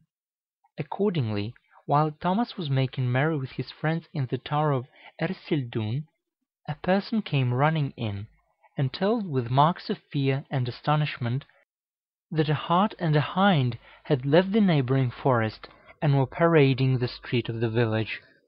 Thomas instantly arose, left his house, and followed the animals into the forest, from which he never returned. According to popular belief, he still "drees his weird in Fairyland," and is one day expected to revisit earth. Scott, Minstrelsy of the Scottish Border. Compare with this the ancient ballad of Tamlane. Debes relates that "it happened a good while since when the burghers of Bergen had the commerce of the Faroe Isles, that there was a man in Serraade, called Jonas Soideman, who was kept by the spirits in a mountain, during the space of seven years, and at length came out, but lived afterwards in great distress and fear lest they should again take him away; wherefore people were obliged to watch him in the night." The same author mentions another young man who had been carried away, and after his return was removed a second time, upon the eve of his marriage. Gervase of Tilbury says that "in Catalonia there is a lofty mountain, named Cavagum, at the foot of which runs a river with golden sands, in the vicinity of which there are likewise silver mines. This mountain is steep and almost inaccessible. On its top, which is always covered with ice and snow, is a black and bottomless lake, into which if a stone be cast, a tempest suddenly arises. And near this lake is the portal of the Palace of Demons." He then tells how a young damsel was spirited in there, and spent seven years with the mountain spirits. On her return to earth she was thin and withered, with wandering eyes, and almost bereft of understanding. A Swedish story is to this effect. A young man was on his way to his bride, when he was allured into a mountain by a beautiful elfin woman. With her he lived forty years, which passed as an hour. On his return to earth all his old friends and relations were dead, or had forgotten him, and finding no rest there, he returned to his mountain, Elfland. In Pomerania a laborer's son, Jacob Dietrich of Rambin, was enticed away in the same manner. There is a curious story told by Fordun in his Scotichronicon, which has some interest in connection with the legend of the Tannhäuser. He relates that in the year 1050 a youth of noble birth had been married in Rome, and during the nuptial feast, being engaged in a game of ball, he took off his wedding ring, and placed it on the finger of a statue of Venus. When he wished to resume it, he found that the stony hand had become clinched, so that it was impossible to remove the ring. Thenceforth he was haunted by the goddess Venus, who constantly whispered in his ear, "Embrace me. I am Venus, whom you have wedded. I will never restore your ring." However, by the assistance of a priest, she was at length forced to give it up to its rightful owner. The classic legend of Ulysses, held captive for eight years by the nymph Calypso in the island of Ogygia, and again for one year by the enchantress Circe, contains the root of the same story of the Tannhäuser. What may have been the significance of the primeval story radical it is impossible for us now to ascertain; but the legend, as it shaped itself in the Middle Ages, is certainly indicative of the struggle between the new and the old faith. We see thinly veiled in Tannhäuser the story of a man, Christian in name, but heathen at heart, allured by the attractions of paganism, which seems to satisfy his poetic instincts and which gives full rein to his passions. But these excesses pall on him after a while, and the religion of sensuality leaves a great void in his breast. He turns to Christianity, and at first it seems to promise all that he requires; but, alas! he is repelled by its ministers. On all sides he is met by practice widely at variance with profession.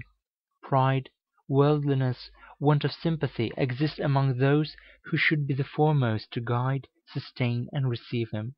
All the warm springs which gushed up in his broken heart are choked, his softened spirit is hardened again, and he returns in despair to bury his sorrows, and drown his anxieties in the debauchery of his former creed. A sad picture, but doubtless one very true. End of chapter 13. Chapter 14 Fatality of Numbers The laws governing numbers are so perplexing to the uncultivated mind, and the results arrived at by calculation are so astonishing, that it cannot be matter of surprise if superstition has attached itself to numbers. But even to those who are instructed in numeration there is much that is mysterious and unaccountable, much that only an advanced mathematician can explain to his own satisfaction.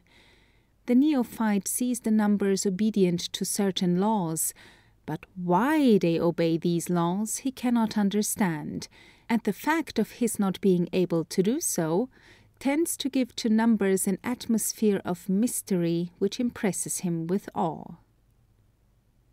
For instance, the property of the number 9, discovered, I believe, by W. Green, who died in 1794, is inexplicable to any one but a mathematician.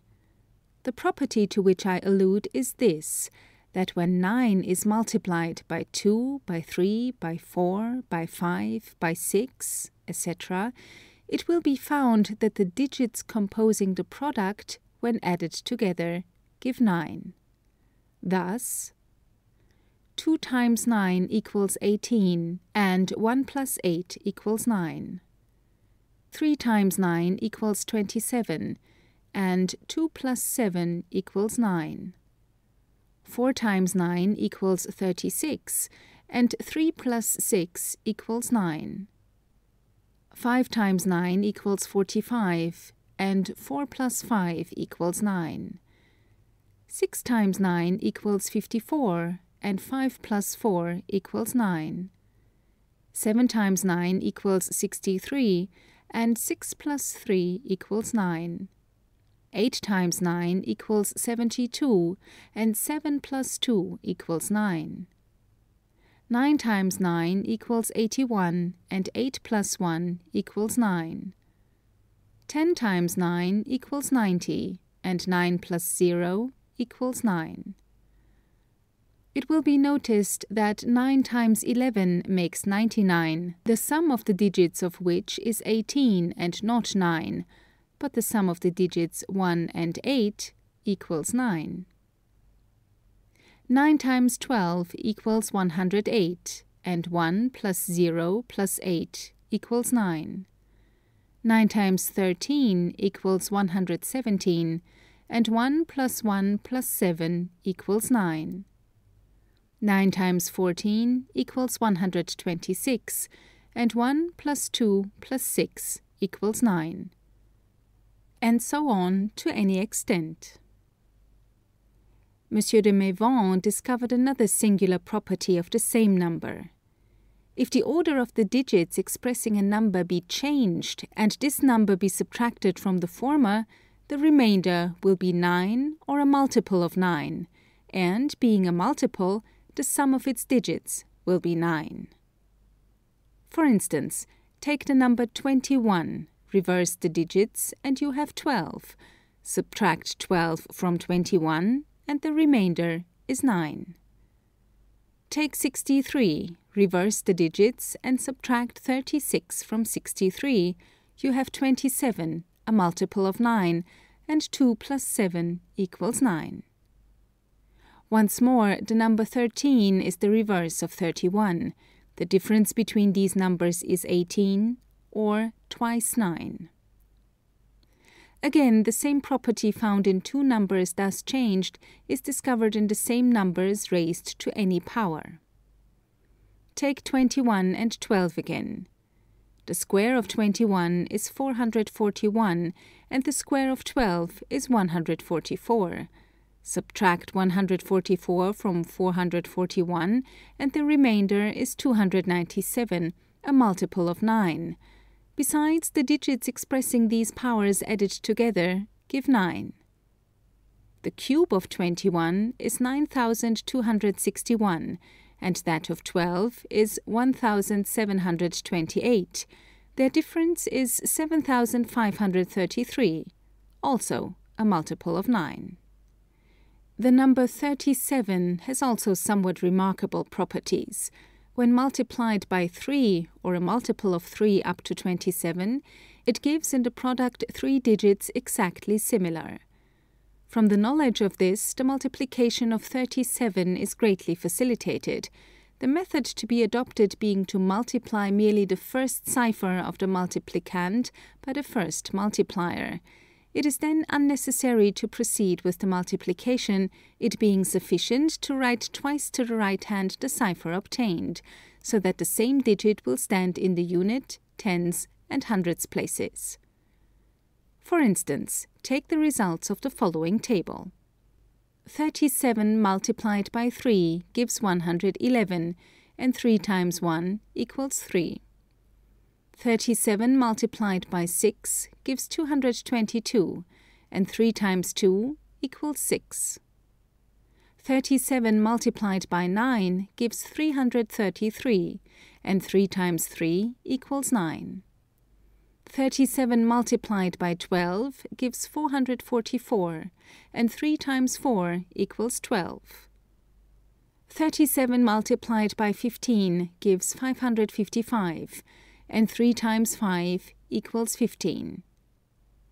37 multiplied by 18 gives 666, and 3 times 6 equals 18. 37 multiplied by 21 gives 777, and 3 times 7 equals 21. 37 multiplied by 24 equals 888, and 3 times 8 equals 24. 37 multiplied by 27 gives 999, and 3 times 9 equals 27.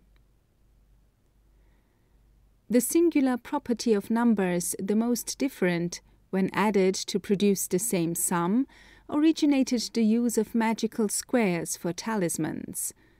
Although the reason may be accounted for mathematically, yet numerous authors have written concerning them as though there was something uncanny about them.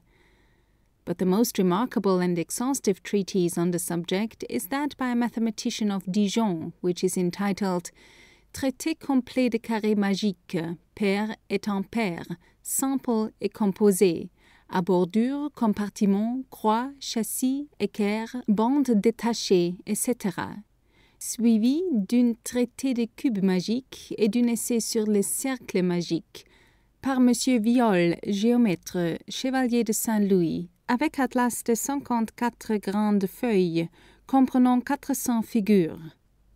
Paris, 1837. Two octavo volumes, the first of 593 pages, the second of 616. Price 36 francs. I give three examples of magical squares. First row 2, 7, 6. Second row 9, 5, 1. Third row 4, 3, 8. These nine ciphers are disposed in three horizontal lines. Add the three ciphers of each line and the sum is 15. Add the three ciphers in each column, the sum is 15. Add the three ciphers forming diagonals, and the sum is 15. First row 1, 2, 3, 4. Second row 2, 3, 2, 3. Third row 4, 1, 4, 1. Fourth row 3, 4, 1, 2. The sum is 10. First row 1, 7, 13, 19, 25. Second row 18, 24, 5, 6, 12. Third row 10, 11, 17, 23, 4. Fourth row 22, 3, 19, 15, 16. Fifth row 14, 20, 21, 2, 8. The sum is 65. But the connection of certain numbers with the dogmas of religion was sufficient, besides their marvellous properties, to make superstition attach itself to them. Because there were thirteen at the table when the Last Supper was celebrated, and one of the number betrayed his master and then hung himself, it is looked upon through Christendom as unlucky to sit down thirteen at table, the consequence being that one of the number will die before the year is out.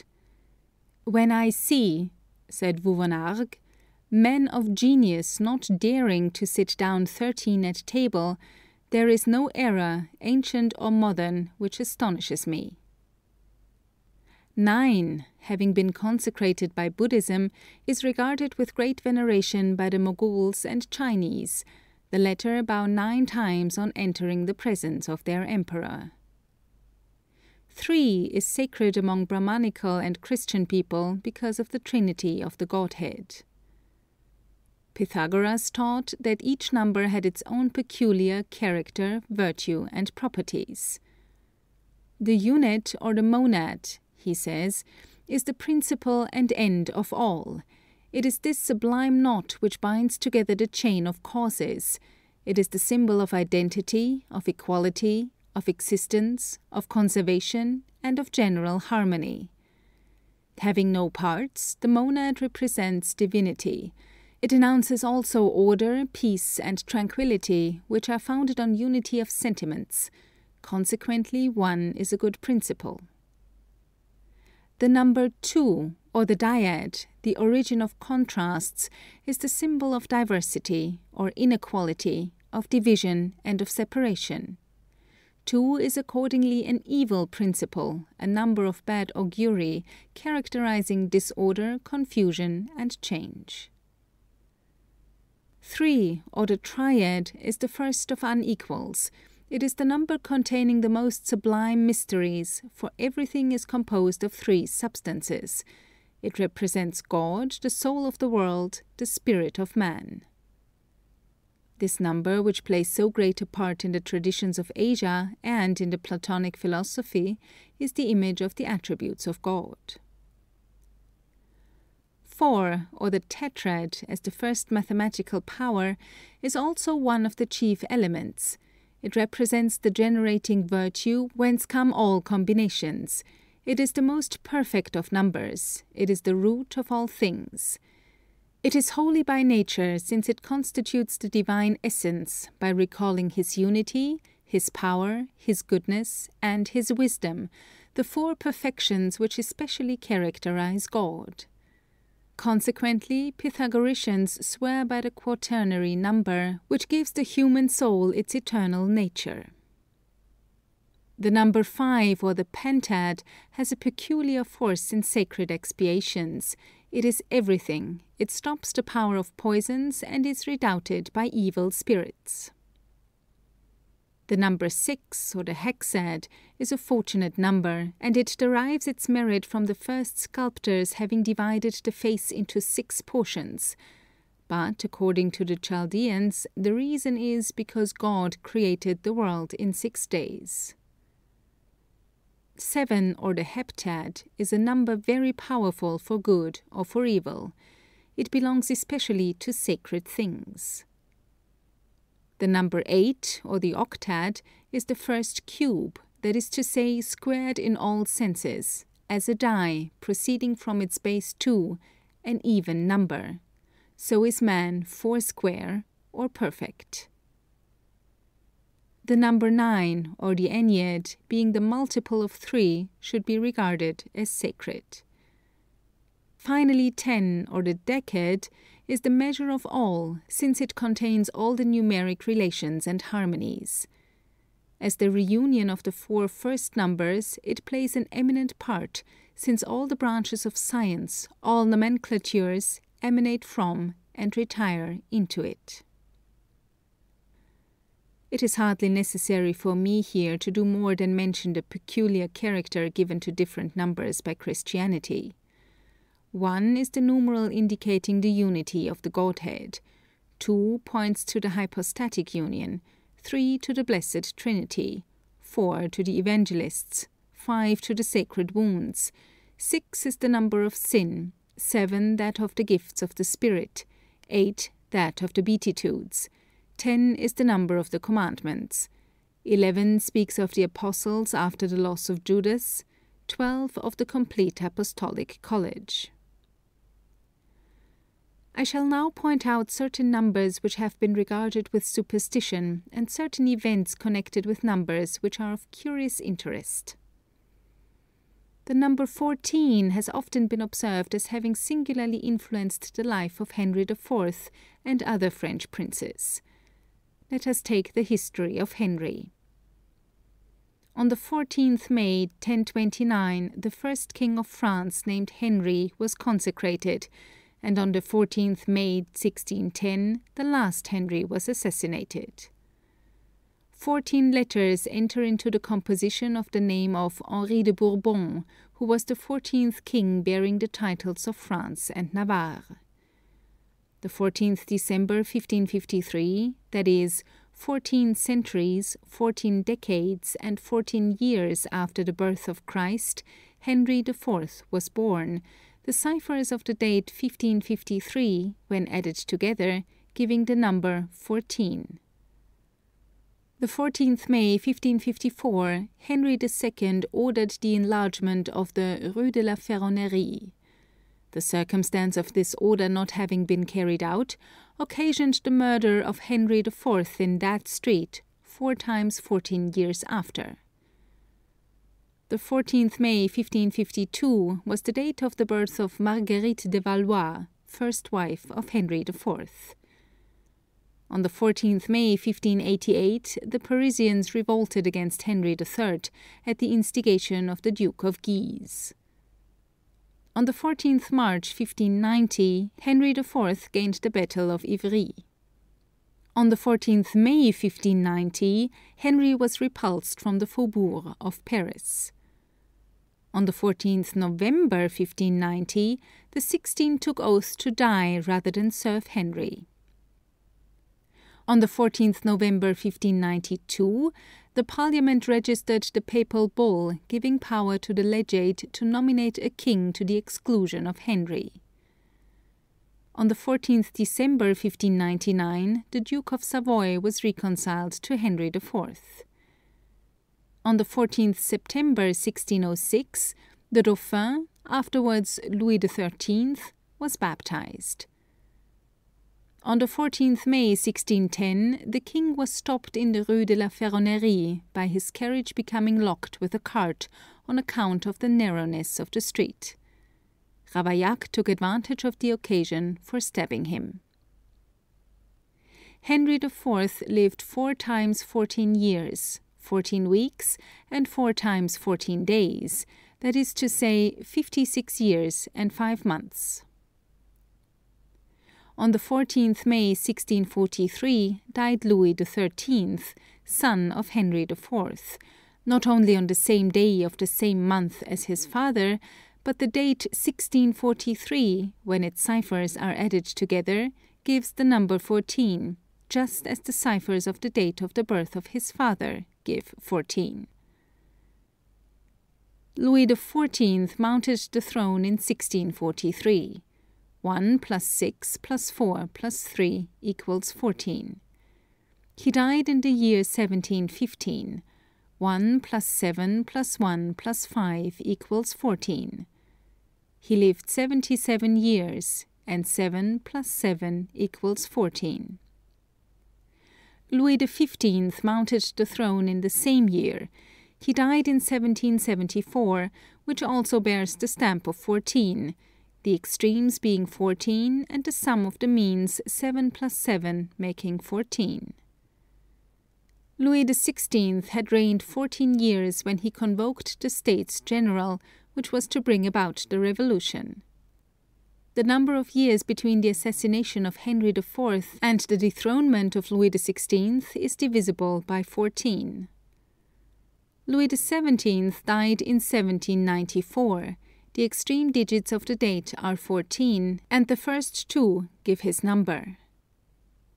The restoration of the Bourbons took place in 1814, also marked by the extremes being 14, also by the sum of the ciphers making 14. The following are other curious calculations made respecting certain French kings. Add the ciphers composing the year of the birth or of the death of some of the kings of the third race, and the result of each sum is the titular number of each prince. Thus, Louis IX was born in 1215. Add the four ciphers of this date, and you have nine. Charles VII was born in 1402. The sum of 1, 4, and 2 gives 7. Louis XII was born in 1461, and 1 plus 4 plus 6 plus 1 equals 12. Henry IV died in 1610, and 1 plus 6 plus 1 equals twice 4. Louis XIV was crowned in 1643, and these four ciphers give 14. The same king died in 1715, and this date gives also 14. He was aged 77 years, and again 7 plus 7 equals 14. Louis XVIII was born in 1755. Add the digits, and you have 18. What is remarkable is that this number 18 is double the number of the king to whom the law first applies, and is triple the number of the kings to whom it has applied. Here is another curious calculation. Robespierre fell in 1794. Napoleon in 1815, and Charles X in 1830. Now, the remarkable fact in connection with these dates is that the sum of the digits composing them, added to the dates, gives the date of the fall of the successor. Robespierre fell in 1794. 1 plus 7 plus 9 plus 4 equals 21. 1794 plus 21 equals 1815, the date of the fall of Napoleon. 1 plus 8 plus 1 plus 5 equals 15, and 1815 plus 15 is 1830, the date of the fall of Charles X. There is a singular rule which has been supposed to determine the length of the reigning Pope's life in the earlier half of a century. Add his number to that of his predecessor, to that at 10, and the result gives the year of his death. Pius VII succeeded Pius VI. 6 plus 7 equals 13, add 10, and the sum is 23. Pius VII died in 1823. Leo XII succeeded Pius VII. 12 plus 7 plus 10 equals 29, and Leo XII died in 1829. Pius VIII succeeded Leo XII. 8 plus 12 plus 10 equals 30, and Pius VIII died in 1830. However, this calculation does not always apply. Gregory XVI ought to have died in 1834, but he did not actually vacate his see till 1846. It is also well known that an ancient tradition forbids the hope of any of St. Peter's successors pervenire ad annos Petri, that is, to reign 25 years. Those who sat longest are Pius VI, who reigned 24 years, 6 months, 14 days. Hadrian I, who reigned 23 years, 10 months, 17 days. Pius VII, who reigned 23 years, 5 months, 6 days. Alexander III, who reigned 21 years, 11 months, 23 days. Saint Sylvester I, who reigned 21 years, 4 days. There is one numerical curiosity of a very remarkable character which I must not omit. The ancient Chamber of Deputies, such as it existed in 1830, was composed of 402 members, and was divided into two parties. The one, numbering 221 members, declared itself strongly for the Revolution of July.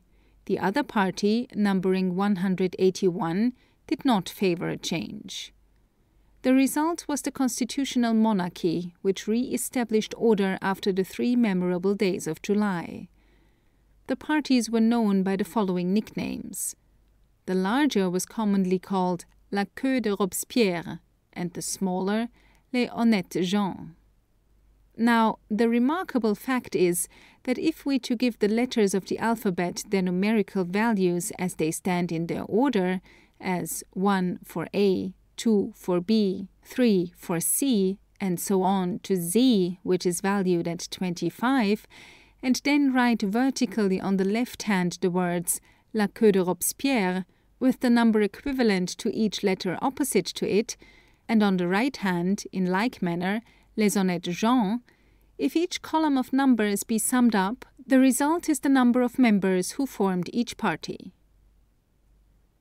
A 1, B 2, C 3, D 4, E 5, F 6, G 7, H 8, I 9, J 10, K 11, L 12, M 13, N 14, O 15, P 16, Q 17, R 18, S 19,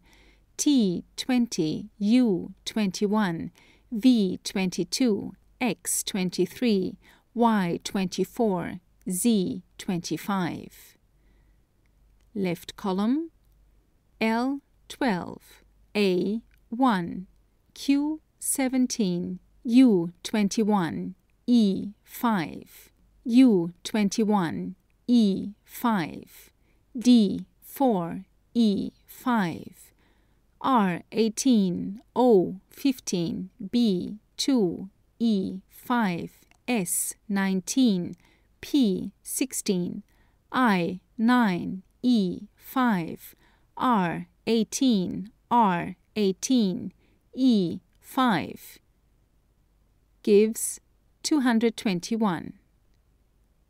Right column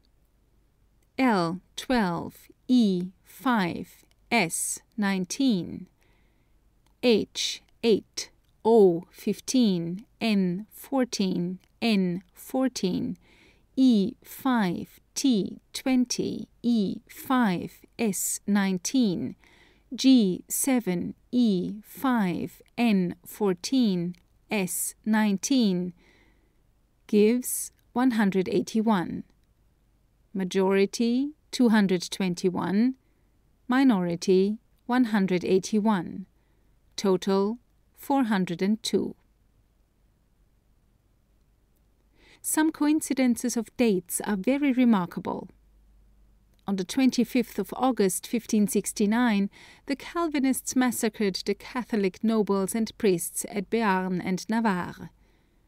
On the same day of the same month in 1572, the Calvinists were massacred in Paris and elsewhere. On the 25th October 1615, Louis XIII married Anne of Austria, Infanta of Spain, whereupon we may remark the following coincidences. The name Loy de Bourbon contains 13 letters. So does the name Anne d'Autriche. Louis was 13 years old when this marriage was decided on. Anne was the same age. He was the 13th King of France bearing the name of Louis, and she was the 13th Infanta of the name of Anne of Austria. On the 23rd April 1616 died Shakespeare, on the same day of the same month, in the same year, died the great poet Cervantes. On the 29th May 1630, King Charles II was born. On the 29th May 1660, he was restored. On the 29th May 1672, the fleet was beaten by the Dutch.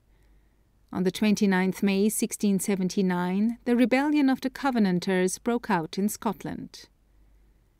The Emperor Charles V was born on February 24, 1500. On that day he won the Battle of Pavia in 1525, and on the same day was crowned in 1530. On the 29th January 1697, Monsieur de Brocquemar, President of the Parliament of Paris, died suddenly in that city. Next day his brother, an officer, died suddenly at Berg, where he was governor. The lives of these brothers present remarkable coincidences. One day the officer, being engaged in battle, was wounded in his leg by a sword blow. On the same day, at the same moment, the president was afflicted with acute pain, which attacked him suddenly in the same leg as that of his brother which had been injured. John Aubrey mentions the case of a friend of his who was born on the 15th November. His eldest son was born on the 15th November, and his second son's first son on the same day of the same month. At the hour of prime, 6 of April 1327, Petrarch first saw his mistress Laura in the church of St. Clara in Avignon. In the same city, same month, same hour, 1348, she died. The deputation charged with offering the crown of Greece to Prince Otho arrived in Munich on the 13th October 1832, and it was on the 13th October 1862 that King Otho left Athens, to return to it no more. On the 21st April 1770, Louis XIV was married at Vienna by the sending of the ring. On the 21st June in the same year took place the fatal festivities of his marriage. On the 21st January 1781 was the fête at the Hôtel de Ville for the birth of the Dauphin. On the 21st June 1791 took place the flight to Varennes. On the 21st January 1793 he died on the scaffold. There is said to be a tradition of Norman monkish origin that the number three is stamped on the royal line of England, so that there shall be no more than three princes in succession without a revolution. William I, William II, Henry I, then followed the revolution of Stephen. Henry II, Richard I, John, invasion of Louis, Dauphin of France, who claimed the throne. Henry III, Edward I, Edward II, who was dethroned and put to death. Edward II, Richard III, who was dethroned. Henry IV, Henry V, Henry VI, the crown passed to the House of York. Edward IV, Edward V, Richard III, the crown claimed and won by Henry Tudor. Henry VII, Henry VIII, Edward VI, usurpation of Lady Jane Grey. Mary I, Elizabeth, the crown passed to the House of Stuart. James I, Charles I, revolution. Charles II, James II, invasion of William of Orange. William of Orange and Mary II, Anne, arrival of the House of Brunswick. George I, George II, George III, George IV, William IV, Victoria. The law has proved faulty in the last case, but certainly there was a crisis in the reign of George IV.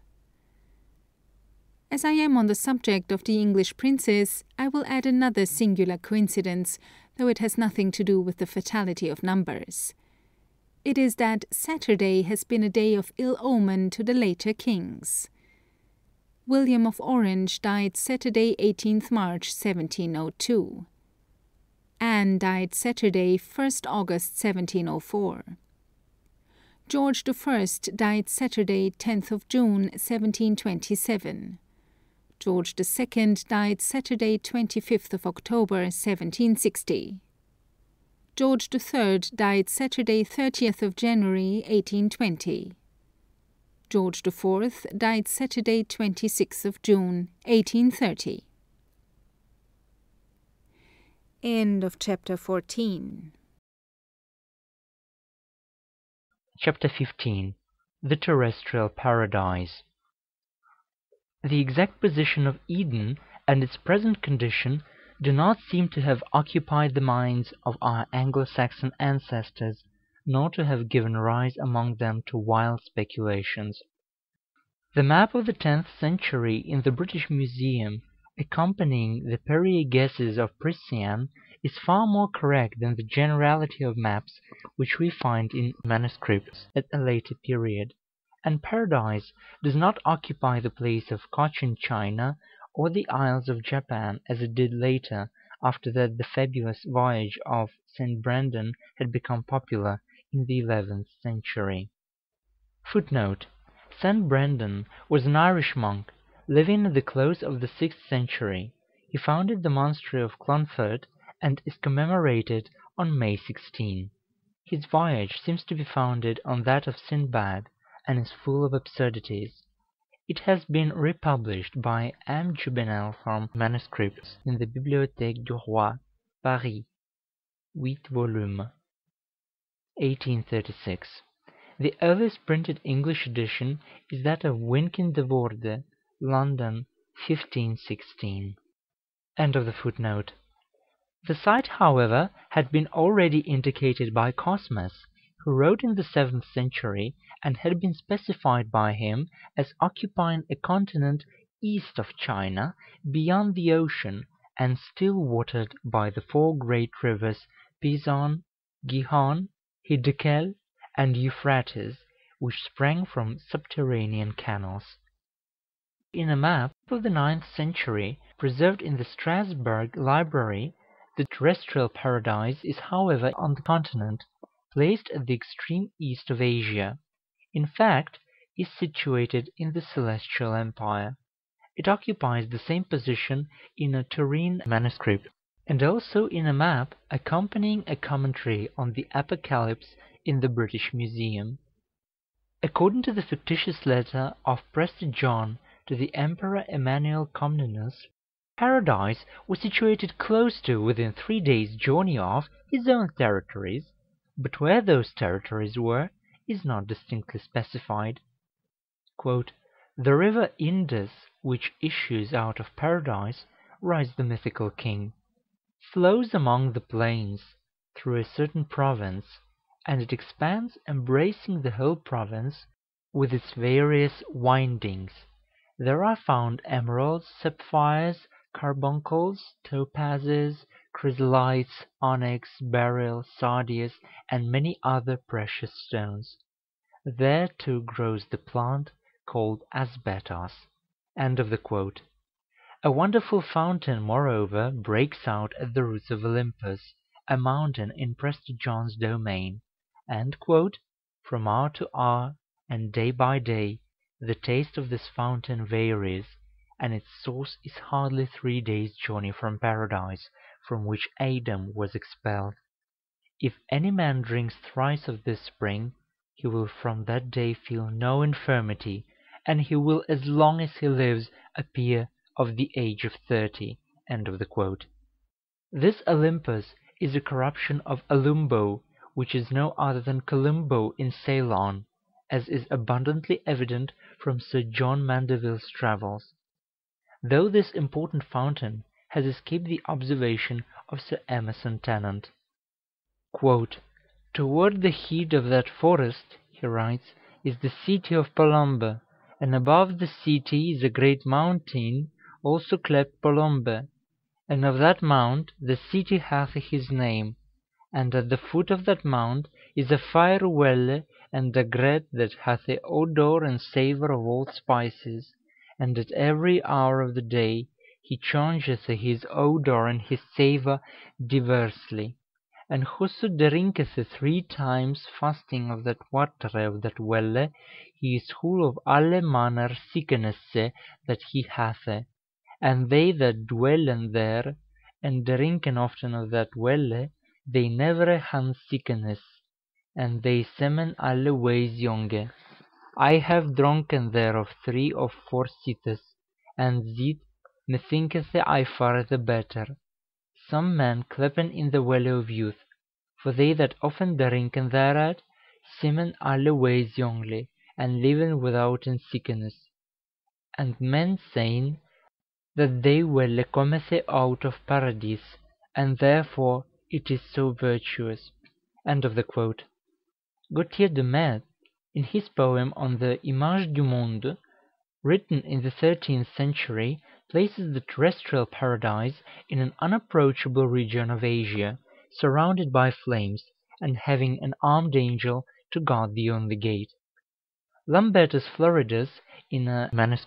of the twelfth century, preserved in the Imperial Library in Paris, describes it as "Paradisus insula in Oceano in Oriente," and in the map accompanying it, Paradise is represented as an island a little south east of Asia, surrounded by rays, and at some distance from the mainland; and in another manuscript of the same library, a mediæval encyclopædia, under the word Paradisus, is a passage which states that in the centre of Paradise is a fountain which waters the garden, that in fact described by Prester John, and that of which story telling Sir John Mandeville declared he had "drunken three or four sithes."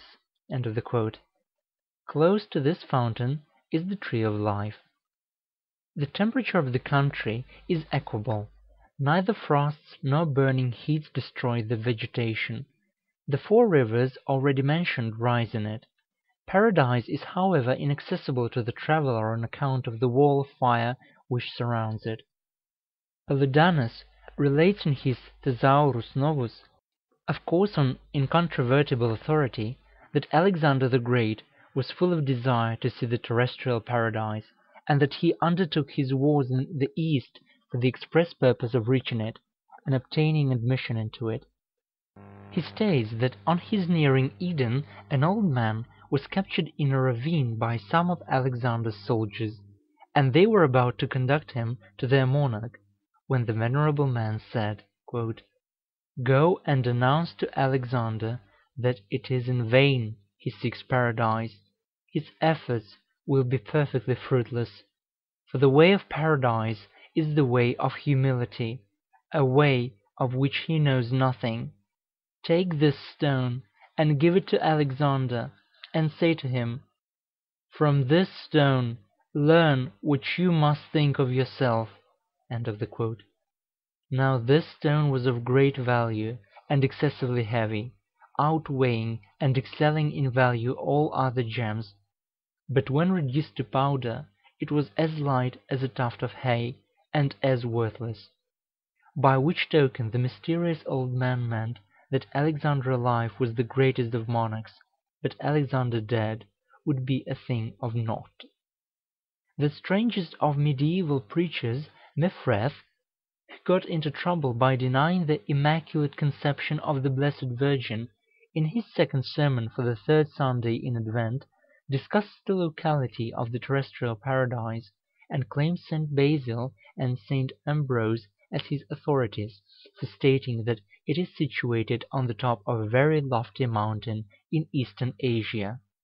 So lofty indeed is the mountain, that the waters of the four rivers fall in cascade down to a lake at its foot, with such a roar that the natives who live on the shores of the lake are stone deaf. Mefreth also explains the escape of Paradise from submergence at the Deluge, on the same grounds as does the Master of Sentences, by the mountain being so very high that the waters which rose over Ararat were only able to wash the base of the mountain of Paradise.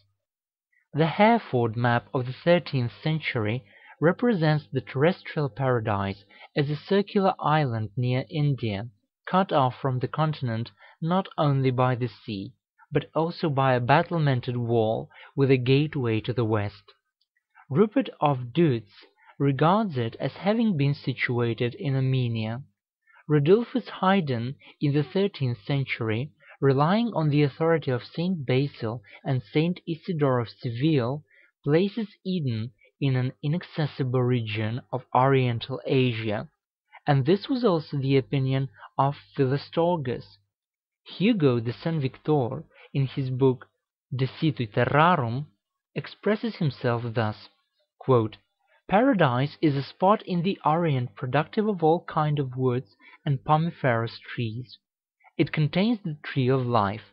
There is neither cold nor heat there, but perpetual equable temperature. It contains a fountain which flows forth in four rivers." Rabanus Maurus, with more discretion, says, "Many folk want to make out that the site of Paradise is in the east of the earth, though cut off by the longest intervening space of ocean or earth from all regions which man now inhabits. Consequently, the waters of the deluge, which covered the highest points of the surface of our orb, were unable to reach it. However, whether it be there, or whether it be anywhere else, God knows; but that there was such a spot once, and that it was on earth, that is certain." Of the quote. Jacques de Vitry (Historia Orientalis), Gervase of Tilbury in his Otia Imperialia, and many others, hold the same views as to the site of Paradise that were entertained by Hugo de Saint Victor. Jourdain de Séverac, monk and traveller in the beginning of the fourteenth century, places the terrestrial paradise in the third India, that is to say, in Transgangic India. Leonardo Dati, a Florentine poet of the fifteenth century, composed a geographical treatise in verse, entitled Della Sfera, and it is in Asia that he locates the garden. Asia è la prima parte dove l'uomo, sendo innocente, stava in paradiso. But perhaps the most remarkable account of the terrestrial paradise ever furnished is that of the Eirik Saga Vidförla, an Icelandic narrative of the fourteenth century, given the adventures of a certain Norwegian named Eirik, who had vowed, whilst a heathen, that he would explore the fabulous deathless land of pagan Scandinavian mythology. The romance is possibly a Christian recension of an ancient heathen myth, and Paradise has taken the place in it of Glæsisvellir. According to the majority of the manuscripts, the story purports to be nothing more than a religious novel, but one audacious copyist has ventured to assert that it is all fact, and that the details are taken down from the lips of those who heard them from Eirik himself. The account is briefly this: Eirik was the son of Thrand, king of Drontheim, and having taken upon him a vow to explore the Deathless Land, he went to Denmark, where he picked up a friend of the same name as himself. They then went to Constantinople, and called upon the Emperor, who held a long conversation with them, which is duly reported, relative to the truths of Christianity and the sight of the Deathless Land, which he assures them is nothing more nor less than Paradise. "The world," said the monarch, who had not forgotten his geography since he left school, "is precisely one hundred eighty thousand stages round (about one million English miles), and is not propped up on posts, not a bit. It is supported by the power of God, and the distance between earth and heaven is one hundred thousand and forty five miles." Another manuscript reads nine thousand three hundred eighty two miles (the difference is immaterial), and round about the earth is a big sea called Ocean. "And what's to the south of the earth?" asked Eirik. "Oh, there is the end of the world, and that is India." "And pray where am I to find the Deathless Land?" "That lies Paradise, I suppose you mean. Well, it lies slightly east of India." Having obtained this information, the two Eiriks started, furnished with letters from the Greek Emperor. They traversed Syria and took ship, probably at Balsora. Then, reaching India, they proceeded on their journey on horseback, till they came to a dense forest, the gloom of which was so great, through the interlacing of the boughs, that even by day the stars could be observed twinkling, as though they were seen from the bottom of a well. On emerging from the forest, the two Eiriks came upon a strait separating them from a beautiful land, which was unmistakably Paradise, and the Danish Eirik, intent on displaying his scriptural knowledge, pronounced the strait to be the river Pison. This was crossed by a stone bridge, guarded by a dragon. The Danish Eirik, deterred by the prospect of an encounter with this monster, refused to advance, and even endeavored to persuade his friend to give up the attempt to enter Paradise as hopeless, after that they had come within sight of the favored land. But the Norseman deliberately walked, sword in hand, into the maw of the dragon, and next moment, to his infinite surprise and delight, found himself liberated from the gloom of the monster's interior, and safely placed in Paradise. "The land was most beautiful, and the grass as gorgeous as purple. It was studded with flowers, and was traversed by honey rills. The land was extensive and level, so that there was not to be seen mountain or hill, and the sun shone cloudless, without night and darkness. The calm of the air was great, and there was but a feeble murmur of wind, and that which there was breathed redolent with the odor of blossoms." After a short walk, Eirik observed what certainly must have been a remarkable object, namely a tower, or steeple self suspended in the air, without any support whatever, though access might be had to it by means of a slender ladder. By this Eirik ascended into a loft of the tower, and found there an excellent cold collation prepared for him. After having partaken of this, he went to sleep, and in vision beheld and conversed with his guardian angel, who promised to conduct him back to his fatherland, but to come for him again, and fetch him away from it forever at the expiration of the tenth year after his return to Drontheim.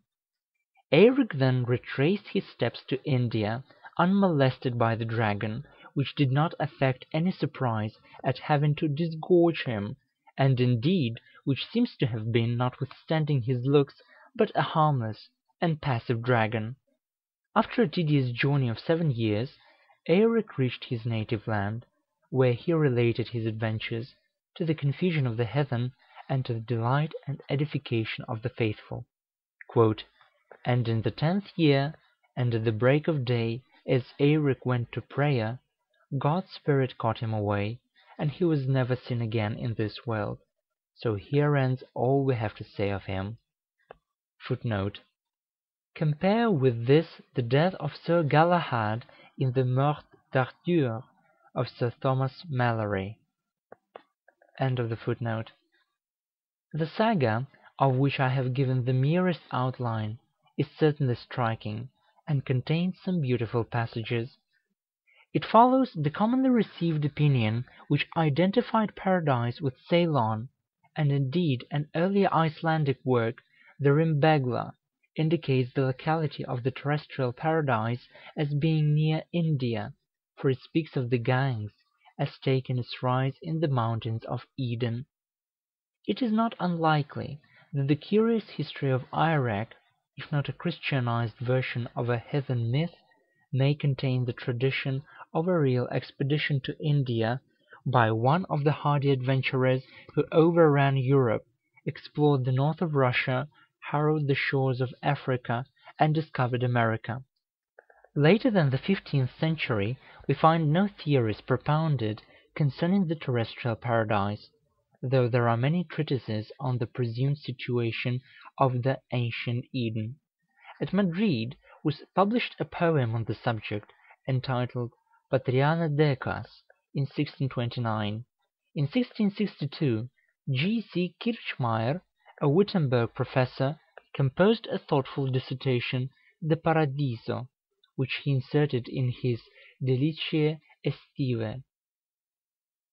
F. R. Arnulx wrote a work on Paradise in 1665, full of the grossest absurdities. In 1666 appeared Carver's Discourse on the Terrestrian Paradise. Bochart composed the tract on the subject. Huet wrote on it also, and his work passed through seven editions, the last dated from Amsterdam, 1709. The Père Hardouin composed a nouveau traité de la situation du paradis terrestre, La Haye, 1730. An Armenian work on the rivers of Paradise was translated by M. Saint Martin in 1819, and in 1842 Sir W. Ouseley read a paper on the situation of Eden before the Literary Society in London. End of Chapter 15 The Terrestrial Paradise End of Curious Myths of the Middle Ages by Sabine Baring Gould